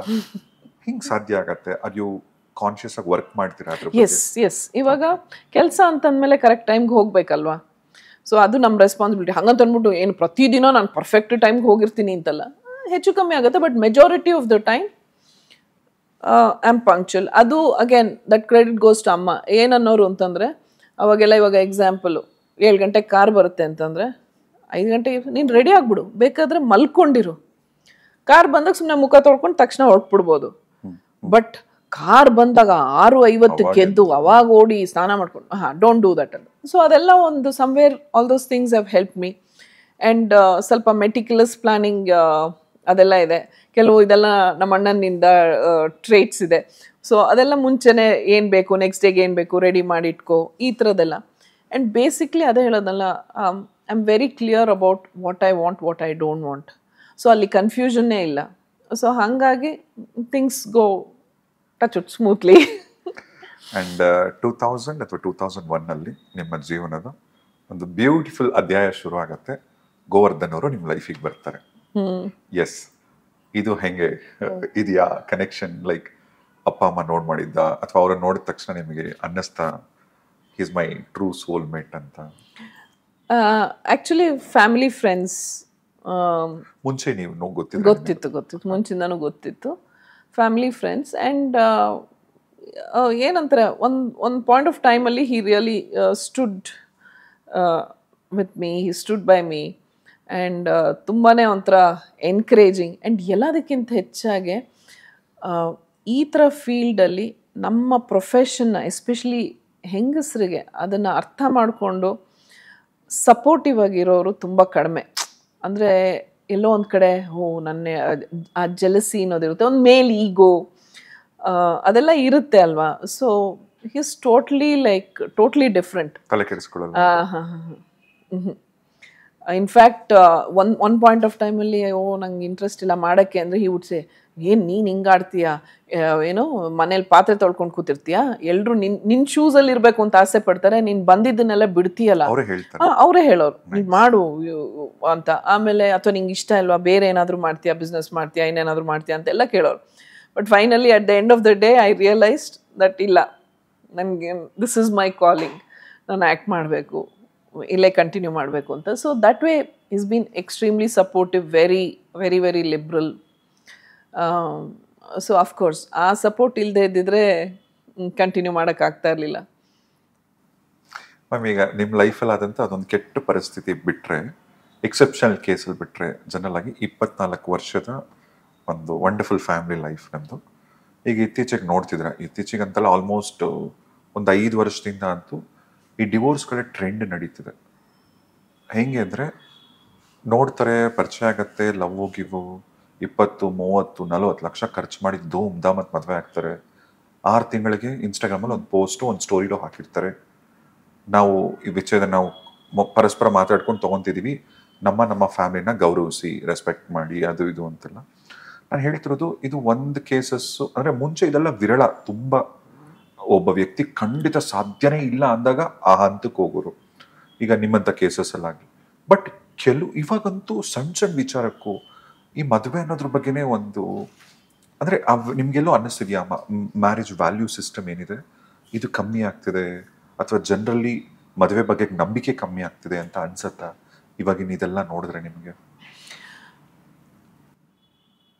ಅದೆಲ್ಲದಕ್ಕಿಂತ ಮುಂಚೆ ಆ ಇಬ್ಬರು ಮಧ್ಯ ಆ ಥರ ಒಂದು ಅಂಡರ್ಸ್ಟ್ಯಾಂಡಿಂಗ್ ಇರಬೇಕು. ಅಂದರೆ ಹೇಗೆ ಅಂತಂದ್ರೆ ಒಂದು ರಿಲೇಷನ್ಶಿಪ್ ಅಂದರೆ ಡೇಟ್ ಮಾಡ್ತಾ ಇರುವಾಗಲೂ ಅಥವಾ ಮದುವೆಗೆ ಮುಂಚೆನೋ ಅರೇಂಜ್ ಮ್ಯಾರೇಜೇ ಆಗಿರಲಿ ಲವ್ ಮ್ಯಾರೇಜ್ ಆಗಲಿ both of them are at their best behaviour ಅವಾಗ. ಅವಾಗ. ದ ಮೊಮೆಂಟ್ ಒಳ್ಳೆ ಫೇಸ್. ಆಮೇಲೆ ಮದ್ವೆ ಆಗ್ತಿದ್ದಂಗೆನೆ both of them not necessarily ಯಾವಾಗ್ಲೂ ಅಂತಲ್ಲ ಒಂದ್ಸತಿ ಗಂಡ ಇರ್ಬೋದು ಒಂದ್ಸತಿ ಅವ್ರ ಆ- ಇದನ್ನ ಬಿಟ್ಬಿಡ್ತಾರೆ. ಅಂದ್ರೆ ಮದ್ವೆ ಅನ್ನೋದು it's a constant work every day ಇವಾಗ ನಾವು ಹೆಂಗ್ ದಿನ ಎದ್ದು ಕೆಲ್ಸಕ್ಕೆ ಹೋಗ್ತೀವೋ ಅದೇ ಥರನೇ you have to constantly work on your relationship date ಮಾಡ್ತಾ ಇರುವಾಗ ಅಥವಾ ಎಂಗೇಜ್ಮೆಂಟ್ಗೂ ಮದುವೆಗೂ ಟೈಮ್ ಇದ್ದಾಗ ಏನು ದಿನ ಅದು ಗುಡ್ ಮಾರ್ನಿಂಗ್ ಹೇಳು ಅದು ಇಂಪ್ರೆಸ್ ಅದೆಲ್ಲ ಮಾಡ್ತಾರೆ. ಅದೇ ಮದುವೆ ಆದಮೇಲೆ ಯಾಕೆ ಬಿಟ್ಬಿಡ್ತೀರಾ? ಅದೇ ಒಂದು ಲವ್ ಕೇರ್ ಅಫೆಕ್ಷನ್ ಹಾಗೆ ಇರಬೇಕಲ್ವಾ? You have to constantly work ಹೊರಗಡೆ ಪ್ರೆಷರ್ ಏನೇ ಇರಲಿ ಹೊರಗಡೆ ಏನೇ ಸ್ಟ್ರೆಸ್ ಇರಲಿ ಎದ್ದಾಗ ಬಿಕಾಸ್ ಕೊನೆವರೆಗೂ ಅಪ್ಪ ಅಮ್ಮ ಲೈಫಲ್ಲಿ ಒಂದು ಒಂದು ಹಂತದವರೆಗೂ ಬರ್ತಾರೆ. ಮಕ್ಕಳು ಒಂದು ಹಂತದವರೆಗೂ ಇರ್ತಾರೆ. ಬಟ್ ಈ ಮದುವೆ ಅನ್ನೋದೇ, ಈ ಗಂಡ ಹೆಂಡತಿ ಸಂಬಂಧ ಮಾತ್ರ ತಾನೇ the longest period in your life so ಹಂಗಿರುವಾಗ why do you take each other for granted so ಈ ಪಾಯಿಂಟ್ಸ್ ಮೇಲೆ ಇದು ಏನಂತಾರೆ, ಹೊರಗಡೆಯವ್ರು ಯಾರು ಫ್ಯಾಮಿಲಿ ಅವರು, ಇವರು ಅದೆಲ್ಲನೂ ಮ್ಯಾಟ್ರ್ ಆಗುತ್ತೆ, ಅದೆಲ್ಲ ಸೆಕೆಂಡ್ರಿ ಬಟ್ ಫಸ್ಟು ಆ ಅಂಡರ್ಸ್ಟ್ಯಾಂಡಿಂಗ್ ಇವರಿಬ್ಬರಲ್ಲಿ ಇರಬೇಕು ನಿನ್ಗೆ ನಿಂಗೆ ಏನೇ ಟೆನ್ಷನ್ ಇರು ಅದನ್ನು ನೀನು ಆ ಟೆನ್ಷನ್ ಅಲ್ಲಿ ಬಿಟ್ಪ. ಇಲ್ಲಿ ನಿನಗೋಸ್ಕರ ಯಾರೋ ಕಾಯ್ತಾ ಇದ್ದಾರೆ ಅದು ಹೆಂಡ್ತಿನೇ ಇರ್ಬೋದು ಗಂಡನೇ ಇರ್ಬೋದು. ಒಳ್ಳೆ ಮಾತಾಡು. ಅದಕ್ಕೆಲ್ಲ ಏನು ಇದಿಲ್ಲ ಅಲ್ವಾ? ಅದಕ್ಕೇನು ನೀವು ಕಾಸು ಖರ್ಚು ಮಾಡಬೇಕಾಗಿಲ್ಲ ಅಥವಾ ಇನ್ನೊಂದು ಮಾಡಬೇಕಾಗಿಲ್ಲ. ಅದು ಯಾತಕ್ಕೆ ಮನೆಗೆ ಬಂದ ತಕ್ಷಣ ಎಲ್ಲಿದೋ ಕೋಪ ತಂದು ಇಲ್ಲಿ ಯಾಕೆ ತೋರಿಸೋದು ಅಥವಾ ಇನ್ನೇನೋ ಮಾಡ್ಕೊಂಡು ಬರೋದು? So only if you work on that relationship then ಬೇರೆ ಏನೇ ಪ್ರಾಬ್ಲಮ್ ಬಂದ್ರೂ it won't affect this that's what I feel ಇದು ನನ್ನ personal opinion if you decide ಅಂತಂದರೆ then yes you can make it work but ಇವಾಗ ಅದೇ ಆ ಅಡ್ಜಸ್ಟ್ಮೆಂಟೇ ಇಲ್ಲ. ಏನಂತಾರೆ? ಎಲ್ಲ ಇದು ಸಿಕ್ಬಿಡ್ಬೇಕು. ಹಾಂ ಹಂಗ ಹೂ ಈ ಅಂತೆಲ್ಲ ಕಿರ್ಚಾಡೋದು. ಅದೇ ಮದುವೆಗೆ ಮುಂಚೆ ಬೇರೆ ಥರ ಇರುತ್ತೆ ಮದುವೆ ಆದ್ಮೇಲೆ ಒಂಥರ ದಟ್ ಟೇಕನ್ ಫಾರ್ ಗ್ರಾಂಟೆಡ್ ಆ ಒಂದು ಏನಂತಾರೆ ಒಂದು ಆ ರಿಲೇಷನ್ಶಿಪ್ಪಲ್ಲ ಒಂದು ಈ ಮನೇಲಿ ತಾನೇ ಇರ್ತಾಳೆ ಬಿಡು ಅಥವಾ ಅವ್ ಬರ್ತಾನೆ ಬಿಡು ಅನ್ನೋದು ಬಂದ್ಬಿಟ್ಟಾಗ ಸಲಿಗೆ ಜಾಸ್ತಿ ಸಲಿಗೆ ಜಾಸ್ತಿ ಯಾ ಫೆಮಿಲಿಯಾರಿಟಿ ಬ್ರೀಡ್ಸ್ ಕಂಟ ಈಗ ನಮ್ಮ ರಿಯಲ್ ಲೈಫ್ಗಳೆಲ್ಲ ನಮ್ಮ ಅಪ್ಪ ಅಮ್ಮ ನಮ್ಗೆ ಎಷ್ಟೆಲ್ಲ ಒಳ್ಳೇದು ಮಾಡಿರ್ತಾರಲ್ಲ ನಮಗೆ ನಮ್ಮ ತಂದೆ ತಾಯಿ ಬೆಲೆ ಗೊತ್ತಾಗೋದು ಯಾವಾಗ ಅಂದರೆ ನಾವು ಅಪ್ಪ ಅಮ್ಮ ಆದಾಗ. ಹೌದು. ನಿಮ್ಮ ಲೈಫಲ್ಲಿ ನಿಮ್ಮ ಮಗಳು ಬಂದ ಮೇಲೆ ತಾಯಿ ಸುಧಾರಣೆಗೆ ಅರ್ಥ ಆಯ್ತಾ? ನಿಮ್ಮ ತಾಯಿ ಮಾಡಿದ್ದು ಇಲ್ಲ ನನಗೆ ಮುಂಚಿಂದನೂ ಗೊತ್ತಿತ್ತು. ನನಗೆ ಮುಂಚಿಂದನೂ ಅದೇ ಹೇಳಿದ್ನಲ್ಲ I don't know I for me my mother was the ultimate ಅದು ಇಂಡಸ್ಟ್ರೀಲಿ ಎಲ್ರಿಗೂ ಗೊತ್ತು. ಹೆಂಗೆ ಅಂತ ಅಂದ್ಬಿಟ್ಟು for me my mother was always I knew definitely knew and touch wood ನನ್ನ ನಾನು ಹೇಳಬೇಕು ಅಂದರೆ again lucky my my daughter is wonderful ಇದುವರೆಗೂ ನನಗೆ ಆ ಥರ ಯಾವುದೇ ವಿಷಯದಲ್ಲಿ ಅವಳು ಕಾಟ ಕೊಟ್ಟೇ ಇಲ್ಲ ಎಕ್ಸೆಪ್ಟ್ ಒಂದು ವಿಷಯದಲ್ಲಿ. ಎಕ್ಕಾಚಕ್ಕ ಓದ್ತಾಳೆ, ಬಂದು ನನ್ನ ತಲೆ ತಿಂತಾಳೆ. ನನ್ನ ತಲೆ ಎಲ್ಲ ಇಬ್ರು ತಲೆನೂ ತಿಂತಾಳೆ. ಸೊ ಎಲ್ಲರ ಕೇಸಲ್ಲೂ ಹೆಂಗೆ ಅಂದರೆ ಮಕ್ಕಳನ್ನ ಓದಿ ಓದಿ ಓದಿ ಓದಿ ಅಂತ ಹೇಳ್ಬೇಕಪ್ಪ ಅಮ್ಮ. ಪುಸ್ತಕ ಎಕ್ಸಾಮ್ ಬಂತು, ಪುಸ್ತಕ ಹಿಡೀರೋ ಅಂತಲ್ಲ. ಇಲ್ಲಿ ನಮ್ಮ ಕೇಸಲ್ಲಿ ತಾಯಿ, ದಯವಿಟ್ಟು ಓದಬೇಡ ನೀನು ಪ್ಲೀಸ್ ನಿಲ್ಲಿಸ್ಬಿಡು ಸಾಕು ಅನ್ನೋ ಲೆವೆಲ್ಗೆ ಓದ್ತಾಳೆ. ಆ ಆ ಟೆನ್ಷನ್ ಎಲ್ಲ ನಮ್ಮ ತಲೆಗೆ ಹಾಕ್ತಾಳೆ ಸೊ ದಟ್ ಅದೊಂದೇ. ಅವಳು ಕೊಡೋ ಕಾಟ ಅದು is is a wonderful girl ಈಗ ನೀವೆಲ್ಲಾದ್ರೂ ಸಿನಿಮಾ ಸ್ಪೆಷಲ್ ಸ್ಕ್ರೀನಿಂಗು ಅಥವಾ ಫಂಕ್ಷನ್ ಹೋದಾಗ ಪಾರ್ಟೀಸ್ ಹೋದಾಗ ನಿಮ್ಮ ಮಗಳನ್ನ ಕರ್ಕೊಂಡು ಹೋಗ್ತಿರಲ್ಲ? ಬರಲ್ಲ. ಅದಕ್ಕೆ ಅದಕ್ಕೆ ಕರ್ಕೊಂಡು ಹೋಗ್ಬೇಕು ಅಂದ್ರೆ ಪ್ರಾಬಬ್ಲಿ ನಾನು ಒಂದು ವಾರದಿಂದ ಅಮ್ಮಯ್ಯ ಅದಮ್ಮಯ್ಯ ಅಂತ ಕೈ ಕಾಲೆಲ್ಲ ಹಿಡಿದು ಬಿದ್ದು ಪ್ಲೀಸ್ ಬಾಮ್ಮ ಪ್ಲೀಸ್ ಬಾಮ್ಮ ಅಂತ ಕೇಳ್ಕೊಂಡ್ರೆ ಅವತ್ತು ಇನ್ನೇನಿಗೆ ಹೊರಡೋ ಟೈಮಲ್ಲಿ ಅವಳಿಗೆ ಮೂಡಿತ್ತು ಅಂದರೆ ಬರ್ತಾಳೆ ಇಲ್ದಾರ ಬರಲ್ಲ. Very rare very very rare ಅಲ್ಲ ಇನ್ಸ್ಟಾಗ್ರಾಮಲ್ಲಿ ನೀವು ನಿಮ್ಮ ಮಗಳ ಜೊತೆ ಮಾಡೋ ರೀಲ್ನ ಅದಕ್ಕೆ ನಿಮ್ಗೆ ಗೊತ್ತಿಲ್ಲ ನಾನು ಅದಕ್ಕೆ ಎಷ್ಟು ಕಷ್ಟಪಟ್ಟಿರ್ತೀನಿ ಅಂತ. ಹೌದಾ? ಸಿಕ್ಕಾಪಟ್ಟೆ. ಓಕೆ ಆ ಜಿಂಗಿ ಚಕ್ಕ ಸಾಂಗ್ ವೈರಲ್ ಆದಾಗ ನೀವಿಬ್ರು ಒಂದು ಆ ಹಾಡಿಗೆ ಡ್ಯೂಯೇಟ್ ಮಾಡಿದ್ರೆ ಅದನ್ನ ಒಂದು ಪೇಜಲ್ಲಿ ಹಾಕ್ಬಿಟ್ಟು ನಿಮ್ಮ ನಿಮ್ ಮಗಳ ಬಗ್ಗೆ ಹೇಳಿದ್ರು ಕನ್ನಡ ಸಿನಿಮಾದ ಮುಂದಿನ ನಾಯಿ. ಸೊ ಈಗ ಯಾವಾಗ ಸುಧಾರಾಣಿಯವರ ಮಗಳು ಸಿನಿಮಾ ಇಲ್ಲ. ಅವಳಿಗೆ ಇಂಟ್ರೆಸ್ಟೇ ಇಲ್ಲ ಅಲ್ಲಿ. ನನಗೂ ಏನು ಅವಳು ಸಿನಿಮಾ ಶೋರ್ ನಿಮ್ಮನ್ನ ಕೇಳಿರ್ತಾರೆ ತುಂಬಾ ತುಂಬ ಜನ. ಇವಾಗ ಒಂದೊಂದ್ಸತಿ ಹೆಂಗಾಗತ್ತೆ ಅಂತಂದ್ರೆ ಆ, ಯಾರೋ ಫೋನ್ ಮಾಡ್ತಾರೆ ಹಿಂಗೆ ಏನೋ ಕತೆ ಹೇಳಬೇಕು. ಆಮೇಲೆ ಒಂದೊಂದ್ಸತಿ ಸಡನ್ ಆಗಿ ಡೌಟ್ ಬರುತ್ತೆ. ನೀವು ಯಾರ ಯಾರಿಗೋಸ್ಕರ ಫೋನ್ ಮಾಡಿದ್ರಿ? ಅಂತ ಕೇಳ ಅವಾಗ ಇಲ್ಲ ಅದೇ ನಿಮ್ಮ ಡಾಕ್ಟರ್ ಕೇಳಿ ಮಾಡಿಸಿ. ಇಲ್ಲ ಮಾಡಲ್ಲಪ್ಪ. ಅಂತ ಫೋನ್ ಇಡೋದು. ಸೊ ಹಾಗಾಗಿ ಅವಳಿಗೆ ಅಟ್ಲೀಸ್ಟ್ ಯಾಕೆಂದ್ರೆ ನೆವರ್ ಸೇ ನೆವರ್ ಗೊತ್ತಿಲ್ಲ. ಮುಂದೆ ಏನು ಅವಳು ಏನು ಇಂಟ್ರೆಸ್ಟ್ ಏನು ಚೇಂಜ್ ಇಲ್ಲ ಇಲ್ಲ. ಅವಳಿಗೆ ಇಂಟ್ರೆಸ್ಟ್ ಇಲ್ಲ. ಅವಳು ಅದೇ ಹೇಳದ್ನಲ್ಲ ಯಾವ್ದಾದ್ರು ಒಂದು ರೀಲ್ ಮಾಡಬೇಕು ಅಂತಂದ್ರೆ ಅಷ್ಟೊಂದು ಮಸ್ಕ ಹೊಡೆದು ಪೂಸಿ ಹೊಡೆದು. ಈಗ ಆಗ ನೀವು ನಿಮ್ಮ ಅಮ್ಮಂಗೆ ಫುಲ್ ಉಲ್ಟಾ ಮಾತಾಡಿದ್ದು ರೆಬೆಲ್ ಆಗಿದ್ದು ಆ ತರದ ಘಟನೆಗಳೇನಾದರೂ ಇದ್ರೆ ಇವಾಗ ನಿಮ್ಮ ಮಗಳ ಜೊತೆ ಜಗಳ ಆದಾಗ ಅದೆಲ್ಲ ನೆನಪಾಗತ್ತಾ? ಅವತ್ತು ನಮ್ಮ ಅಮ್ಮಂಗ ನಂಗೆ ಅಂದಿದ್ದೆ. ಚಾನ್ಸೇ ಇಲ್ಲ ನಾನು probably the last one year or two years ಅಂದರೆ ನಮ್ಮ ತಾಯಿ ಹೋಗೋಕ್ಕೆ ಮುಂಚೆ ಏನಾದರೂ ಒಂಚೂರು ನಮ್ಮ ಅಮ್ಮನಿಗೆ ಏನಾದರೂ ಒಂದು ಉಲ್ಟಾ ಮಾತಾಡಿದ್ದೀನೋ ಅಲ್ಲಿವರೆಗೂ ನಂಗೆ ಧೈರ್ಯವೇ ಇತ್ತಿಲ್ಲ ನಾನು ಮಾತಾಡ್ತಾನೆ ಇರಲಿಲ್ಲ. ಅಂಡ್ ನಿಮ್ ಮಗಳು ಬಿಟ್ಟು ನಿಮ್ಗೆ ಮೂರ್ ಜನ ಮಕ್ಕಳಿದ್ದಾರೆ ನಿಮ್ ಮಕ್ಕಳ ಬಗ್ಗೆ ಹೇಳಿ. ಓ ಮಿಕ್ಕಿ ಮಿನ್ನಿ ಅಂಡ್ ಗಂಗಮ್ಮ. ಅದು ಎಲ್ರಿಗೂ ಗೊತ್ತು. ಗಂಗಮ್ಮ ತಪ್ಪಿಸ್ಕೊಂಡಿದ್ಲಲ್ಲ ಹೌದು. And thanks to social media Gangamma ಸಿಕ್ಕರ್ಲು ಸಿಕ್ಕರ್ಲು ಅವರಿಬ್ರು ಅಂದ್ರೆ ಇವ್ರ ಮೂರು ಜನ ಫಸ್ಟು ಆಮೇಲೆ ನನ್ನ ಮಗಳು. ಸೊ ಇವ್ರು ಮೇನ್ ಇವ್ರಾದ್ಮೇಲೆ ಮಿಕ್ಕಿದ್ದೆಲ್ಲ. ನೀವೆಲ್ಲಿ ಟ್ರಾವೆಲ್ ಮಾಡಿದ್ರು ಕರ್ಕೊಂಡು ಹೋಗ್ತಾ ಹೌದು ಏ, ಆ, ಏನಂತಾರೆ? ಅವ್ರು ಹೇಳ್ದಂಗೆ ನಾವೆಲ್ಲರೂ ಕೇಳ್ತೀವಿ. ಈ ಎಲ್ಲಾದ್ರೂ ಹೊರಗಡೆ ಈ ಅನಿಮಲ್ ವೈಲೆನ್ಸ್ ಬಗ್ಗೆ ವಿಡಿಯೋಗಳು ನೋಡಿದಾಗ, ಪಾಪ ಎಷ್ಟೋ ನಾಯಿ, ಯಾವುದೋ ಒಂದು ಆರ್ಟಿಕಲ್ ತುಂಬ ಬೇಜಾರಾಯಿತು. ಊರ, ಎಲ್ಲೋ ಊರಿಗೆ ಹೋಗ್ತಾರೆ ಒಂದು ಓನರರು ಅವ್ರ. ಮನೆ ನಾಯಿನ ಕಟ್ಟಾಕ್ಬಿಟ್ಟು ಹೋಗ್ಬಿಡ್ತಾರೆ. ವಾಪಸ್ ಬರೋಷ್ಟೊತ್ತಿಗೆ ಒಂದು ವಾರ ಊಟ ಎಲ್ಲೂ ಇಲ್ಲದೆ ಎಲ್ಲೋ ಒಂದು ಕಡೆ ರಿಸರ್ವ್ ಏರಿಯಲ್ಲಿ ಈ ಥರದ್ದು ಅನಿಮಲ್ ಕ್ರುಯಾಲಿಟಿ ಅಂತ ಏನು ಕರಿತೀವಲ್ಲ, ಇದೆಲ್ಲ ನೋಡಿದಾಗ ತುಂಬಾ ಡಿಸ್ಟರ್ಬ್ ಆಗುತ್ತೆ. ನನಗೆ ಟಾಲ್ರೇಟ್ ಮಾಡೋಕ್ಕೆ ಆಗಲ್ಲ. ನನಗೆ I'm against all those things ಏನಂತಾರೆ?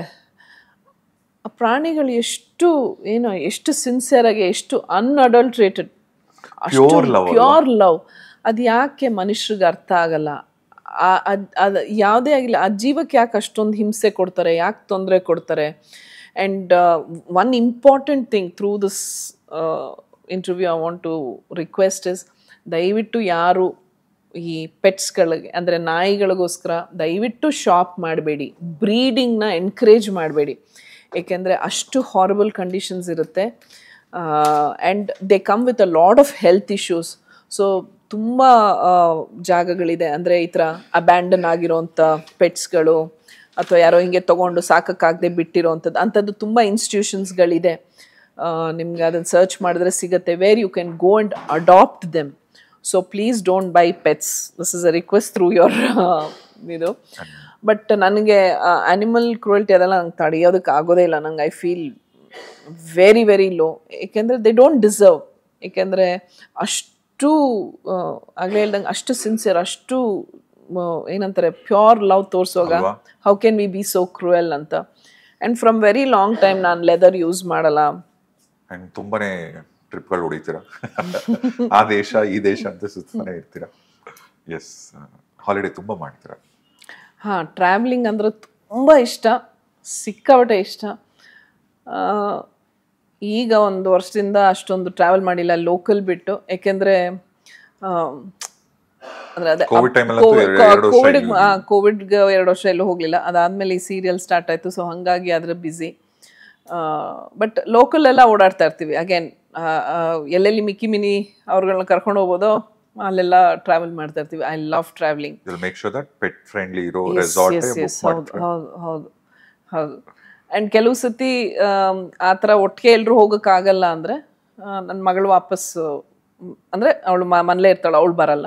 ನಾವಿಬ್ರು ಹೋಗ್ತೀವಿ. ಸೊ ಈಗೆಲ್ಲ ಆ ಥರ ವಿ ಟೇಕ್ ಟರ್ನ್ಸ್ ಅವ್ರು ಅವ್ರಿಬ್ರನ್ನ ಮಾತ್ರ ಬಿಟ್ಟು ಹೋಗಲ್ಲ ಹಾಗೆ ಎಲ್ಲೂ serial journey oh it it's fantastic ನಾನು ಆನೆಸ್ಟ್ಲಿ ಎಕ್ಸ್ಪೆಕ್ಟ್ ಮಾಡಿತ್ತಿಲ್ಲ ಯಾಕೆಂದರೆ ತುಂಬ ಗ್ಯಾಪ್ ಆಗಿತ್ತು. ಸ್ಮಾಲ್ ಸ್ಕ್ರೀನ್ಗೆ ಮತ್ತೆ ರಿಎಂಟ್ರಿ ಕೊಟ್ಟಿದ್ದು. ಇನ್ಷಿಯಲಿ ನನಗೆ ತುಂಬ ಡೌಟ್ ಇತ್ತು. ಅಯ್ಯೋ, ಆಗುತ್ತೋ ಇಲ್ವೋ? ಬೇಡ ಅಂತಲೇ ಅಂತ ಇದೆ. ನಾ ಮಾಡಲ್ಲ ಮಾಡಲ್ಲ ಅಂತ. ಬಟ್ ತಿರ್ಗಾ ಎಲ್ಲೋ ಒಂದು ಪಾಯಿಂಟ್ ಆಫ್ ಟೈಮಲ್ಲಿ ಹೂ ಅಂತಂದೆ. ಆಮೇಲೆ ತಿರ್ಗಾ I developed cold feet I ಸರಿ ಇಲ್ಲ ಇಲ್ಲ, ಆಗಲ್ಲ ಅಂತಂದೆ. ಆಮೇಲೆ ತಿರ್ಗಾ, ಇಲ್ಲ, ಮಾಡಿ ಮಾಡಿ ಅಂತಂದಾಗ ಒಪ್ಕೊಂಡೆ. ನನಗೆ ಫ ಬೇಸಿಕ್ಲಿ ಆ ಸಬ್ಜೆಕ್ಟ್ ತುಂಬ ಇಷ್ಟ ಆಯಿತು. ಒಂದು ಮಿಡ್ಲ್ ಏಜ್ನಲ್ಲಿ ಮತ್ತೆ ರೀಮ್ಯಾರೇಜ್ ಆದರೆ ಹೇಗಿರುತ್ತೆ ಅಂತ. ಆ ಸಬ್ಜೆಕ್ಟ್ ತುಂಬ ಚೆನ್ನಾಗಿತ್ತು ಚೆನ್ನಾಗಿ ಬರ್ತಾ ಇದೆ. ಎಲ್ಲದಕ್ಕಿಂತ ಹೆಚ್ಚಾಗಿ ದಟ್ ಎಂಟೈರ್ ಪ್ರಾಸೆಸ್ ಮಾಡ್ತಾ ಇರುವಾಗಲೇ I am learning so many new things so many dimensions about life ಎಲ್ಲೊಂದು ಕಡೆ ಇದು ಕೆಲವು ವಿಚಾರಗಳು ಗೊತ್ತಿದ್ದಿದ್ದ ವಿಚಾರಗಳೇ ಆದರೆ ಅದು ಇವಾಗ ಆ ಅರ್ಥ ಪೂರ್ತಿ ಒಂಥರ ಇನ್ನು ಕ್ಲಿಯರಾಗೆ ಒಂಥರ ಅರ್ಥ ಆಗ್ತಾ ಇದೆ. ಕೆಲವೊಂದು ಅದ್ರದ್ದು ಇಂಪಾರ್ಟೆನ್ಸ್ ಏನು, ಅದೆಲ್ಲ ತುಂಬ ಕ್ಲಾರಿಟಿ ಸಿಗ್ತಾ ಇದೆ. ಸೊ ಆ್ಯಂಡ್ ವಂಡರ್ಫುಲ್ ಯೂನಿಟ್ ಒಳ್ಳೆ ವಾಹಿನಿ, ಒಳ್ಳೆ ಪ್ರೊಡ್ಯೂಸರು ಒಳ್ಳೆ ಡೈರೆಕ್ಟರ್ ಒಳ್ಳೆ ಕೋ ಆರ್ಟಿಸ್ಟ್ಗಳು so it's been an amazing journey and I look forward to go to that shoot every day ಈ ಸೀರಿಯಲ್ಸಿಂದ ಸಿನಿಮಾಗೆ ಬರ್ತಾ, ಬರ್ತಾರಲ್ಲ? ಎಸ್ಪೆಷಲಿ ಇತ್ತೀಚೆಗಂತೂ ತುಂಬ ಜನ ಸೀರಿಯಲ್ಸ್ ಇಂದ ಸಿನಿಮಾಲ್ ಬಂದು ಸ್ಟ್ಯಾಂಡ್ ಕೊಡಕ್ ಆಗ್ತಿಲ್ಲ ಈಗ ಪ್ರಾಬ್ಲಿ ಅವಾಗ ಗಣೇಶ್ ಅವರು ರಾಧಿಕಾ ಯಶ್ ಅವ್ರು ಬಿಟ್ರೆ ಅದಾದ್ಮೇಲೆ ತುಂಬಾ ಜನ ಸೀರಿಯಲ್ ಇಂದ ಸಿನಿಮಾ ಮಾಡಬೇಕು ಅಂತ ಬಂದಂತ ಹೀರೋಗಳು ಹೀರೋಯಿನ್ಗಳು ಯಾರು ಕೆಲವರು ಅಷ್ಟೇ ಬಿಟ್ಟರೆ ಯಾರು ಸಕ್ಸಸ್ ಆಗಕ್ ಆಗ್ಲಿಲ್ಲ. ಅಥವಾ ಒಂದು ಸಿನಿಮಾ ಎರಡು ಹತ್ತತ್ತು ಸಿನಿಮಾ ಮಾಡಿದ್ರು ಕೂಡ ಒಬ್ಬರು ಸೀರಿಯಲ್ ಹೀರೋ ಇಂಡಸ್ಟ್ರಿಲಿ ಇತ್ತೀಚೆಗೆ ಒಂದು ಸ್ಟ್ಯಾಂಡ್ ಕೊಟ್ಟಿದ್ದಾಗಲಿ ಹೀರೋಯಿನ್ಸ್ ಆಗಲಿ ಅದಿಲ್ವೇ ಇಲ್ಲ. ಏನ್ ಅನ್ಸುತ್ತೆ? ಇಸ್ ಇಟ್ ಬಿಕಾಸ್ ಅವ್ರನ್ನ ಡೈಲಿ ನೋಡ್ತಾರೆ ಟಿವಿಲಿ ಅದಕ್ಕೆ ಜನ ನೋಡಕ್ಕೆ ಇಷ್ಟಪಡ್ತಿಲ್ವಾ ಅಥವಾ? ಅದಿಲ್ಲ ಅಂತ ಅನ್ಸುತ್ತೆ ನನಗೆ. ನನಗನ್ಸೋದು ಬಿಕಾಸ್ ಈಗಿನ ಕಾಂಟೆಂಟ್ ಏನಿದೆ ಸಿನಿಮಾ ಕತೆಗಳು, ಅವಾಗೆಲ್ಲ ಸಬ್ಜೆಕ್ಟ್ಗಳು ತುಂಬ ಸ್ಟ್ರಾಂಗ್ ಆಗಿರ್ತಾ ಇತ್ತು. ಒಂದು ಸಿನಿಮಾ ಅಂತಂದರೆ ಕತೆಗೆ ತುಂಬಾ ಒಂದು ಪ್ರಾಮುಖ್ಯತೆ ಕೊಡೋರು. ಆ್ಯಂಡ್ ಆ ಎಲ್ಲ ಕತೆಗಳಲ್ಲೂ ಒಂದು ಎಮೋಷನ್ಸ್ ಇತ್ತು. ಈಗ ನಾವು ಆ ಎಮೋಷನ್ ಪಾರ್ಟ್ನೇ ಬಿಟ್ಬಿಟ್ಟು ನಾವು ಟೆಕ್ನಿಕಲಿ ತುಂಬ ಅಡ್ವಾನ್ಸ್ ಆಗಿದ್ದೀವಿ. ಬೇರೆ ಬೇರೆ ರೀತಿ ಎಲ್ಲ ಹೋಗ್ತಾ ಇದೆ. ಲ್ಯಾವಿಶ್ ಸ್ಕೇಲಲ್ಲಿ ತುಂಬ ಖರ್ಚ ಸಿನಿಮಾ ಆ ಥರ ಎಲ್ಲ ಮಾಡ್ತಾ ಇದ್ದಾರೆ. ಆದರೆ ಎಲ್ಲೋ ಒಂದು ಕಡೆ ಆ, ಈ ಮೇನ್ ಏನು ಬೇಕು ಜನಕ್ಕೆ ಕನೆಕ್ಟ್ ಆಗಬೇಕಾಗಿರೋವಂಥ ಪಾಯಿಂಟ್ಸ್ಗಳು ಮಿಸ್ ಆಗ್ತಾ ಇದೆ ಅಂತ ನನಗನ್ಸುತ್ತೆ. ಅದು ಸರಿ ಹೋದರೆ ಮತ್ತೆ ಆ ಗ್ಲೋರಿ ಖಂಡಿತವಾಗ್ಲೂ ಸಿನಿಮಾಗೆ ವಾಪಸ್ ಬರುತ್ತೆ. ಏಕೆಂದರೆ ಇವಾಗ ಏನಾಗ್ತಾ ಇದೆ ಜನಕ್ಕೆ ಅದ್ರ ಜೊತೆಗೆ ಬೇರೆ ಬೇರೆ ಲ್ಯಾಂಗ್ವೇಜಸ್ಸು ಬೇರೆ ಬೇರೆ ಪ್ಲಾಟ್ಫಾರ್ಮ್ಸ್ ಒ ಟಿ ಟಿ ಇರ್ಬೋದು ಇನ್ನೊಂದಿರ್ಬೋದು ಈವನ್ ಇನ್ಕ್ಲೂಡಿಂಗ್ ಫಾರಿನ್ ಲ್ಯಾಂಗ್ವೇಜಸ್ದು ಎಲ್ಲನೂ ಅವರು ಸಿನಿಮಾ ಇರ್ಬೋದು ಟಿ ವಿ ಸೀರೀಸ್ ಇರ್ಬೋದು ನೋಡೋಕ್ಕೆ ನೋಡ್ಬೋದು. ಚಾನ್ಸ್ ಸಿಗ್ತಾ ಇರೋದ್ರಿಂದ ಏನಾಗ್ತಾ ಇದೆ ಕೆಲವೆಲ್ಲ ಅವರ ಮೇಕಿಂಗ್ ಸೆಕೆಂಡ್ರಿ ಆ ಥಾಟ್ ಇದೆಯಲ್ಲ ಆ ಸ್ಟೋರಿ ಲೈನ್ ಇರ್ಬೋದು ಆ ಎಮೋಷನ್ಸ್ ಇರ್ಬೋದು ಅವ್ರು ತೋರಿಸೋ ರೀತಿ ಇದೆಯಲ್ಲ ಅದು ಕನೆಕ್ಟ್ ಆಗ್ತಾ ಇದೆ. ಅದು ಇಲ್ಲೆಲ್ಲೋ ಮಿಸ್ ಆಗ್ತಾ ಇದೆ ನಮ್ಮ ಕನ್ನಡ ಸಿನಿಮಾಗಳಲ್ಲಿ. ಅದೆಲ್ಲೋ ಒಂದು ಕಡೆ ಮಿಸ್ ಹೊಡಿತಾ ಇದೆ ಅಂತ ನನಗನ್ಸುತ್ತೆ so the moment I think ನಾವು ಅದನ್ನು ಕರೆಕ್ಟ್ ಮಾಡ್ಕೊಂಡಿದ ತಕ್ಷಣ things will be back in place ಅಂತ. ಸೊ ಈಗ ಒಂದು ಸಕ್ಸಸ್ಫುಲ್ ಇಷ್ಟು ದೊಡ್ಡ, ನಿಮ್ಮ ಕೆರಿಯರ್ ಮುಗ, ಅಂದರೆ ಕೆರಿಯರ್ ಆಸ್ ಎ ಹೀರೋಯಿನ್ ತುಂಬ ದೊಡ್ಡ ಹಿಟ್ಸ್ ಕೊಟ್ಟು ಒಂದು ಸರ್ಕಲ್ ನೋಡಿದ್ರ? ಅದಾದಮೇಲೆ ಈಗ ಒಂದು ಸೀರಿಯಲ್ ಜರ್ನಿ ಜೊತೆಗೆ ಒಳ್ಳೊಳ್ಳೆ ಕ್ಯಾರೆಕ್ಟರ್ ಆರ್ಟಿಸ್ಟಾಗಿ ಕೂಡ ನೀವು ಸಿನಿಮಾ ಮಾಡ್ತಿದ್ರ ನೆಕ್ಸ್ಟ್ ಏನು ನಿಮ್ಮ ಅಂದರೆ ಪ್ಲ್ಯಾನ್ಸ್ ಏನಾದರೂ ತಲೆಯಲ್ಲಿದೆಯಾ ಅಥವಾ ಈಗ ಆಫ್ಟರ್ ಲೈಕ್ ಒಂದು ಹತ್ತು ಹದಿನೈದು ವರ್ಷ ಆದಮೇಲೆ ನನ್ನ ಲೈಫ್ ಹಿಂಗಿರಬೇಕು ಅನ್ನೋದಾದರೆ ಏನು? What is your dream. ತುಂಬ ಹತ್ತು ಹದಿನೈದು ವರ್ಷ ಅಂತೆಲ್ಲ ಪ್ಲ್ಯಾನ್ ಮಾಡಲ್ಲ. ಮುಂಚೆ ಆ ಥರ ಒಂದು ಇರ್ತಾ ಇತ್ತು. ಈಗ I break it in two pieces so ಇವಾಗ ಐದು ವರ್ಷ? ಇಟ್ ವೇರೀಸ್ ಇಟ್ ವೇರೀಸ್ ಇವಾಗ ಸದ್ಯಕ್ಕೆ ಸೀರಿಯಲ್ ಮಾಡ್ತಾ ಇದ್ದೀನಿ. I am enjoying this then ಅದಾದಮೇಲೆ ಓಕೆ ನೆಕ್ಸ್ಟು ಇದು ಇದನ್ನು ಮಾಡೋಣ ಅನ್ನೋ ಕೆಲವೊಂದು ಐಡಿಯಾಸ್ಗಳಿದೆ ತಲೆಯಲ್ಲಿ ಅದು ನೀವು ಫಿನಾನ್ಷಿಯಲ್ ಪ್ಲಾನಿಂಗ್ ಮಾಡ್ತೀರಾ? ಹಣಕಾಸು ಎಲ್ಲ ಉಳಿಸೋದು ಆ ಥರದ್ದೆಲ್ಲ?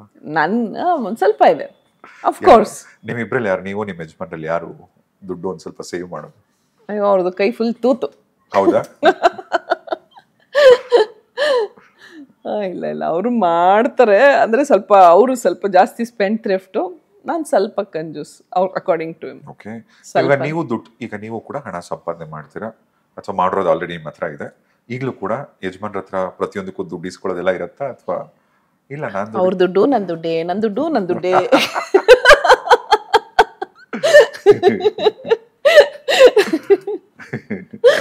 ಯಾರಾದ್ರೂ ಹತ್ತಿರದವ್ರು ಮನೆಗೆ ಬಂದಾಗ ನಿಮ್ಮ ಅಮ್ಮನೇ ಆಗ್ಬೋದು ಅಥವಾ ನಿಮ್ಮ ಅತ್ತೆ ನಿಮ್ಮ ಹಸ್ಬೆಂಡ್ ಅವ್ರ ತಾಯಿ ಮನೆಗೆ ಬಂದಾಗ ನಿಮ್ಮ ಮಗಳನ್ನ ನೋಡಿದಾಗ ನಿಮ್ಮ ತರ ಅಂತಾರ ನಿಮ್ಮ ಯಜಮಾನ್ರ ತರ ಅಂತಾರ?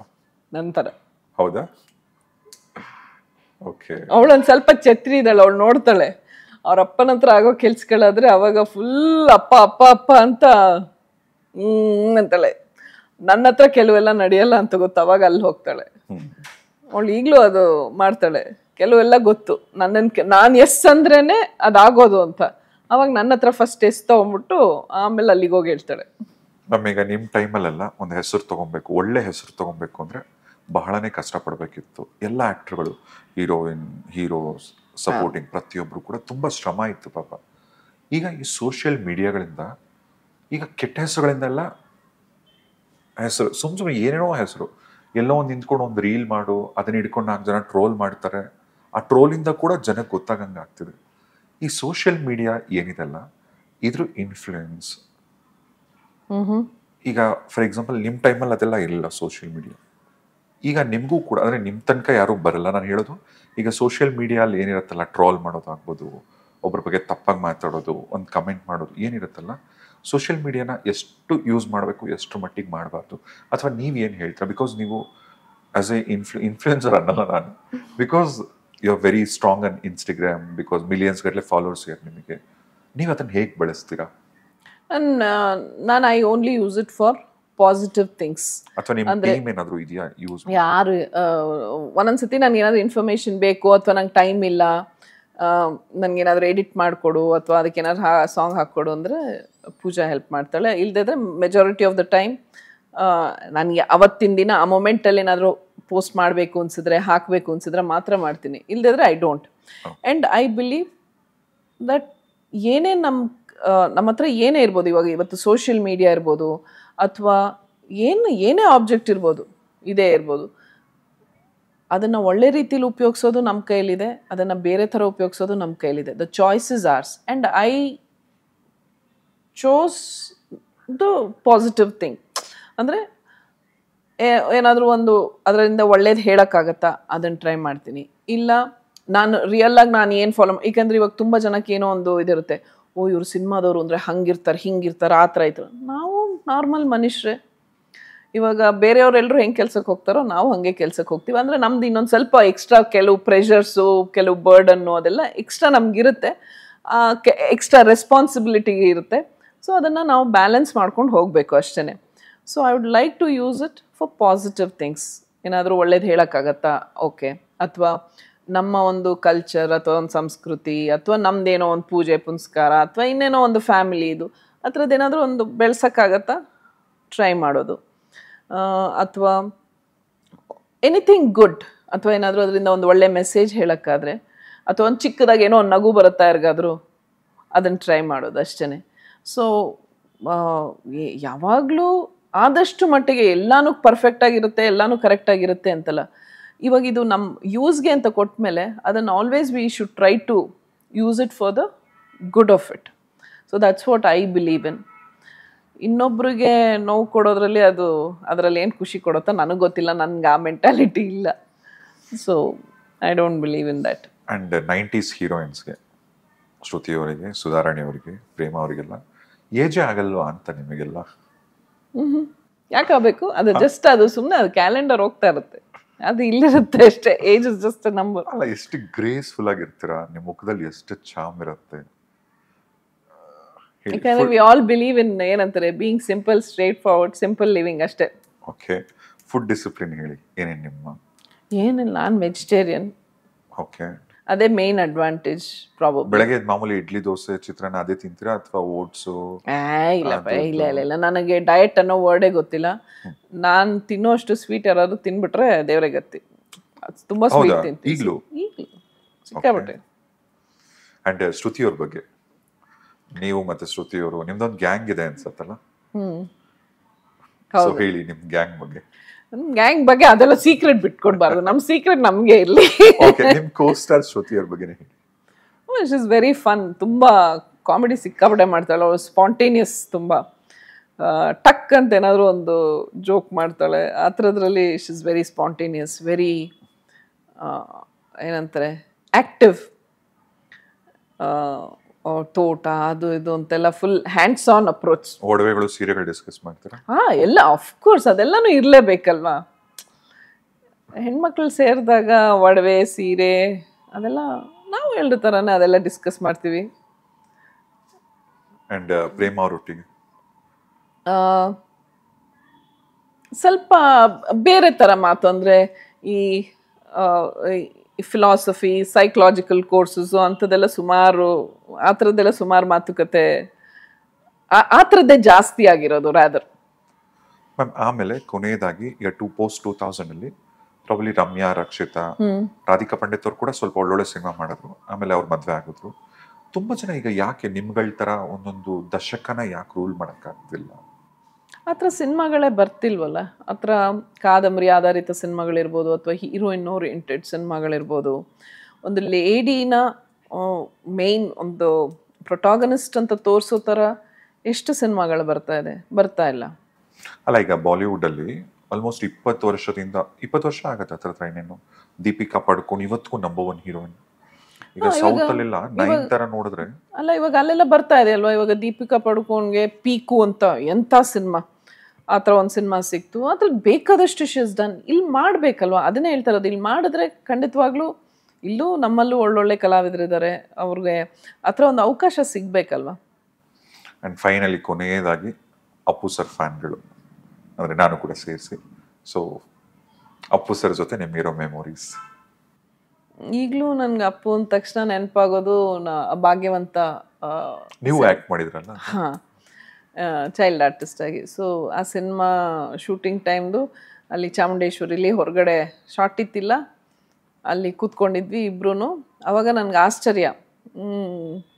ಅವಾಗ ಅದೇ ಹೋಗಬ್ಬ ಅಂತ. ನೀನು ಯಾವ ಸ್ಕೂಲು ನಾನು ಈ ಸ್ಕೂಲ್ ನೀನು ಯಾವ ಸ್ಕೂಲ್ ನಾನು ಸ್ಕೂಲ್ಗೆ ಹೋಗಲ್ಲ. ಹಾಂ ಸ್ಕೂಲ್ಗೆ ಹೋಗಲ್ವ? ಯಾಕೆ ಸ್ಕೂಲ್ಗೆ ಹೋಗಲ್ಲ? ನನಗೆ ಯಾರೋ ಸ್ಕೂಲ್ಗೆ ಹೋಗ್ತಿಲ್ಲ ಅಂದರೆ ಅದು ಹೆಂಗೆ ಸಾಧ್ಯ ಅಂತ. ಇಲ್ಲ, ನಾನು ಮನೇಲೇ ಓದ್ತೀನಿ. ಅದು ಹೆಂಗೆ ಮನೇಲಿ ಓದೋಕ್ಕಾಗತ್ತೆ? ನಾನು ತರ್ಡ್ ಸ್ಟ್ಯಾಂಡರ್ಡ್ಗೆ ನಾನು ಸ್ಕೂಲ್ಗೆ ಹೋಗ್ತೀನಿ ಅಂತ. ಸೊ ಈ ಥರ ಎಲ್ಲ ಈ ಕಾನ್ವರ್ಸ್ ಅವಾಗ ಮಾಡಿದ್ದು ಆಗಿದ್ದ ಕಾನ್ವರ್ಸೇಷನ್ ಅದೇ ನಾಪ್ಕ ಬರುತ್ತೆ. ಆಮೇಲೆ ಆ ಶೂಟಿಂಗ್ ಟೈಮಲ್ಲಿ ಅಪ್ಪುಗೆ ಯಾವಾಗಲೂ ಏನು ಲಂಚ ಕೊಟ್ಟು ಆ್ಯಕ್ಟ್ ಮಾಡಿಸ್ತಾ ಇದ್ದಿದ್ದು. ಚಾಕ್ಲೇಟ್ ಕೊಡು ಇನ್ನೊಂದು ಕೊಡು. ಅದೆಲ್ಲ ಶೇರ್ ಮಾಡಿಕೊಂಡು ತಿಂದಿದ್ದು.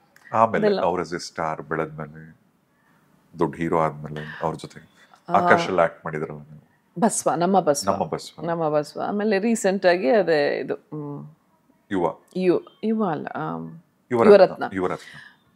ಅದು ಮಾಡುವಾಗೆಲ್ಲ we had a lot of common interest ಅಂದರೆ ಟ್ರಾವೆಲಿಂಗ್ ಬಗ್ಗೆ, ಅದೇ, ನೀವು ಯಾವ್ಯಾವ ದೇಶಕ್ಕೆ ಹೋಗಿದ್ದೀರಾ, ಆ ದೇಶದ್ದು ಇದು ಹೆಂಗೆ, ಅದು ಹೆಂಗೆ ಅಲ್ಲಿ ಯಾಕೆ ನಿಮಗೆ ಇಷ್ಟ ಆಯಿತು, ಏನು ಇಷ್ಟ ಆಯಿತು, ಈ ಥರದ್ದೆಲ್ಲ ತುಂಬ ಮಾತಾಡ್ತಾ ಇದ್ವಿ. ಆಮೇಲೆ ಅಫ್ಕೋರ್ಸ್ ಅವ್ರಿಗಿಬ್ಬರು ಹೆಣ್ಮಕ್ಳು ನನ್ನ ಮಗಳು, ಅದೇ ಏನು ಓದಿ, ಏನು ಕಾಂಬಿನೇಷನ್ ತೊಗೊಂಡ್ಳು, ಅವ್ರ ಮಗಳು ಅದೇ ದೊಡ್ಡವಳು ಅವಾಗ, ಹಾಂ ಯು ಎಸ್ ಕೊಟ್ಟಿದ್ಲು ಅವಳು ಗ್ರ್ಯಾಜುಯೇಷನ್ ಅದೇ ಮಾಸ್ಟರ್ಸ್ ಇದೆಲ್ಲ ಮಾಡೋಕ್ಕೆ. ಅಂದರೆ ಅಂಡರ್ ಗ್ರ್ಯಾಂಡ್ಗೆ ಸೊ ಈ ಥರದ್ದೆಲ್ಲ ತುಂಬ ಮಾತಾಡ್ತಾ ಇದ್ವಿ. ಸೊ ಸ್ಪಿರಿಚುಲಿ ನೀವು ಎಷ್ಟು ದೇವ್ರು ನಂಬ್ತೀರಾ? ಅಥವಾ ನಿಮ್ಮ ಲೈಫಲ್ಲಿ ಆಗಿರೋದಕ್ಕೆಲ್ಲ ದೇವರೇ ಕಾರಣ ಅಂತನಾ? ಅಥವಾ ಇಲ್ಲ I am I am spiritual ನಾನು ದೇವ್ರನ್ನ ನಂಬ್ತೀನಿ. ದ ಸಮ್ ಇವಾಗ ಅದು ದೇಸ್ ಅ ಸೂಪರ್ ಪವರ್ ಅದು ಒಬ್ಬರೊಬ್ಬರು ಒಂದೊಂದು ಹೆಸರು ಕೊಟ್ಕೊಂಡಿದ್ದಾರೆ. ಅಲ್ಲ ಪರ್ಸನಲ್ ಆಗಿ ನೀವು ಯಾವ ಪಾರ್ಟಿ? ಕೃಷ್ಣ ರಾಮ ಈಶ್ವರ? ನನ್ನ ನನ್ನ ತಂದೆ ಮನೆ side Lakshmi Narasimha. So I'm a very ಅವಾಗಲೂ. Ugra Narasimha? ಇಲ್ಲ Lakshmi Lakshmi Narasimha. So I'm a very staunch believer of Lakshmi Narasimha. ತುಂಬ ಎಕ್ಸ್ಟ್ರೀಮ್ಲಿ ರಿಲೀಜಿಯಸ್ ಏನಲ್ಲ ಬಟ್ ಈ ಹಬ್ಬಗಳು ಮೇನ್ ಮೇನ್ ಹಬ್ಬ ಪ್ರೊವೈಡೆಡ್ ಅವಾಗೇನು ಕೆಲಸಗಳಿಲ್ಲ ಶೂಟಿಂಗ್ ಇಲ್ಲ ಅಂತಂದರೆ ಮೇನ್ ಮೇನ್ ಹಬ್ಬ ಆದಷ್ಟು ಮಟ್ಟಿಗೆ ಎಲ್ಲ ಮಾಡ್ತೀನಿ. ಅಷ್ಟೇ. ಆ್ಯಂಡ್ ಕೊನೆಯದಾಗಿ ಈಗ ಈ ಪಾಡ್ಕಾಸ್ಟ್ ನೋಡ್ತಿರೋರಿಗೆ ನಾನು ನಿಮ್ಮ ಹತ್ರ ಒಂದು ಸರಿ ಹೇಳಿದ್ದೆ. ನಾನು ಇಂಜಿನಿಯರಿಂಗ್ ಫಸ್ಟ್ ಇಯರ್ ಬಂದಾಗ ನಮ್ಮ ಹಾಸ್ಟೆಲಲ್ಲಿ M B A final year ಓದ್ತಿದ್ದ. ಅವ್ರ ಹೆಸರು ಅರ್ಜುನ್ ಕಾಮತ್ ಅಂತ. ಅವರ ಒಂದು ವ್ಯಾಲೆಟ್ ಅಲ್ಲಿ ನಿಮ್ದು ಕಾವ್ಯ ಫಿಲಮ್ದು ಒಂದು ಪೋಸ್ಟ್ ಕಟ್ ಮಾಡಿ ಅವರು ವ್ಯಾಲೆಟ್ ಅಲ್ಲಿ ಇಟ್ಕೊಂಡು ಚೆನ್ನಾಗಿ ಜ್ಞಾಪಕ ಇದೆ my dream girl my dream girl ಅಂತ ಹೇಳಿದ್ದುಂಟು ಆಯ್ತಾ? ಇದೇ ತರ ನೀವು ಎಷ್ಟೋ ಜನರ ಹುಡುಗರ ನೋಟ್ ಬುಕ್ಸ್ ಅಲ್ಲಿ ನಿಮ್ ಫೋಟೋ ಇತ್ತು, ಬೋರ್ಡ್ಗಳ ಮನೆಗಳಲ್ಲಿ ಬೀರುಗಳ ಮೇಲೆ ನಿಮ್ಮ ಪೋಸ್ಟರ್ಸ್ ಇತ್ತು. ಇವತ್ತಿಗೂ ಅವರ ಹೃದಯದಲ್ಲಿ ನಿಮಗೆ ಒಂದು ಸ್ಪೆಷಲ್ ಸ್ಥಾನನ ಕೊಟ್ಟಿದಾರಲ್ಲ, ಅಂತ ನಿಮ್ಮ ಅಭಿಮಾನಿಗಳಿಗೆ ಒಂದು ಮೆಸೇಜ್ ನಿಮ್ಮ ಕಡೆಯಿಂದ. ಏನು ಹೇಳಿ ಅವತ್ತಿಂದ ಇವತ್ತಿನವರೆಗೂ ಇಷ್ಟು ವರ್ಷ ಪ್ರತಿಯೊಬ್ಬರು ಏನಂತಾರೆ ನಮ್ಮ ಇಡೀ ಕರ್ನಾಟಕ ಜನತೆನೇ. ಅದನ್ನ ಮಾತ್ರ ನಿಜವಾಗ್ಲೂ ಹೇಳ್ತೀನಿ. ಅವತ್ತು ಹೇಗೆ ಟ್ರೀಟ್ ಮಾಡ್ತಾ ಇದ್ರು, ಇವತ್ತು ಹಾಗೆ ಟ್ರೀಟ್ ಮಾಡ್ತಾರೆ. ಇನ್ನೂ ಹೆಚ್ಚಿನ ಒಂದು ಪ್ರೀತಿ, ವಿಶ್ವಾಸ, ಗೌರವ ಕೊಡ್ತಾ ಇದ್ದಾರೆ ಸೊ ಅವ್ರಿಗೆ, ಅವರೆಲ್ರಿಗೂ ನಾನು ಯಾವತ್ತೂ ಎಂದೆಂದಿಗೂ ಚಿರಋಣಿ. ಅವರ ಪ್ರೀತಿ, ವಿಶ್ವಾಸ ಹೀಗೆ ಇರಲಿ ಅಂತ ಕೇಳ್ಕೊತೀನಿ. ಇದೇ ಥರ ಇನ್ನೂ ಹೆಚ್ಚು ಅವ್ರನ್ನ ಒಂದು ಏನಂತಾರೆ, ಈ ಒಂದು ಈ ಆ್ಯಕ್ಟಿಂಗ್ ಮೂಲಕ ಇರ್ಬೋದು ಅಥವಾ ಈ ಕಲಾ ಸೇವೆ ಮೂಲಕ ಅವ್ರನ್ನ ರಂಜಿಸುವಂಥ ಒಂದು ಶಕ್ತಿ ನನಗೆ ಆ ದೇವ್ರು ಕೊಡಲಿ. ಆಮೇಲೆ ಅದು ಒಳ್ಳೆ ರೀತಿನಲ್ಲಿರಲಿ ಅಂತಲೇ ನಾನು ದೇವ್ರನ್ನ ಕೇಳ್ಕೊಳ್ಳೋದು. ಆ್ಯಂಡ್ ಕನ್ನಡ ಸಿನಿಮಾಗಳಲ್ಲಿ ಹೀರೋಯಿನ್ಗಳು ಅಂದರೆ ಹಿಂಗಿರಬೇಕು? ಹೀರೋಯಿನ್ಗಳಿಗೆ ಒಂದು ಮಡಿವಂತಿಕೆ, ಒಂಥರ ಒನ್ ಟು ಒನ್ ಕನೆಕ್ಟ್ ಆಗ್ತಾರೆ ಹೀರೋಯಿನ್ಸ್ ಜೊತೆಗೆ. ಅದಕ್ಕೊಂದು ಅರ್ಥ ತಂದ್ರಿ. ಆ್ಯಂಡ್ ಎಲ್ಲದಕ್ಕಿಂತ ಹೆಚ್ಚಾಗಿ ನಾಯಕಿಯರು ಅಂದರೆ ಹೀಗಿರಬೇಕು ಅಂತ ಈಗ ಹೇಗೆ ಹೇಳ್ತಾರಲ್ಲ ಒಂದು ನಾಲ್ಕೈದು ಹೆಸರುಗಳಲ್ಲಿ ಅಗ್ರ ಹೆಸರು ನಿಮ್ಮದು ಅಗ್ರ ನಾಯಕಿ ನೀವು ಕನ್ನಡ ಸಿನಿಮಾಗೆ.